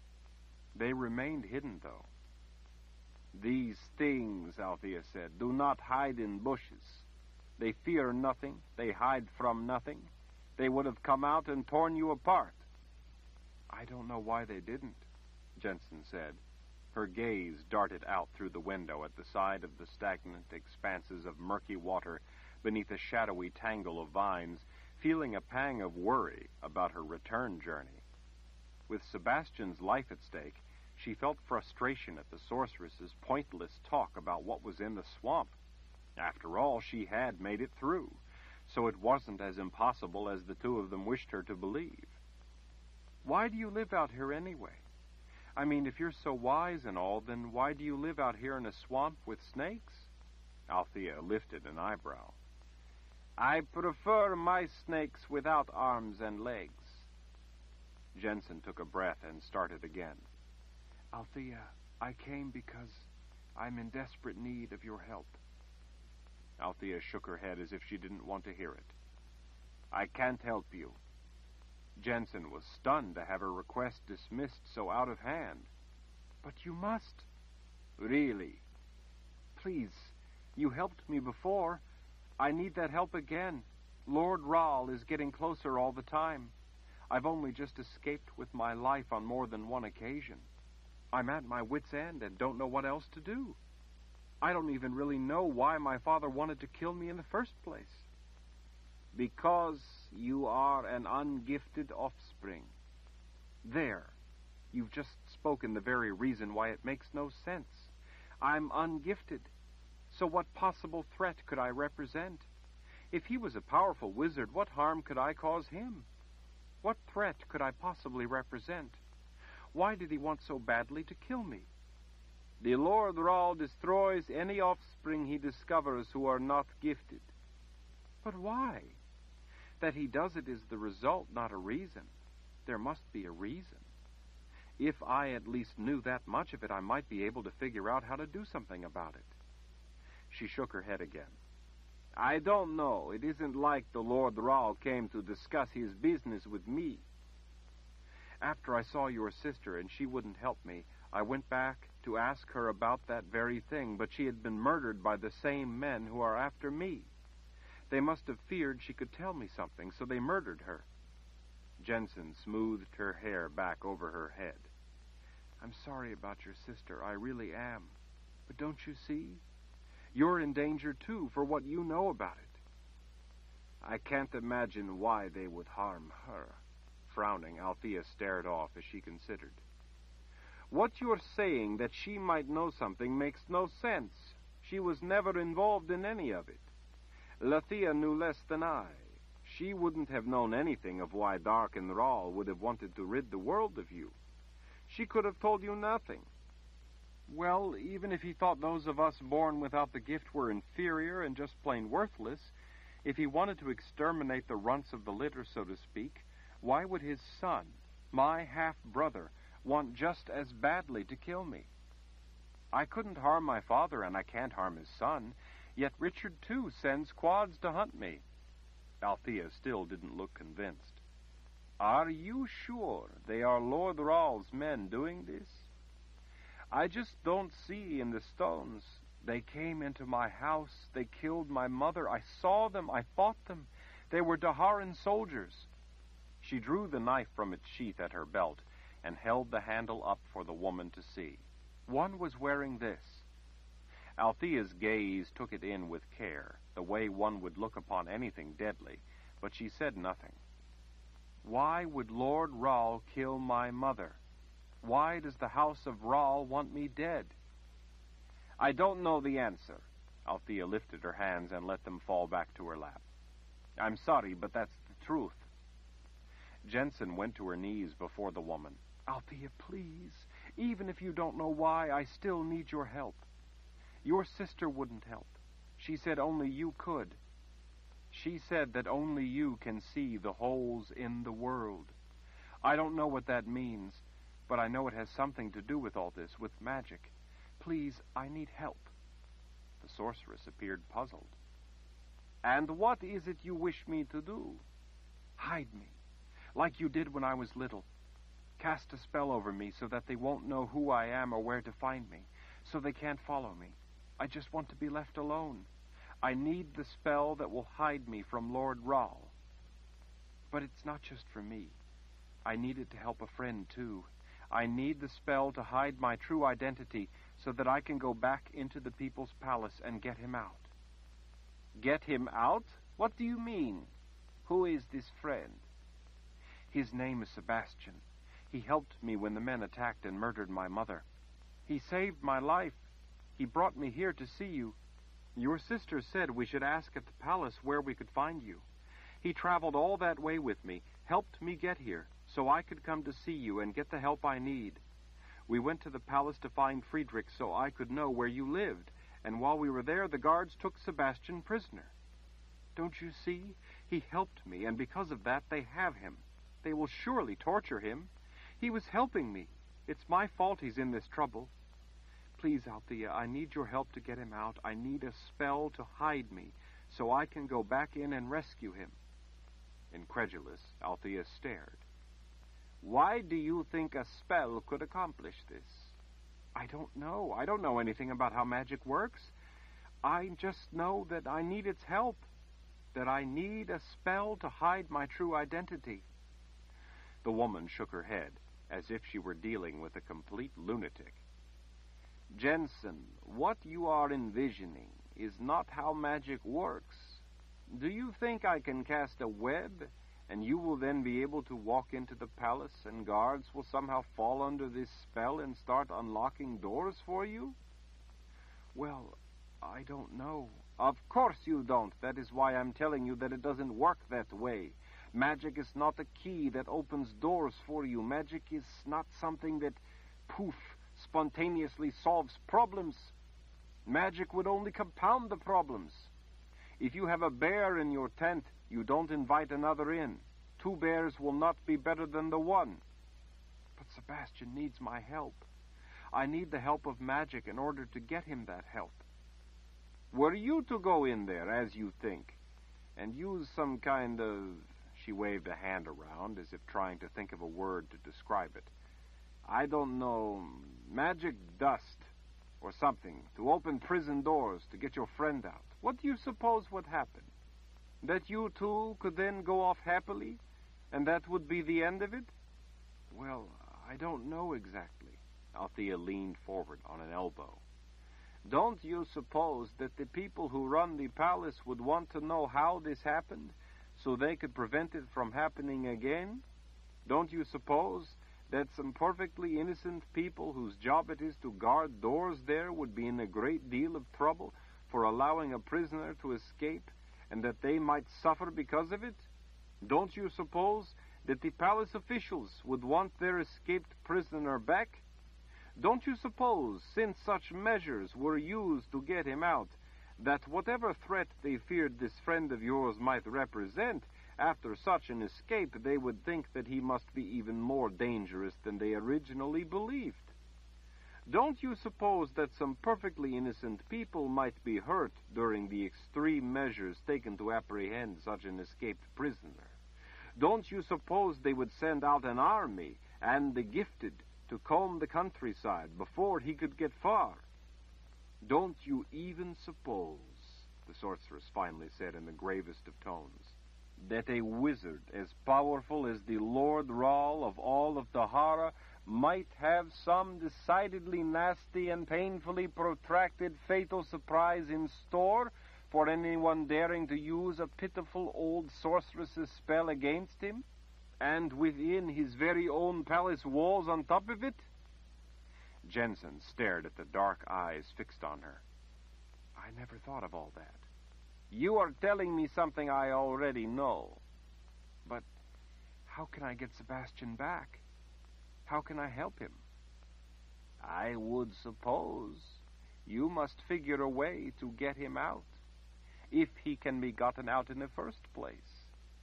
But it must be done in a way that takes all that I have said and more into account.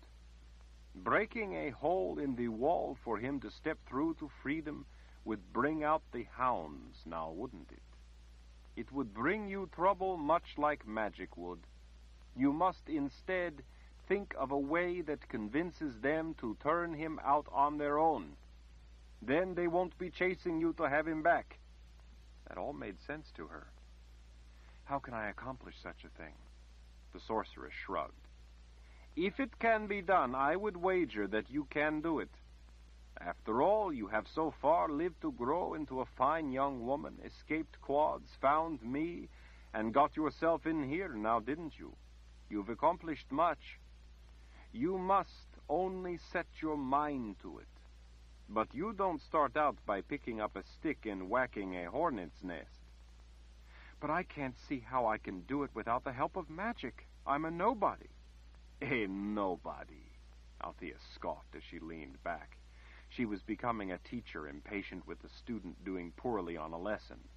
You are somebody. You are Jennsen, a smart girl with a brain.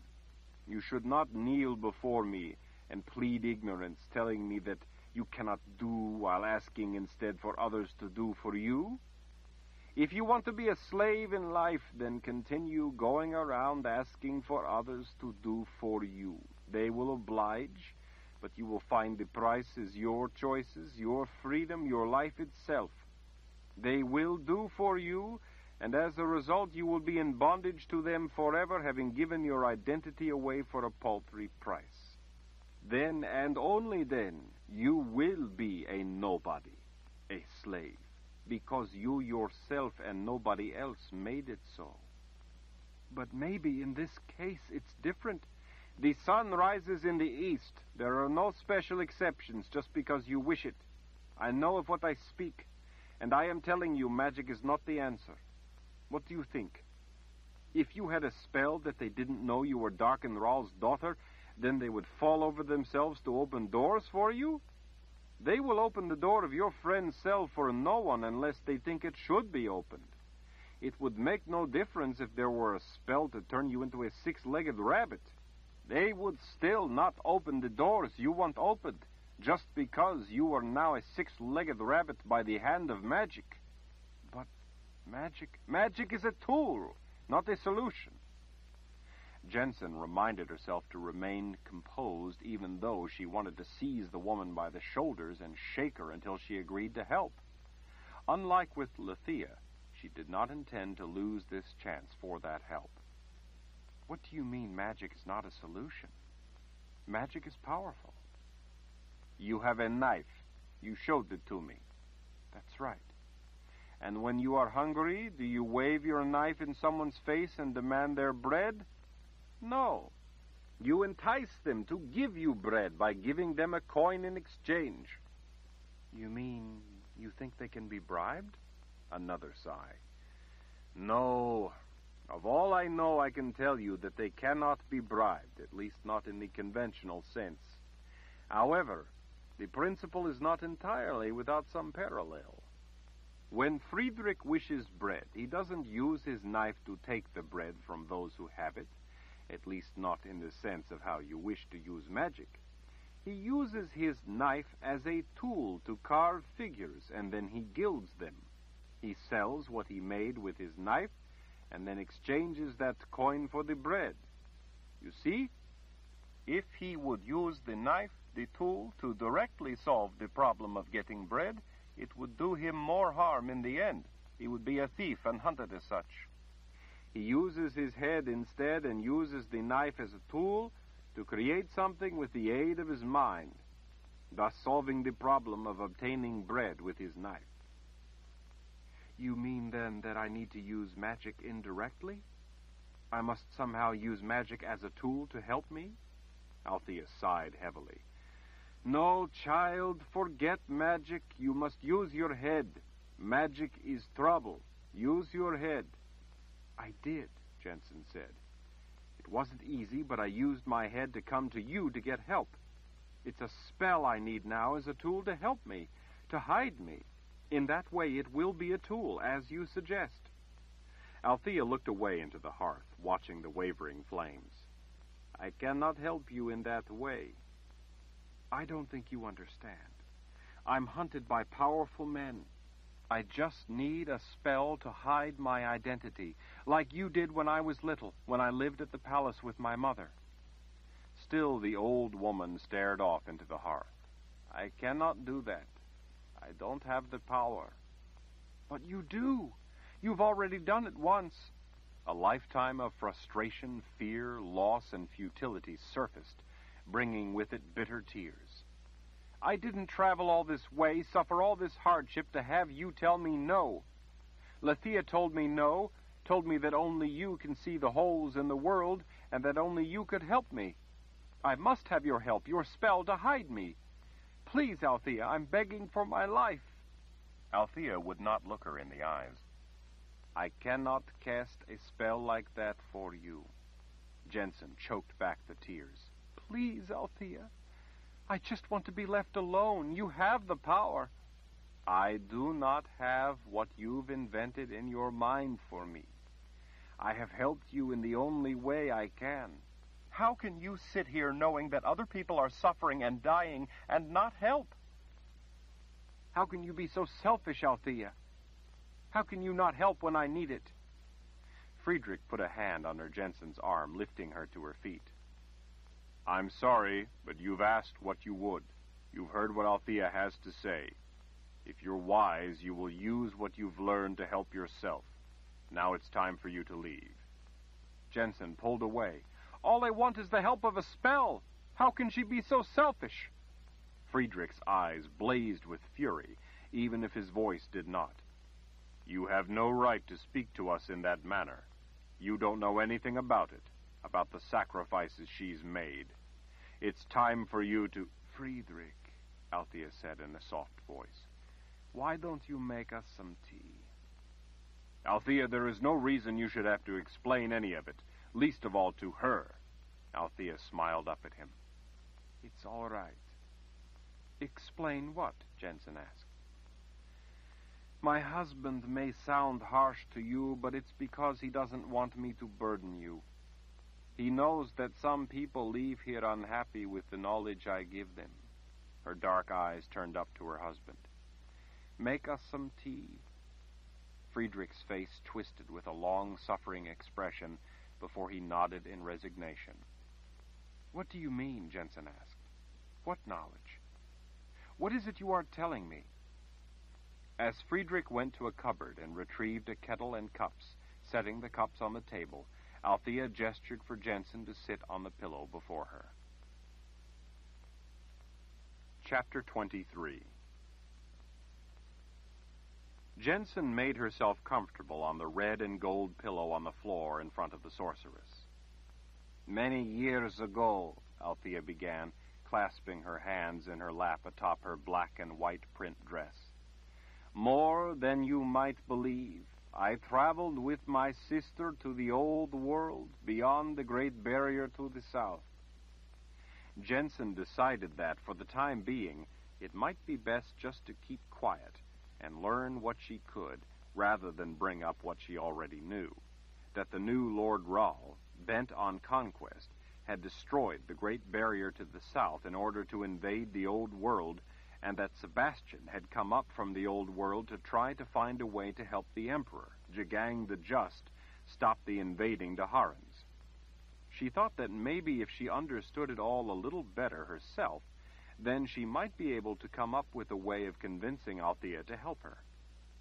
I went to the old world to go to a place called the Palace of the Prophets, Althea said. This, too, Jennsen had heard of from Sebastian. I have a gift for a very primitive form of prophecy. I wanted to learn what I could about it, while my sister wished to learn about cures and such. I also wanted to learn things about people like you. Me? Jennsen said. What do you mean? The ancestors of Darken Rahl were no different than he. They all eliminated any ungifted offspring they discovered had been born. Lathea and I were young and full of fire to help those in need, and also those we felt were unjustly persecuted. We wanted to use our gift to help change the world for the better.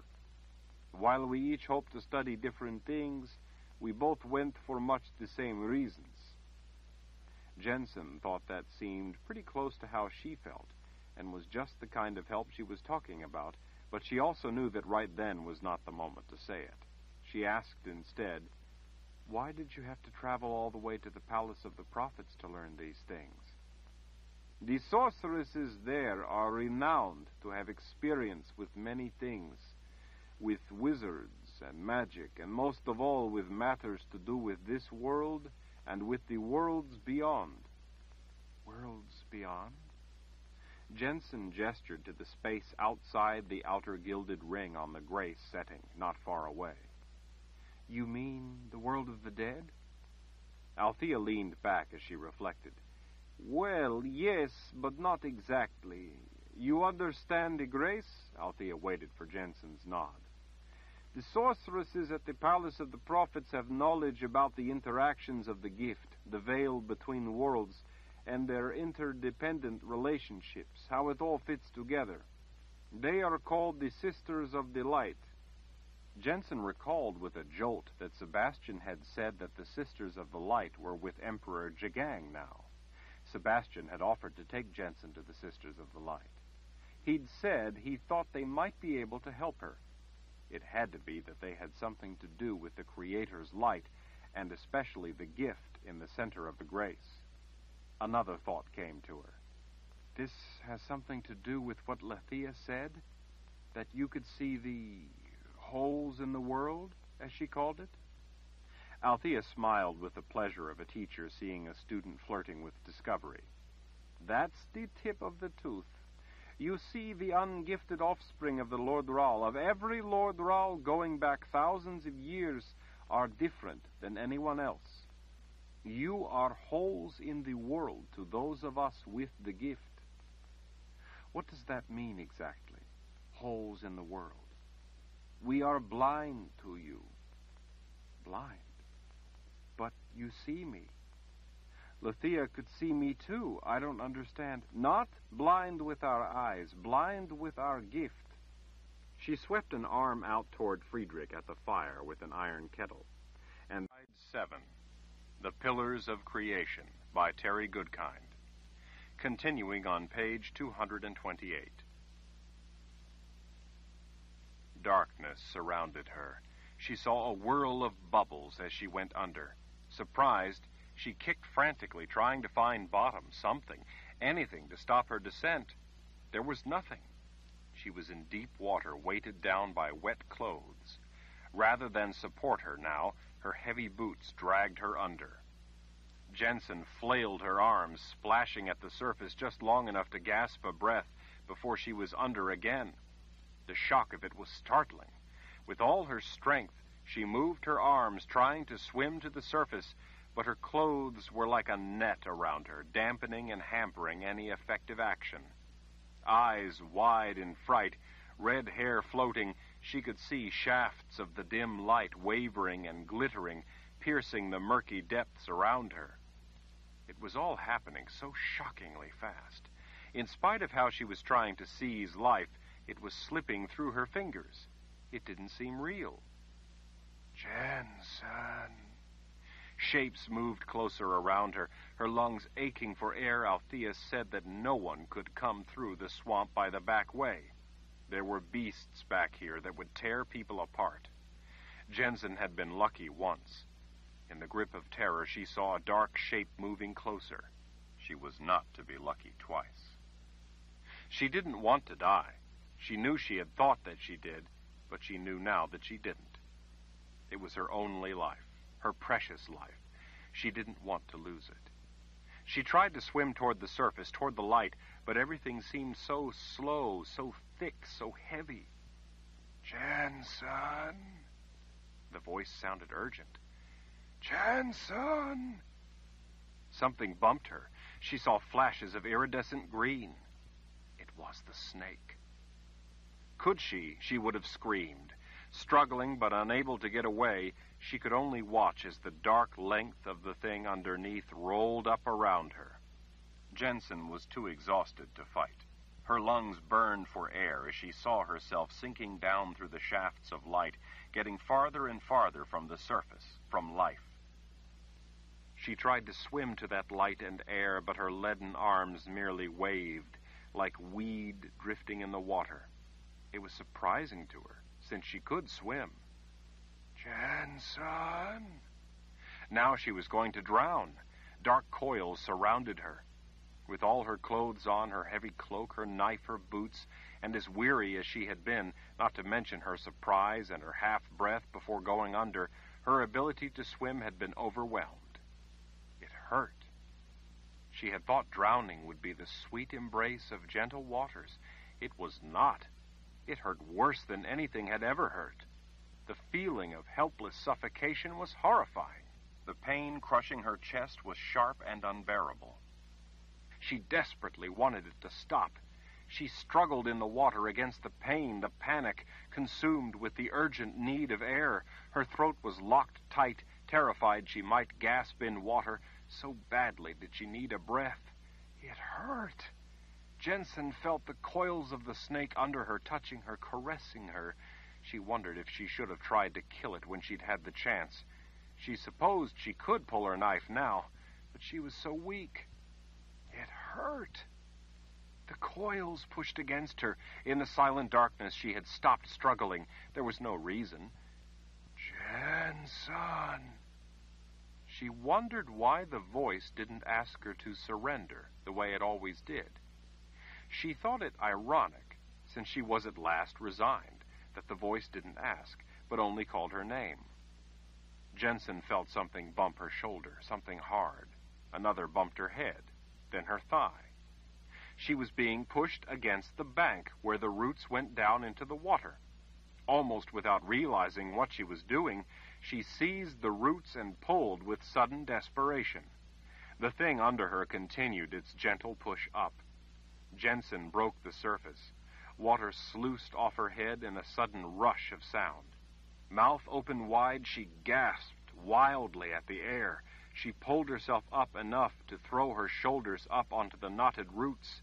She couldn't drag herself the rest of the way out of the water, but at least her head was up, and she could breathe.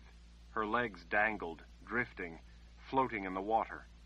Panting with her eyes closed, Jennsen clung to the roots with trembling fingers to keep herself from slipping back into the water.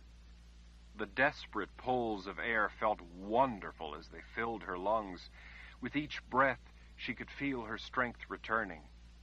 Finally, inch by inch, hand over hand, pulling against the roots, she managed to drag herself up onto the bank. She flopped on her side, panting, coughing, shivering, watching the water lapping only inches away. She felt giddy with the simple joy of breathing air. She saw then the snake's head break the surface easily, gracefully, silently. Yellow eyes in the black band watched her. They stared at each other for a time. Thank you, Jennsen whispered.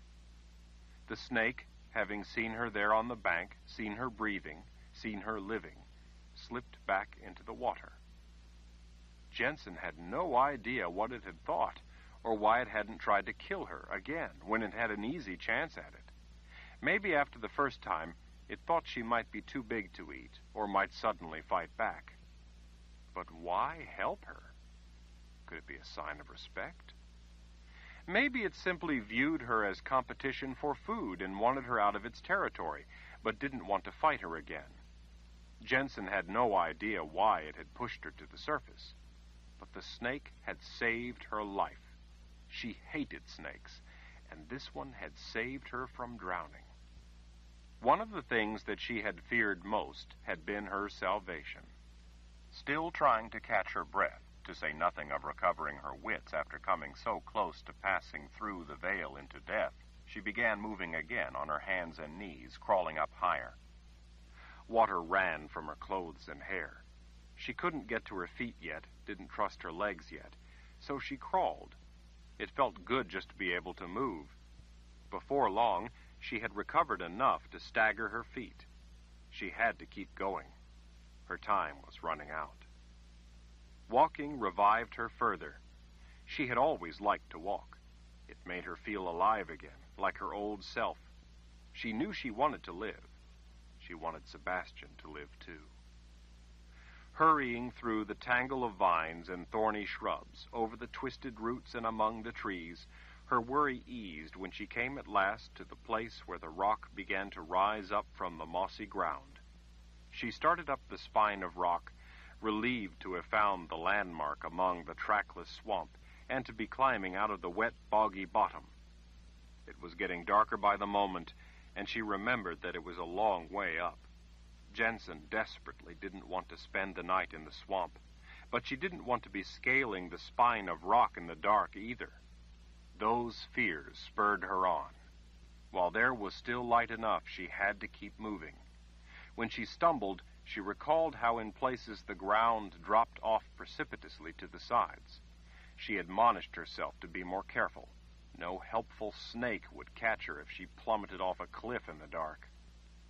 While she made her way up, she kept going over in her mind everything that Lathea had told her, hoping that something in it might be helpful. Jennsen didn't know how she could get Sebastian out, but she knew she had to try. She was his only hope. He had saved her life before. She had to help save his now. She wanted desperately to see his smile, his blue eyes, his spikes of white hair.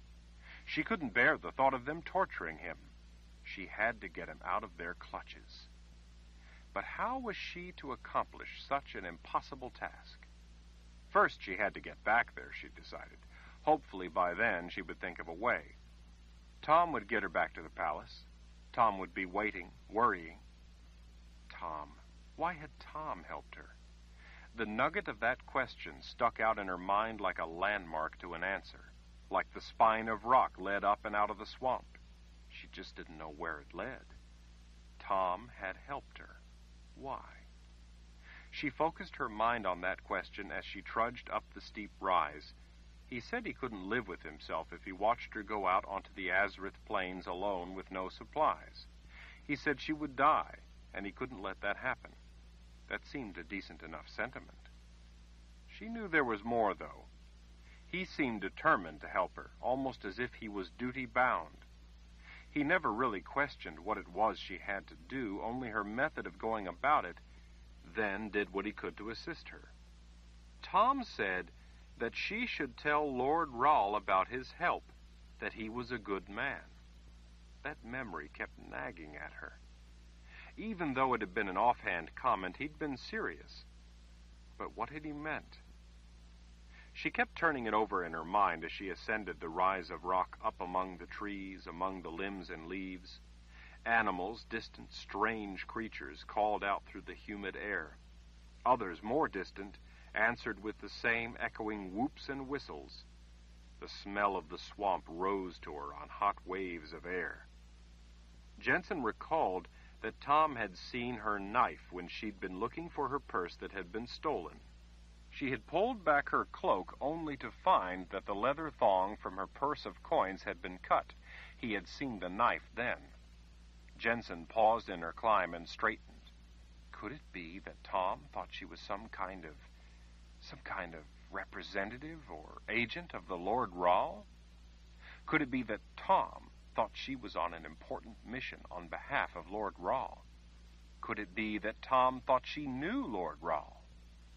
Was it the knife that made him think she was someone special? Perhaps it had been her pressing determination to go on a seemingly impossible journey. He certainly knew how important she thought it was.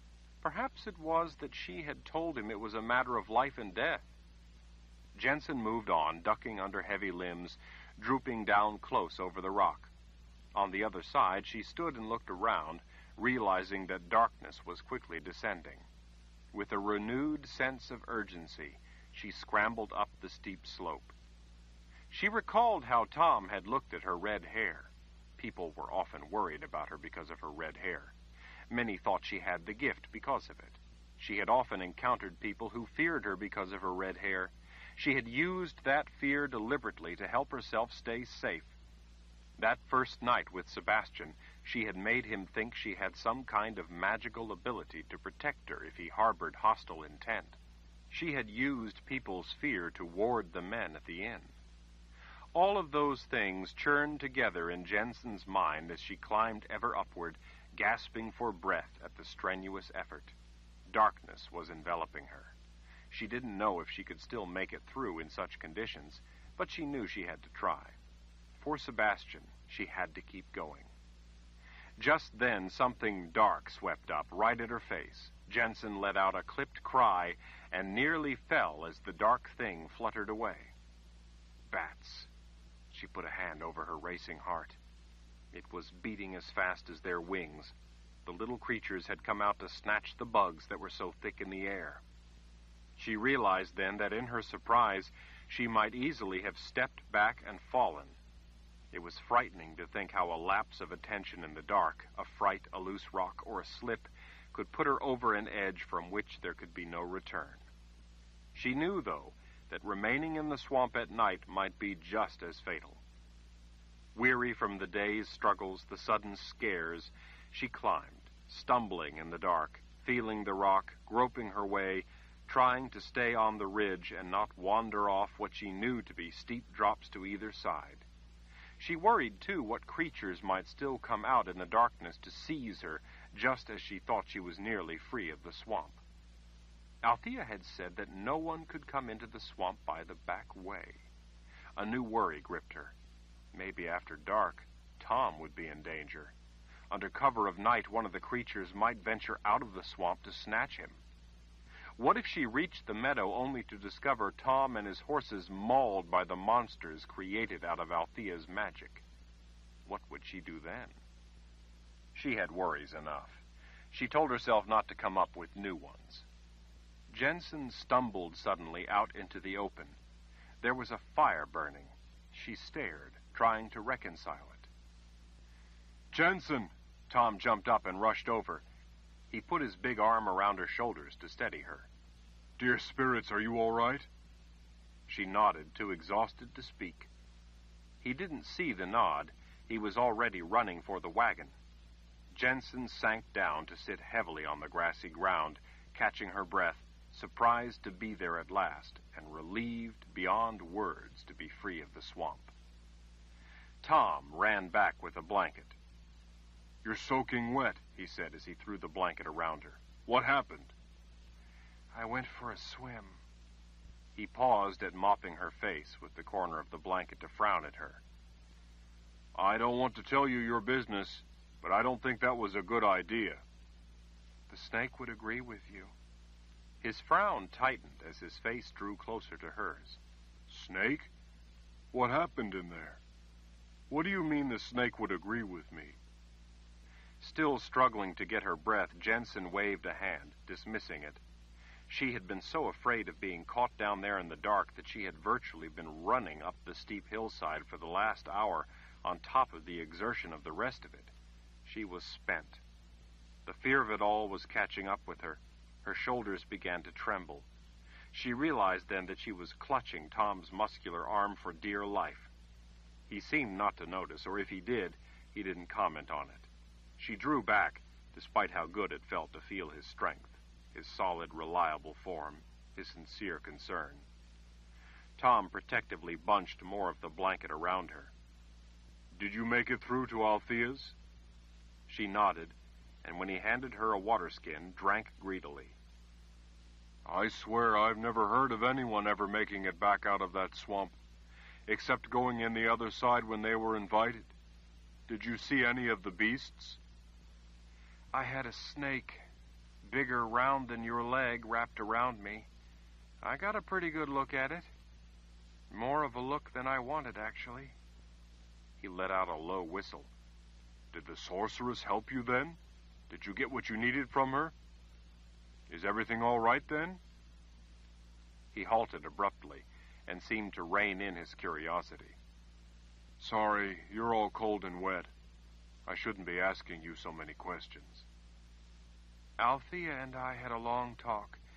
I can't say that I got what I needed, but just knowing the truth is better than chasing illusions.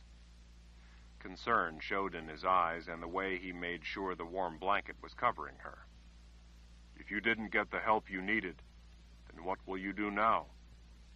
Jennsen drew her knife along with a breath to steel herself. Holding the knife by the blade, she held it up before Tom's face so that the handle was lit by the firelight. The worked metal that made up the ornate letter R glimmered as if it were covered in jewels. She held it out before her like a talisman, like an official proclamation cast in silver, like a demand from on high that could not be denied. I need to get back to the palace. Without pause, Tom scooped her up in his massive arms as if she were no more weight than a lamb, and carried her to the wagon. He lifted her over the side and gently set her in the back, among the nest of blankets. Don't worry, I'll get you back there. You did the hard part. Now you just rest in those warm blankets and let me get you back there. Jennsen was relieved to have her suspicions confirmed. In a way, though, it made her feel slimy, like falling into the swamp again. She was lying to him, using him, that wasn't right. But she didn't know what else to do. Before he turned away, she seized his arm. Tom, aren't you afraid to be helping me when I'm involved in something so. dangerous? he finished for her. What I'm doing is nothing much compared to the risk you took in there. He gestured to her matted red hair. I'm nothing special like you, but I'm glad you allowed me to do the small part I could do. I'm not nearly as special as you think I am. She suddenly felt very small. I'm just doing as I must. Tom pulled blankets from the back up toward her. I see a lot of people. I don't need the gift to tell you're special. You know that this is secret business, and I can't tell you what it is I'm doing. I'm sorry, but I can't. Of course you can't. Only special people carry such a special weapon. I'd not expect you to say a word, and I'd not ask. Thank you, Tom. feeling even more detestable to be using him as she was, and when he was such a sincere man, Jennsen squeezed his arm in gratitude. I can tell you it's important, and you're a huge help in it all. He smiled. You wrap yourself in those blankets and get yourself dry. We'll soon be back out on the Azrith Plains. In case you forgot, it's winter out there. Wet as you are, you'll freeze. Thank you, Tom. You're a good man. Jennsen slumped back into the blankets, too exhausted from the ordeal to sit up any longer. I'm counting on you to tell Lord Rahl, he said with his easy laugh. Tom quickly doused the fire and then climbed up into the wagon seat. Without guile, he was helping her, at what he had to believe was at least some risk. She feared to think what they might do to him were he to be caught helping Darken Rahl's daughter. Here he thought he was helping the Lord Rahl, and he was doing the opposite without even knowing the chance he was taking. Before it was over, she would put him at greater risk yet. Despite her fear that they were racing back to the palace of the man who wanted to kill her, the stomach churning anxiety of what lay ahead, the disappointment of failing to get the help she had hoped for, the heartbreak of learning all she had from Lathea, the cold that was making her wet clothes feel like ice, and the bouncing wagon, Jennsen was soon fast asleep. Chapter 25 Swaying atop the seat of the wagon, Jennsen watched the immense plateau gradually drawing closer. The morning sun lit the soaring stone walls of the People's Palace, warming them in a pastel glow. Although the wind had died down, the morning air remained bone chilling cold. After the reeking rot of the swamp, she welcomed the flat, dry, stony scent of the open plain. With her fingertips, Jennsen rubbed her forehead, trying to soothe her dull, throbbing headache. Tom had driven all night, and she had slept in the back of the bouncing wagon, but not well nor nearly long enough. At least she had slept some, and they had made it back. Too bad Lord Rahl isn't there.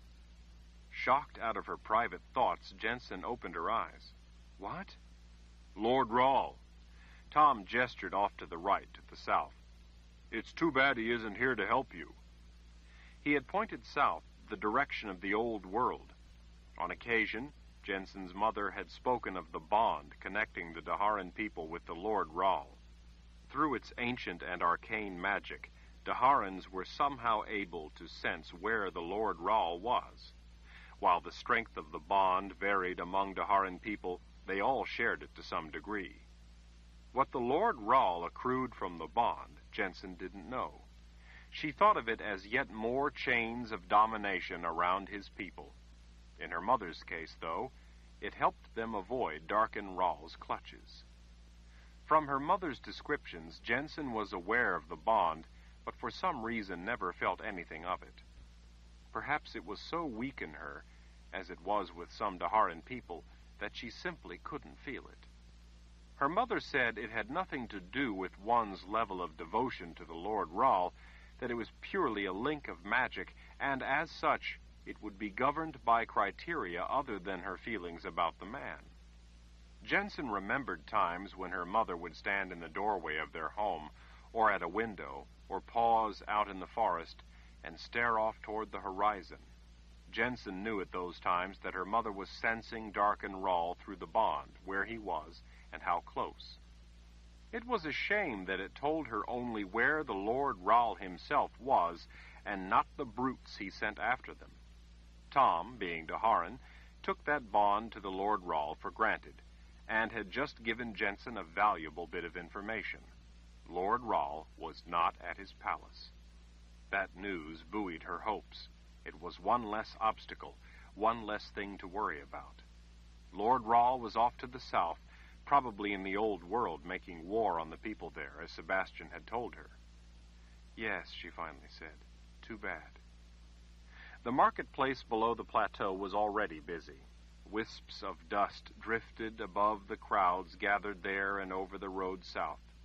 She wondered if Irma the sausage lady was there. Jennsen missed Betty. She wanted so much to see the goat's little tail wagging furiously, to hear her bleating with elation at being reunited with her lifelong friend. Tom pointed his team toward the market to where he had been set up selling his load of wine. Maybe Irma would go to the same place. Jennsen would have to leave Betty again in order to go up through the entrance and into the plateau. It would be a long climb up all those stairs, and then she had to find where Sebastian was being held. As the wagon rumbled across the hard pan of the Azrith Plains, Jennsen stared at the empty road that wound its way up the side of the plateau. Take the road, she said. What? Take the road up to the palace. Are you sure, Jennsen? I don't think that's wise. It's only for official business. Take the road. In answer, he urged the horses to the left, away from their course toward the market and toward the base of the road instead. From the corner of her eye, she saw him snatch glances at his inscrutable passenger. Soldiers stationed at the base of the plateau where the road began its ascent watched them approach. As the wagon rolled closer, Jennsen drew out her knife. Don't stop, she said to Tom. He stared over at her. What? I have to. They have bows, you know. Jennsen continued to stare ahead. Just keep going. When they reached the soldiers, Jennsen held the knife out, holding it by the blade so that the handle stuck up above her fist. She kept her arm out straight and stiff, pointed down at the cluster of men so that they might see what she was announcing. She didn't look at them, but watched the road ahead, showing them the knife as if she couldn't be bothered to talk to them. Every pair of eyes watched that knife handle with the ornate letter R upon it as it flashed past their eyes. None moved to stop the wagon or to knock an arrow. Tom let out a low whistle. The wagon shook and rattled as it rolled onward. The road switched back and forth as it made its way steadily up the plateau. In some places there was ample room, but occasionally the road narrowed, forcing the wagon to ride close to the dizzying drop. Each tight bend offered them a new vista, a new view of the expanse of the Azrith Plains spread out far below. Off in the distance, the plains were rimmed by dusky blue mountains. When they arrived at the bridge, they finally did have to stop. The bridge was pulled up. Her faith in herself and her plan faltered as she realized that this, and not her bold bluff, was probably the reason the soldiers below had let her pass so easily. They knew she couldn't get over the chasm unless the guards lowered the bridge. They knew she couldn't simply barge into the palace, and at the same time, they didn't have to challenge a woman who had what very well might be an official pass of sorts from the Lord Rahl himself. Worse yet, she now saw how the soldiers had also isolated, in a place without escape or hope of rescue by reinforcements, people they deemed potential intruders. Any hostile foray could be stopped cold here, and in all likelihood, captured or killed on the spot. It was no wonder Tom had advised against using the road up. Stimulated by the effort of the climb, the big horses tossed their heads at the interruption. One man stepped in front and took control of the horses' bits to keep them still. Soldiers approached the side of the wagon. Jennsen sat on the cliffside, and although she saw men guarding the rear quarter on her side, most of the men approached on Tom's side. Good day, Sergeant, Tom called out. The man scrutinized the inside of the wagon and, after finding it empty, looked up at the two in the seat. Good day. Jennsen knew that this was no time for her to become timid. If she failed here, everything would be lost. Not only would Sebastian have no hope, but she would likely join him in a dungeon. She could not afford to lose her nerve. When the soldiers were close enough, she reached past Tom to hold the knife down toward the sergeant of the guards, showing him the handle as if she were flashing a royal pass. Drop the bridge, she said, before he had a chance to ask them anything. The sergeant took in the knife handle before meeting her glare. What's your business? Sebastian had told her how to bluff. He had explained how she had done it her whole life, that she was a natural at it. Now she had to do it with deliberate intent if she was to save him and get out alive herself. Despite how fast her heart pounded, She showed the man a stern but empty expression. Lord Rahl's business. Lower the bridge. She thought that he was taken back a bit by her tone, or possibly he was worried by her unexpected words. She could see his level of caution rise, tensing his features. Nevertheless, he stood his ground. I need a little more than that, ma'am. Jennsen twirled the knife, weaving it over and under and between her fingers, the polished metal flashing in the sunlight as it spun, until it came to an abrupt halt with the handle upright in her fist once more, the ornate letter R showing to the soldier. In a deliberate manner, she pushed the hood of her cloak back, exposing her fall of red hair to the morning sunlight and the men's stares. She could see in their eyes that her implication had been clearly understood. I know you have a job to do, Jennsen said with terrible calm, but so do I. I'm on official business for Lord Rahl. I'm sure you can appreciate how displeased Lord Rahl would be with me were I to discuss his business with everyone who asked about it. Therefore, I have no intention of doing so. But I can tell you that I wouldn't be here were it not a matter of life or death. You are wasting my precious time, Sergeant. Now lower the bridge. And what might be your name, ma'am? Jennsen leaned farther past Tom in order to more directly scowl at the sergeant. Unless you lower that bridge, Sergeant, and right now, you will forever after remember me as Trouble, sent by Lord Rahl himself. The sergeant, backed by a few dozen men with pikes along with crossbows, swords, and axes, didn't flinch. He looked at Tom. What's your part in this? Tom shrugged. Just driving the wagon. Were I you, Sergeant, this is one lady I'd not want to be delaying. Is that so? It is, Tom said with conviction. The sergeant gazed long and hard into Tom's eyes. Finally, he considered Jennsen again, then turned and rolled his hand, motioning a man to lower the bridge. Jennsen gestured with her knife toward the palace up the road. How may I find the place where we hold prisoners? As the gears started clattering and the bridge began to descend, he turned back to Jennsen. Inquire with the guards at the top. They can direct you, ma'am. Thank you, Jennsen said with finality, sitting back up straight and putting her eyes ahead, waiting for the bridge to lower. Once it had thudded into place, the sergeant signaled them ahead. Tom nodded his thanks and flicked the reins. Jennsen had to play the part through the whole way if this were to have a chance of working. She found that her performance was aided by her very real anger. She was disturbed, though, that Tom had played some part in the success of the bluff. She wouldn't have his help for all of it. She decided that it would be wise to keep her anger out and in plain view of the other guards. You want to see the prisoners? Tom asked. She realized that she never had said why she had to return to the palace. Yes, they've taken a man prisoner by mistake. I've come to see that he's released. Tom checked the horses with the reins, keeping them wide to negotiate the wagon around a switchback. Ask for Captain Lerner, he said at last. Jennsen glanced over at him, surprised that he had offered a name rather than an objection. A friend of yours? The reins moved ever so slightly with practiced precision, guiding the horses around the bend. I don't know if I'd call him a friend. I've dealt with him a time or two.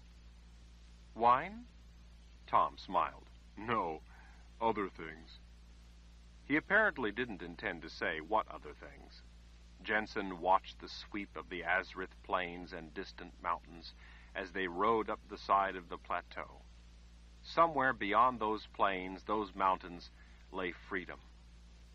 At the top, the road leveled out before a great gate through the massive outer wall of the palace. The guards stationed before the gate there waved them through, then blew whistles in a short series of notes to others unseen beyond the walls. Jennsen realized that they had not arrived unannounced. She nearly gasped as they cleared the short tunnel through the massive outer wall. Inside, expansive grounds spread out before them. Lawns and hedges bordered the road that curved toward a hill of steps well over a half mile away. The grounds inside the walls were teeming with soldiers in smart uniforms of leather and chainmail covered with wool tunics. Many, with pikes held upright at precisely the same angle, lined the route. These men were not loafing about. They weren't the kind to be surprised by what came up the road. Tom took it all in casually. Jennsen tried to keep her eyes pointed ahead. She tried to look indifferent amid such splendor. Before the hill of steps awaited a reception party of guards over a hundred strong. Tom pulled the wagon into the pocket they'd formed, blocking the road. Jennsen saw, standing on the steps overlooking the soldiers, three men in robes. Two wore silver colored robes. Between them, one step higher, stood an older man wearing white, both hands held in the opposite sleeves trimmed in golden colored braiding that shimmered in the sunlight. Tom set the brake on the wagon as a soldier took control of the horses to keep them from moving. Before Tom could begin climbing down, Jennsen put a hand on his arm to stop him.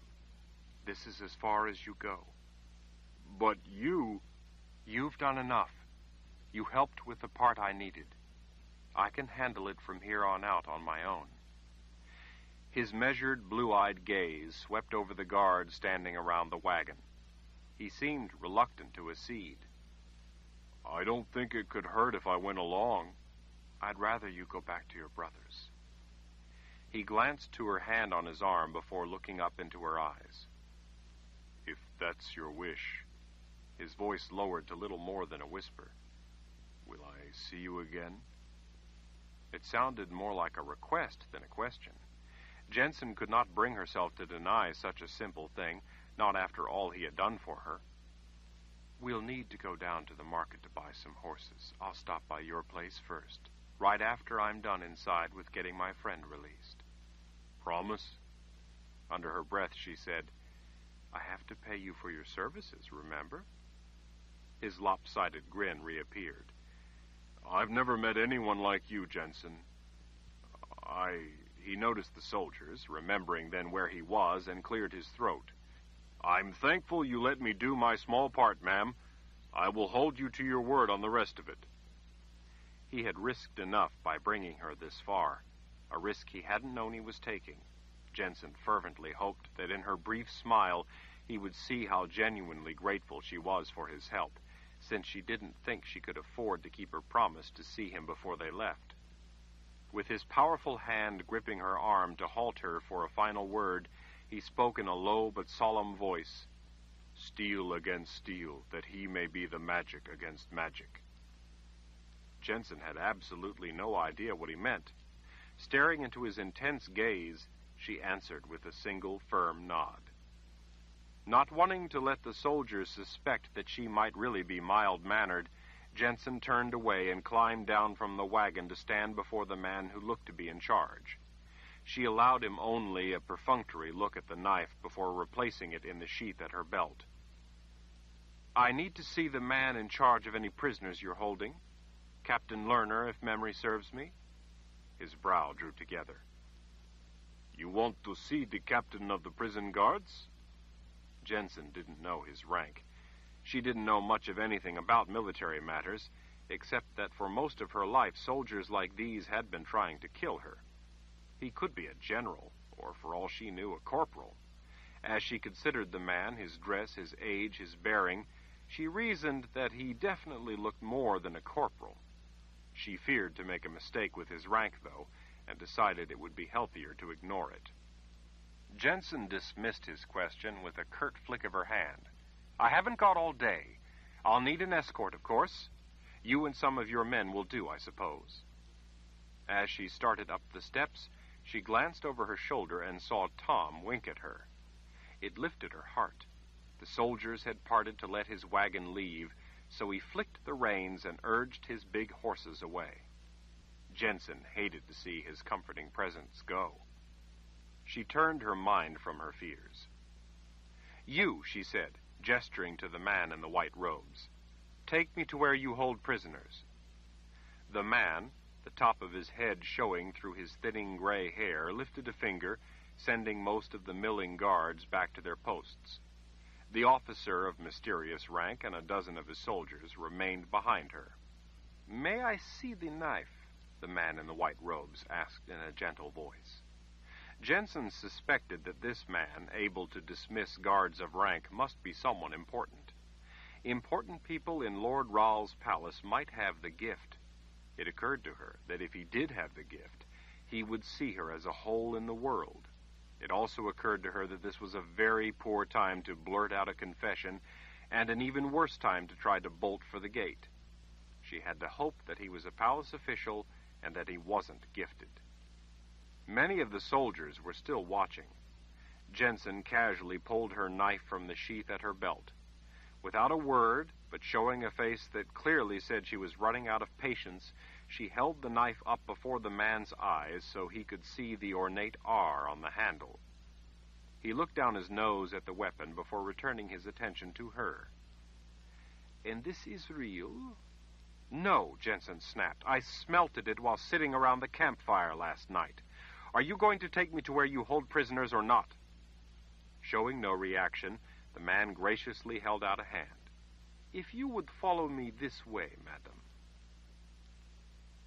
Chapter 26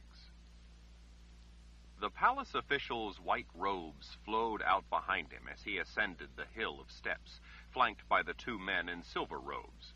Jennsen remained what she judged to be an imperious distance behind the men. When the man in white noticed how she had lagged behind, he slowed to allow her to catch up. She slowed her pace accordingly, maintaining the distance. He nervously checked behind, then slowed more. She slowed yet more until the three robed men, Jennsen and the soldiers behind her, were all pausing ponderously on each step. When they reached the next landing on the broad, sunlit marble steps, the man glanced over his shoulder again. Jennsen gestured impatiently. He finally understood that she had no intention of walking with him, but expected him to lead the procession. The man acceded, quickening his steps, allowing her to have the distance she demanded, resigned to being what amounted to her lowly crier. The officer of unknown rank and his dozen soldiers climbed the stairs with mincing steps, trying to duplicate the distance she maintained in front of her. It was unanticipated and awkward for her escorts. She wanted it to be. Like her red hair, the distraction gave them something to think about, something to worry about. At intervals, the smooth ascent of marble stairs was broken by broad landings that gave the legs a rest before continuing up. At the top of the stairs, tall, embossed brass doors were set back beyond colossal columns. The entire front of the palace, looming over them, was one of the grandest sights Jennsen had ever seen. But her mind was not on the intricate architecture of the entrance. She was thinking about what lay inside. They passed the shadows of the towering columns and swept on through the doorway. The dozen soldiers still trailed in her wake, their weapons, belts, and mail jangling. The sound of their boots on the polished marble floor echoed off the walls of a grand entry lined with fluted pillars. Deeper into the palace, people going about their business, or standing in twos and threes, talking or strolling the balconies, paused to watch the unusual procession, paused to see the officials in their white and silver robes, and a dozen guards at a respectful distance escorting a woman with red hair. By her outfit, especially in comparison to the neat, clean dress of the others, it was obvious that she had just traveled in. Rather than being embarrassed by her clothes, Jennsen was pleased that they added to the sense of urgent mystery. The reaction of the people, too, was bound to infect her escort. After the man in white whispered to the two in silver robes, they nodded and ran on ahead, vanishing around a corner. The guards followed at her measured distance. The procession wound through a maze of small passageways and funneled down narrow service stairs. Jennsen and her escorts made a number of turns through intersecting halls, along dim corridors to doors opening onto wide halls, and intermittently descended a variety of stairs, until she could no longer keep track of their route. By the dusty condition of some of the dingy stairs and musty smelling, apparently little used halls, she realized that the man in white robes was taking her on a shortcut through the palace in order to get her to where she wanted to go as swiftly as possible. This, too, was read 8 The Pillars of Creation by Terry Goodkind, continuing on page 264. The captain caught Jennsen by the arm. As she said, he nodded toward the Mord Sith, may the good spirits be with you always. He handed her the lamp.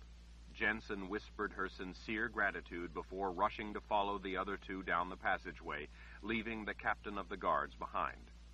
Nyda led them down dark halls and through empty rooms. They raced through a narrow cleft without a ceiling. At least when Jennsen looked up, she could see nothing but darkness above. The floor appeared to be bedrock. The wall to the right was rather unremarkable fitted stone. To the left, though, the passageway was lined with colossal, speckled pink granite blocks. Each smooth faced block was larger than any house Jennsen had ever lived in, yet the joints were so tight that no blade could have slipped between them. At the end of the passageway, beside the huge stone blocks, they ducked through a low door and out onto a narrow walkway made of iron and laid with planks to cross on. The thread of a footbridge spanned a wide chasm in the bedrock of the plateau. Jennsen could see by the light of her lamp that the walls of sheer rock to each side dropped straight down, fading away far below. The light of the lamp wasn't enough for her to see the bottom. Standing there on the slender stretch of walkway suspended over the enormous void made her feel as tiny as an ant. The Mord Sith, a hand on the iron rail as she moved across the bridge, paused and looked back over her shoulder. Why is Wizard Rahl dangerous? It was obvious that the question had been playing on her mind. What trouble can he cause you? The brittle tone of her voice reverberated off the surrounding rock walls. Stopped there in the center of the walkway over the black abyss, Jennsen could feel the bridge swaying underfoot. It was making her dizzy. The Mord Sith waited. Jennsen tried to think of something to say. A glance back at Sebastian's blank expression told her that he had no ideas. She quickly decided to mix in some of the truth in case Nyda knew anything about the man. He's a prophet. He escaped from a place where he was held, a place where he couldn't hurt anyone. They had him there because he's dangerous. The Mord Sith pulled her long blonde braid over her shoulder, drawing her hand down its length as she considered Jennsen's words. She clearly didn't intend to move yet. I've heard he's quite an interesting man. In her eyes was awakened challenge. He's dangerous, Jennsen insisted. Why? He can harm my mission. How? I've already said it. He's a prophet. Prophecy could be a benefit. It might help you in your mission to protect Lord Rahl. The Mord Sith's frown darkened. Why wouldn't you want such help? Jennsen recalled what Althea said about prophecy. He might tell me how I'll die, even the very day. What if you were the one who had to protect Lord Rahl against an approaching threat, and you knew that the very next day you were going to die in some horrifying fashion? Knew the exact hour, the agonizing details. It might put you in a state of paralyzing fear, and in that panic of knowing exactly when and how you were to die, you would naturally be ill suited to protect Lord Rahl's life. Nyda's frown eased only slightly. Do you really think that Wizard Rahl would tell you such a thing? Why do you think they had him locked away? He's dangerous. Prophecy could be dangerous for those like me who protect Lord Rahl. Or maybe it could help, Nyda said. If you knew that something bad was going to happen, you could stop it. Then it wouldn't be prophecy, now would it? Nyda ran her hand down her braid as she considered the implications. But if you knew of some dire foretelling, then maybe you could turn the prophecy aside and avert the disaster. If you could turn prophecy aside, that would make it wrong. If it were wrong, if it were prophecy unfulfilled, then it would just be the foolish, empty words of an old man, wouldn't it? Then how could prophecy be distinguished from the ranting of any lunatic who claimed he was a prophet? But it's not empty ranting, Jennsen insisted. It's prophecy. If this prophet wanted to harm my mission, he might tell me something terrible about my future. If I knew something terrible, I might fail Lord Rahl. You mean, Nyda asked, that you think it would be like if I were to jab my Agiel at someone? It would make them flinch? Yes, only if we know a prophecy and flinch, as it were, it's Lord Rahl who would be put at risk because of our weakness and fear. Nyda released her braid and put her hand back on the railing. But I would not flinch knowing how I was to die, especially if it was Lord Rahl's life I was saving. As a Mord Sith, I'm always prepared to die. Every Mord Sith wishes to die fighting for the Lord Rahl, not old and toothless in bed. Jennsen wondered if the woman was mad, or if she could really be that dedicated. A brave boast, Sebastian put in. But are you willing to bet Lord Rahl's life on it? Nyda looked him in the eye. If it were my life on the line, yes. I would not flinch knowing how and when I was to die. Then I admit that you're a better woman than I, Jennsen said. Nyda nodded grimly. I would not expect you to be the same as I. You may carry the knife, but are not Mord Sith. Jennsen wished Nyda would move on. If she couldn't convince the woman and had to fight her, this would be a very bad place to have to do it. The Mord Sith was strong and quick. With Sebastian behind, he could be little help. Besides that, hanging on to the swaying bridge over the chasm, Jennsen's head was spinning. She didn't like high places and had never prided herself in her sense of balance. I'd do my best not to fail Lord Rahl in a situation like that, Jennsen said. But I can't swear I wouldn't. I'd not like Lord Rahl's life to hang on the answer. Nyda nodded in resignation. That's wise.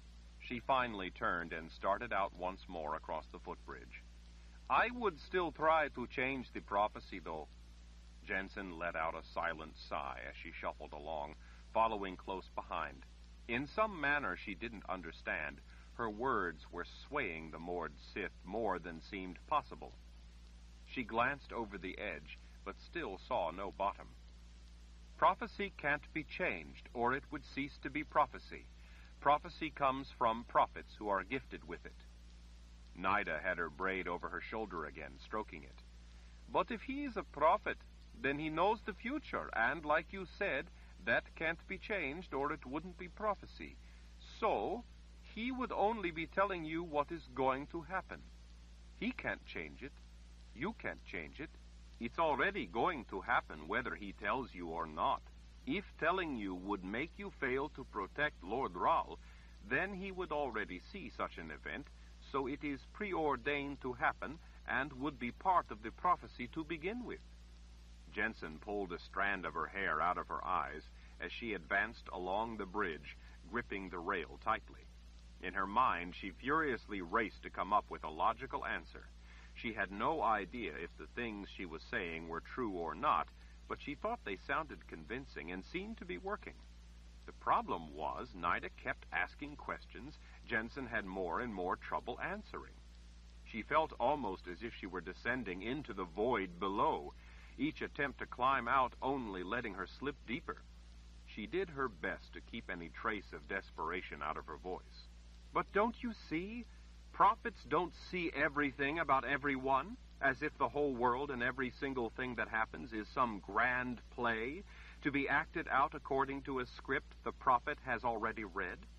A prophet would only see some things, maybe even some things of his choosing. But other things, things he doesn't see, he might try to influence. Nyda frowned back at them. What do you mean? Jennsen sensed that her only safety was to keep Nyda worried for her Lord Rahl. I mean, if he wanted to harm Lord Rahl, he might tell me something that would make me flinch just to make me flinch, even if he didn't see such an event.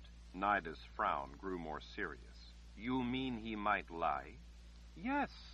But why would Wizard Rahl want to harm Lord Rahl?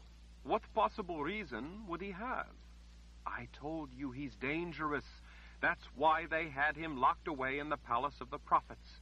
Who knows what other things they knew about him that we don't? Things that made them feel it was necessary to lock such a man away. That still doesn't answer why Wizard Rahl would wish to harm Lord Rahl. Jennsen felt as if she were in a knife fight, trying to protect herself from this woman's razor sharp verbal blade. It's not just prophecy. He's a wizard. He's gifted. I don't know if he's interested in harming Lord Rahl. Maybe he's not. But I don't want to risk Lord Rahl's life to find out. I know enough about magic to know I don't like messing around with things of magic that are beyond me. I have to put Lord Rahl's life first. I'm not saying that I believe Nathan Rahl is bent on harm. I'm just saying that it's my job to protect Lord Rahl, and I don't want to take the chance with such magic. Magic I can't ward. The woman shouldered open the door at the end of the footbridge. I can't argue that. I don't like anything to do with magic. But if Lord Rahl is in danger from this prophet of a wizard, maybe you had better stay here so we can look into it. I don't know if Nathan Rahl represents a threat, but I have pressing business that I know for certain is a grave danger to Lord Rahl. My responsibility is to tend to that. Nyda tried the door but found it locked. She continued on down the dingy hallway. But if your suspicions about Nathan Rahl are correct, then we must. Nyda, I'm hoping you can keep your eye on this Nathan Rahl for me. I can't do it all myself. Watch him for me. Do you wish me to kill him? No. Jennsen was surprised at how ready the Mord Sith seemed to be to commit such an act. Of course not. I'm just saying to pay attention. Keep an eye on him, that's all. Nyda reached another door. This time the lever lifted. Before she opened it, she turned back to the two of them. Jennsen didn't like the look in her eyes as her gaze shifted between them. This is all crazy, Nyda said. Too much of it makes no sense. Too many things don't fit. I don't like it when things don't make sense. This was a dangerous creature who could at any moment turn on them. Jennsen had to find a way to close the subject for good. She remembered what Captain Lerner had said, how filled with conviction he had been, and spoke the words softly to Nyda. The new Lord Rahl has changed everything, all the rules. He's turned the whole world upside down. Nyda finally let out a deep breath. A wistful smile came to her lips.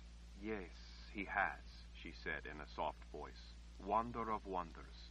That's why I would lay down my life to protect him. Why I worry so. Me too. I need to do my job. Nyda turned away and led them to a dark spiral of stairs tunneling down through the rock. Jennsen knew that the tale she was spinning wasn't entirely convincing. She was perplexed that it worked anyway. A long journey down seemingly endless stairs and along dark corridors, occasionally cutting through passageways crowded with soldiers, took them ever lower in the plateau below the People's Palace. Sebastian's hand on her back for much of the journey was a reassuring comfort and a relief. Jennsen could hardly believe that she had managed to get him free. Soon they would be out of the palace and safely away. Somewhere within the interior of the plateau, they emerged into the central public area. Nyda had taken them down a more direct route and saved them time. Jennsen preferred staying within the hidden passageways, but apparently those shortcuts ended at this place, within the common area. They would have to finish their descent among the crowds. Small stands selling food lined the way along the route as throngs of people shuffled past on their long ascent to the palace above. Jennsen recalled passing the vendors opposite the stone balusters overlooking the level below on her first visit to the palace. The smells after the dusty places they had been were temptation almost beyond endurance. Soldiers patrolling nearby noticed them on their way down, moving against the crowds. Like all the soldiers she had seen in the palace, these were big men, muscular, fit, eyes alert. In their leather and chain mail, weapons hanging from their belts, they were an intimidating sight. As soon as they realized that Nyda was escorting them, the soldiers turned their scrutiny to other people. When Jennsen saw Sebastian pull up his hood, she realized it would be a good idea to hide her hair and followed suit. The air inside the plateau was frosty, and a number of people had their heads covered with hoods or hats, so it wouldn't raise suspicions. As they reached the far end of a long landing in the lower reaches inside the plateau, just as they turned to descend the next flight of stairs, Jennsen looked up. At the opposite end of the landing, a tall, older man with a full head of straight white hair hanging to his broad shoulders was just coming down off the stairs. Even though he was old, he was still a strikingly handsome man. Despite his age, he moved with vigor. He looked up. His gaze met Jennsen's. The world seemed to stop in the man's dark azure eyes. Jennsen froze. There was something about him that looked vaguely familiar, something in those eyes that seized her attention. Sebastian had stopped two steps below her. Nyda was at her side. The Mord Sith's gaze followed Jennsen's. The man's hawk-like glare was fixed on Jennsen as if they were the only two people in the entire palace. Dear spirits, Nyda whispered, that has to be Nathan Rahl. How do you know? Sebastian asked. She stepped up beside Jennsen, her attention fixed on the man. He has the eyes of a Rahl, of Darken Rahl. I've seen those eyes in enough nightmares. Nyda's gaze slid to Jennsen. Her brow drew together. Jennsen realized where she had seen the man's eyes in the mirror. Chapter 29 In the distance across the landing, Jennsen saw the wizard's eyes going wide. His hand came up, pointing across the throng of people. Stop! he called out in a deep, powerful voice. Even above the racket around her, Jennsen could clearly hear that voice ring out. Stop! Nyda was staring at her as if the spark of recognition was but an instant away. Jennsen seized her arm. Nyda, you have to stop him. Nyda broke the gaze to look over her shoulder at the man rushing toward them. She looked back at Jennsen. Jennsen remembered Althea saying that she could see some Rahl in Jennsen's looks, and that others who knew Darken Rahl might recognize her. Jennsen gripped red leather in her fist. Stop him! Don't listen to anything he says! But he might only. Gripping the fistful of red leather tightly, Jennsen shook the woman.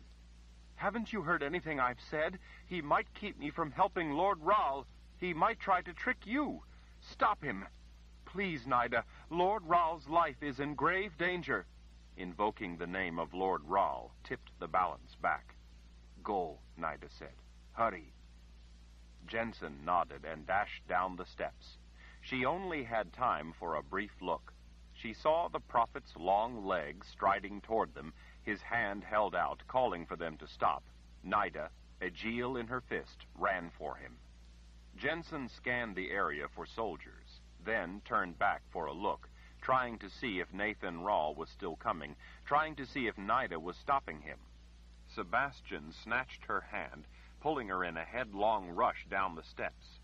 Jennsen didn't get a chance for another glimpse of her wizard kin. She hadn't realized how it would affect her to see someone who was related to her. She hadn't expected to see it in his eyes. There had only been her mother and her before. It was the strangest feeling, a kind of pensive longing, seeing this man who was in some way her blood. But if he caught her, her doom would be sealed. Together, she and Sebastian raced down the steps, dodging people who were on their way up. Some people grumbled at them to watch where they were going or cursed them for running. At each landing, she and Sebastian skirted the crowds and flew down the next flight of stairs. When they reached a level where soldiers were stationed, they slowed. Jennsen pulled her hood up a little tighter, making sure that her hair was hidden, along with some of her face fearing people might recognize her for being the daughter of Darken Rahl. Anxiety knotted her insides at having discovered that there was that, too, she now had to worry about. Sebastian's arm around her waist held her close as he wound his way through the flowing river of people. To avoid soldiers on patrol moving by near the balusters, he had to guide Jennsen to the side with benches, taking them closer among the stands weaving through lines of people. The landing was choked with people buying trinkets and treasures of their visit to the people's palace. The air was filled with the aroma of meats and spices from some of the stands. Couples sat on benches eating, drinking, smiling, talking excitedly. Others simply watched people pass. There were shadowy spaces between stands and pillars where some couples sat tight together on short benches, or, where there were no benches, stood close in the dark, cuddling, kissing. When Jennsen and Sebastian reached the edge of the landing, about to head down, they spotted a large patrol of soldiers coming up the steps. Sebastian hesitated. She knew he had to be thinking about the last time soldiers took notice of him. This was a large group. It would be impossible to pass them without being within an arm's length.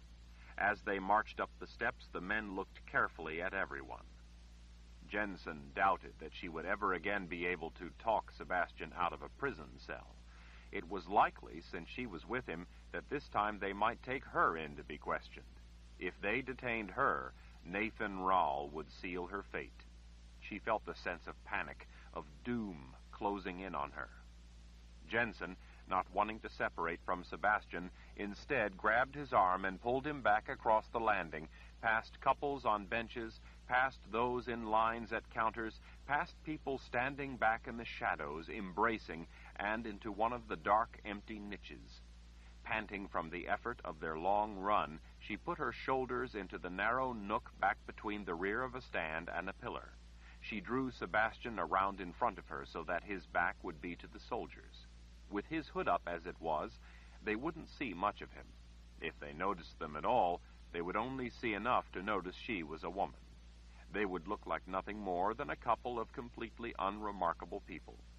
Jennsen put her arms around Sebastian's waist so they would look like any of the other ordinary couples spending a few moments alone with each other. It was quieter back in their small sanctuary. The sound of their heavy breathing drowned out the voices not far away. Most people couldn't see them, and the ones who could have were turned to other things. It had made Jennsen uncomfortable and awkward to watch couples snuggled together as she and Sebastian were now, so she imagined it would be the same for other people. It looked to her that she was right. No one paid any attention to a young couple embracing and obviously wanting to be by themselves. Sebastian's hands were on her waist. Her hands held his back so that they would look the part as they waited for the soldiers to pass. She was grateful beyond words that the good spirits had helped her get Sebastian out. I never thought I'd see you again, he whispered, for the first time alone with her since he'd been released, for the first time able to say what he wanted. Jennsen looked away from the passing people into his eyes and saw how earnest he was. I couldn't leave you there. He shook his head. I can't believe what you did. I can't believe how you talked your way into that place. You had them wrapped around your will. How did you manage such a thing? Jennsen swallowed, feeling at the edge of tears from the rush of emotion, the fear, the elation, the panic, the triumph. I had to, that's all. I had to get you out. She checked to be sure that no one was near before she went on. I couldn't stand the thought of you being in there, or of what they might do to you. I went to Lathea, the sorceress, for help. That's how you managed it then? Her magic? Jennsen shook her head as she gazed up into his eyes. No, Lathea couldn't help me. It's a long story. She told me how she's been to your homeland, to the old world. She smiled. Like I said, it's a long story for another time. It has to do with the pillars of creation. One eyebrow lifted. You mean she's actually been there? What? The pillars of creation. She really went there when she was in the old world? His gaze followed a distant soldier for a moment. You said it has something to do with how she helped you. She actually saw the place? What? No, she couldn't help me. She said that I had to do it on my own. I was terrified for you. I didn't know what to do. Then I remembered what you told me about bluffing. Jennsen frowned with a curious squint. What do you mean about her seeing the. But then her words, her very thought, trailed off as he gazed into her eyes and smiled that wonderful smile of his. I've never seen anyone pull off anything like that. It felt unexpectedly wonderful knowing that she had surprised him, pleased him. His arms felt so good, so powerful. Pressed back into the shadows, he was holding her close. She could feel his warm breath on her cheek. Sebastian, I was so afraid. I was so afraid I'd never see you again. I was so afraid for you. I know. Were you afraid too? He nodded. I could only think about how I'd never see you again. His face was so close, she could feel the warmth radiating from his skin. She could feel the entire length of his body, his legs, his torso, pressed against her as his lips gently brushed hers. Her heart pounded at a furious pace. But then he pulled back as if having second thoughts. She was thankful for his arms because, realizing that he had almost kissed her, she wasn't sure her legs would hold her up just then. What a heady notion a kiss stolen in the shadows like this would have been. Almost a kiss. Feet shuffled past nearby, but the people seemed miles away. Jennsen felt completely alone with Sebastian, weak in his arms, safe in his arms. He drew her closer then, as if overcome, as if he was in the grip of something he could no longer control. She saw in his eyes a kind of helpless surrender. He kissed her. Jennsen stood rock still, surprised that he was actually doing it, kissing her, holding her in his arms, just like she had seen lovers doing. And then her arms tightened, and she was holding him, too, kissing him back. She had never imagined that anything could feel so wonderfully intoxicating. In all her life, Jennsen had never thought such a thing could happen to her. She had dreamed of it, of course, but she knew it was only a fantasy, something for other people. She never thought it could happen to her, to Jennsen Rahl. And now, magically, it was.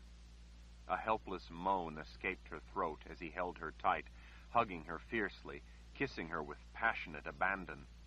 She was acutely aware of his arm encircling the small of her back, his other arm behind her shoulders, her breasts mashed against the hard muscles of his chest, his mouth pressed to hers, his own needful moan in answer to hers. Unexpectedly, it ended. It was almost as if he had recovered his composure and forced himself back. Jennsen panted, catching her breath. She liked the way it felt to be held by him. Inches apart, they gazed into each other's eyes.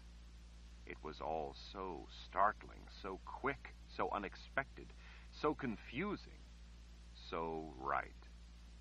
She wanted to melt into another embrace, another delicious kiss, but when he checked who was around, who might be watching, she gathered herself, remembering where they were and why they were pressed back into the dark niche. Nathan Rahl was after them. Only Nyda stood between them. If he told her who Jennsen was and she believed him, then the entire army would be after them. They had to get out of the palace. When Sebastian pulled away from her, doubts washed into the void. His gaze swept the crowd as he looked to make sure no one was watching them. Let's go. His hand found hers, and he was suddenly pulling her away from the sanctuary of the shadowy fold in the palace. Jennsen felt lightheaded with a flood of confusing emotions, everything from fear and shame to giddy excitement. He had kissed her, a real kiss, a man woman kiss. Her, Jennsen Rahl, the most hunted woman in D'Hara. She almost didn't notice the steps as they descended. She tried to look normal, to look like any other person simply leaving the palace after a visit. She didn't feel normal, though. She felt as if everyone who looked at her would know that he had just kissed her. When a soldier unexpectedly turned their way, she held Sebastian's arm in both hands, pressing her head to his shoulder, and smiled at the man as if in casual greeting. It was enough of a distraction that they passed him and were away before he even thought to look at Sebastian. That was quick thinking, Sebastian whispered, letting out a breath. Once past the soldier, they picked up their pace again. The sights she had seen on the way in were now a blur, she didn't care about any of it. She just wanted out. She wanted away from the place where they had imprisoned Sebastian, where the two of them were in constant danger. She was more exhausted from the unremitting tension of being in the place than she had been from the dangers in the swamp.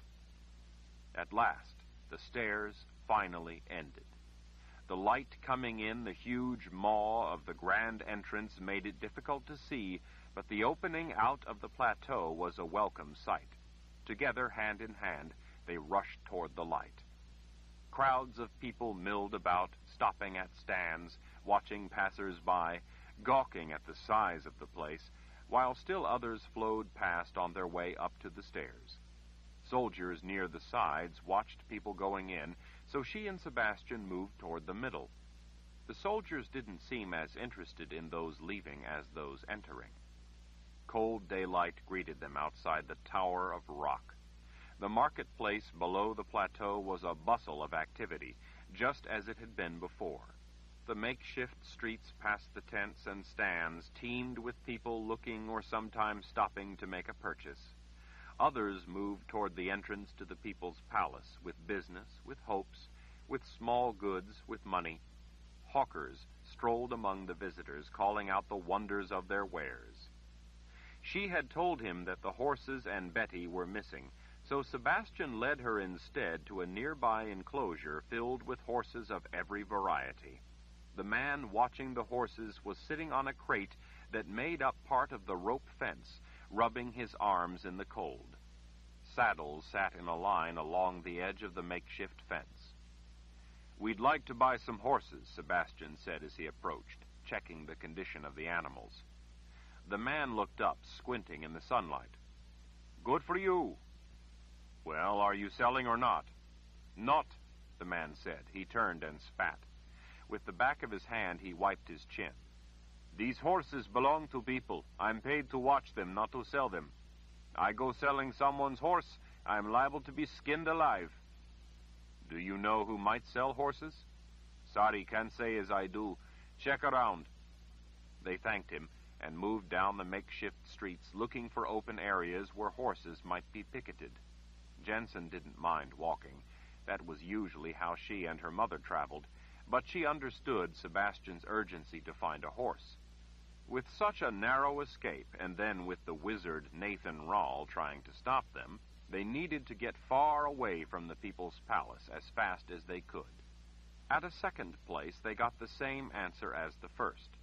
Jennsen was hungry and wished she could get something to eat, but she knew that they would be better off making good their escape than lingering to have a meal and end up dying on a full stomach. Sebastian, holding her hand tight, pulled her between stands, cutting across the crowded streets toward horses picketed in a dusty enclosure. You able to sell horses? Sebastian asked a man watching over them. The man, his arms folded, was leaning against a post.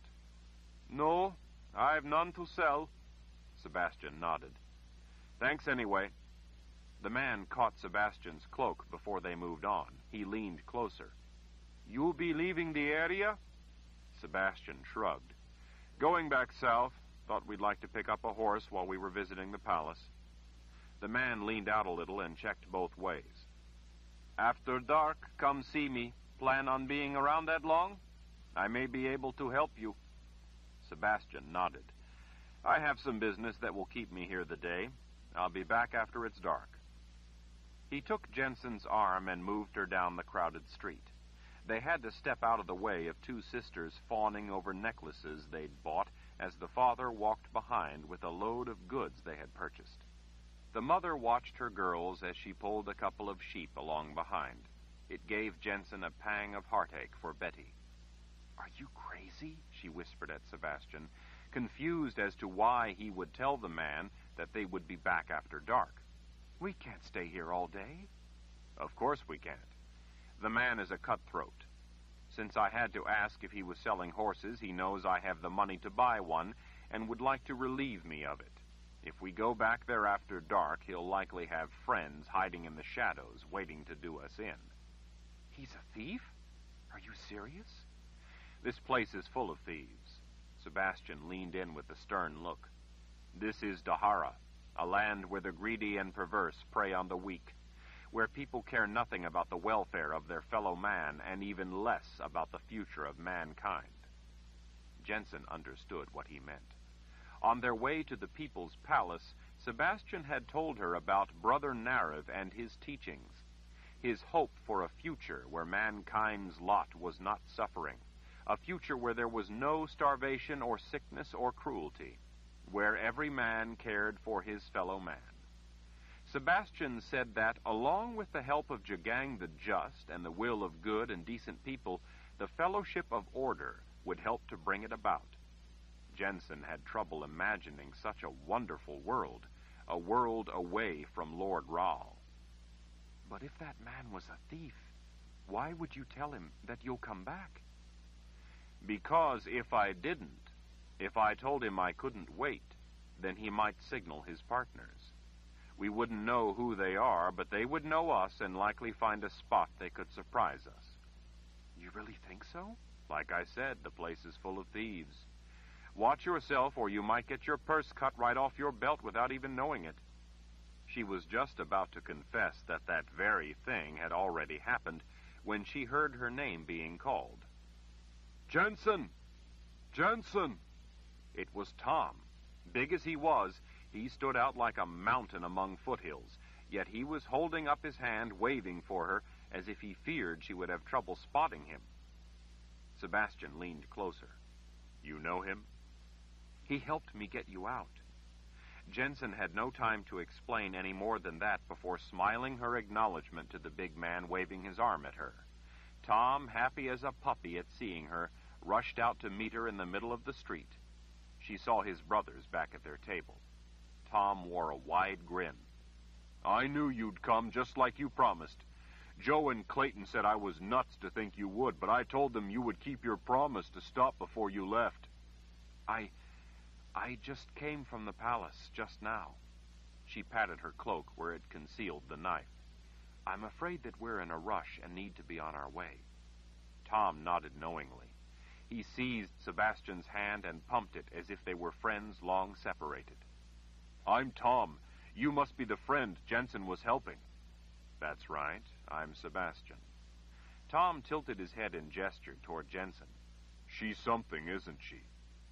I've never seen anyone like her, Sebastian assured him. A man couldn't want for more than a woman like this on his side, Tom said.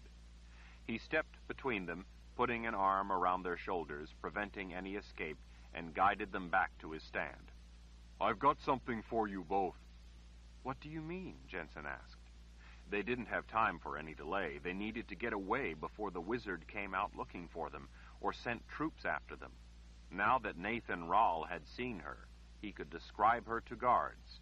Everyone would know what they looked like. Oh, something, Tom said cryptically. She smiled up at the big blond man. What do you have? Tom reached into his pocket and came up with a purse. He held it out to her. Well, first off, I got this back for you. My money? Tom grinned as he watched the astonishment in her eyes as her fingers touched her familiar worn leather purse. You'll be pleased to know that the gentleman who had it was reluctant to part with it, but since it wasn't his, in the end he saw the light of reason, along with a few stars. Tom nudged her shoulder as if to say she could figure out what more he meant by that. Sebastian's gaze followed as she pulled back her cloak and tied the purse around her belt. His expression said that he had no trouble figuring out what had happened to it. But how did you find him? Jennsen asked. Tom shrugged. The place looks big to those visiting, but when you're here often, you learn who the regulars are and know what their business is. I recognized your description of the cut purse. Early this morning, he breezed by, talking his line, trying to gull a woman out of her money. About the time he passed, I saw his hand below her packages slipping into her shawl, so I snatched him by the collar. My brothers and I had a long talk with the fellow about returning things he'd found that didn't belong to him. This place is full of thieves, Jennsen said. Tom shook his head. Don't judge a place by one man. Don't get me wrong, they're around. But most folks here are honest enough.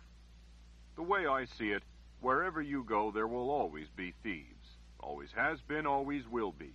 The man I fear most is the one who preaches virtue and a better life while using people's good intentions to shade their eyes from the light of truth.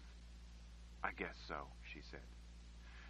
Maybe virtue and a better life is a goal worthy of such means, Sebastian said. From what I've seen in life, a man who preaches a better way at the cost of the truth is a man who wants nothing more than for himself to be the master and you the slave. I see what you mean, Sebastian conceded. I guess I'm fortunate not to have had dealings with such people. Count your blessings, Tom said. At his table, Jennsen took the hand of both Joe and Clayton. Thank you for helping. I can't believe you got my purse back. Their grins had much in common with Tom's. Most fun we've had in a while, Joe said. Not only that, Clayton added, but we can't thank you enough for keeping Tom busy so we could spend a couple days visiting the palace. About time Tom gave us a break. Tom put a hand against Jennsen's back, urging her around the table to his wagon beyond. Sebastian followed the two of them between the wine barrels and the stand beside them selling leather goods, where before Irma had sold her sausages. Behind Tom's wagon, Jennsen saw his big horses. Then beyond them, she saw the others. Our horses! Jennsen's jaw dropped. You got us our horses? Sure did, Tom said, beaming with pride. Found Irma this morning when she came to the market with another load of sausages. She had the horses with her. I told her you'd promised to come see me today before you left, so she was able to have a chance to get them back to you. All your supplies are there with them. That's good luck, Sebastian said. We can't thank you enough. We're in a hurry to get going. Tom gestured to Jennsen's waist where she kept the knife under her cloak. I figured. Jennsen looked around, feeling a rising flood of dismay. Where's Betty? Tom frowned. Betty? Jennsen swallowed. My goat, Betty. It was a mighty effort to keep her voice steady. Where's Betty? I'm sorry, Jennsen. I don't know anything about a goat. Irma only had the horses. Tom's face sagged. I never thought to ask about anything else. Do you know where Irma lives? Tom's head hung. Sorry, no. She showed up this morning, and she had your horses and things. She sold her sausages and waited around for a while before she said she had to get on home. Jennsen seized his sleeve. How long ago? Tom shrugged. I don't know. Couple hours ago? He glanced over his shoulder at his brothers. They both nodded. Jennsen's jaw trembled. She feared to test her voice again. She knew that she and Sebastian couldn't hang around waiting. With the wizards so close trying to stop her, she knew they would be lucky to get away with their lives. Returning would be out of the question. A glance to Sebastian's face confirmed it. Tears stung her eyes. But didn't you find out where she lived? Tom's gaze sank as he shook his head. Didn't you ask if she had anything else belonging to us? He shook his head again. Jennsen wanted to scream and pound her fists against his chest. Did you even think to ask when she would be back? Tom shook his head. But we promised her money for watching our horses, Jennsen said. She would say when she would be back so she could be paid. Still looking at his feet, Tom said, She told me she was owed money for watching the horses. I paid her.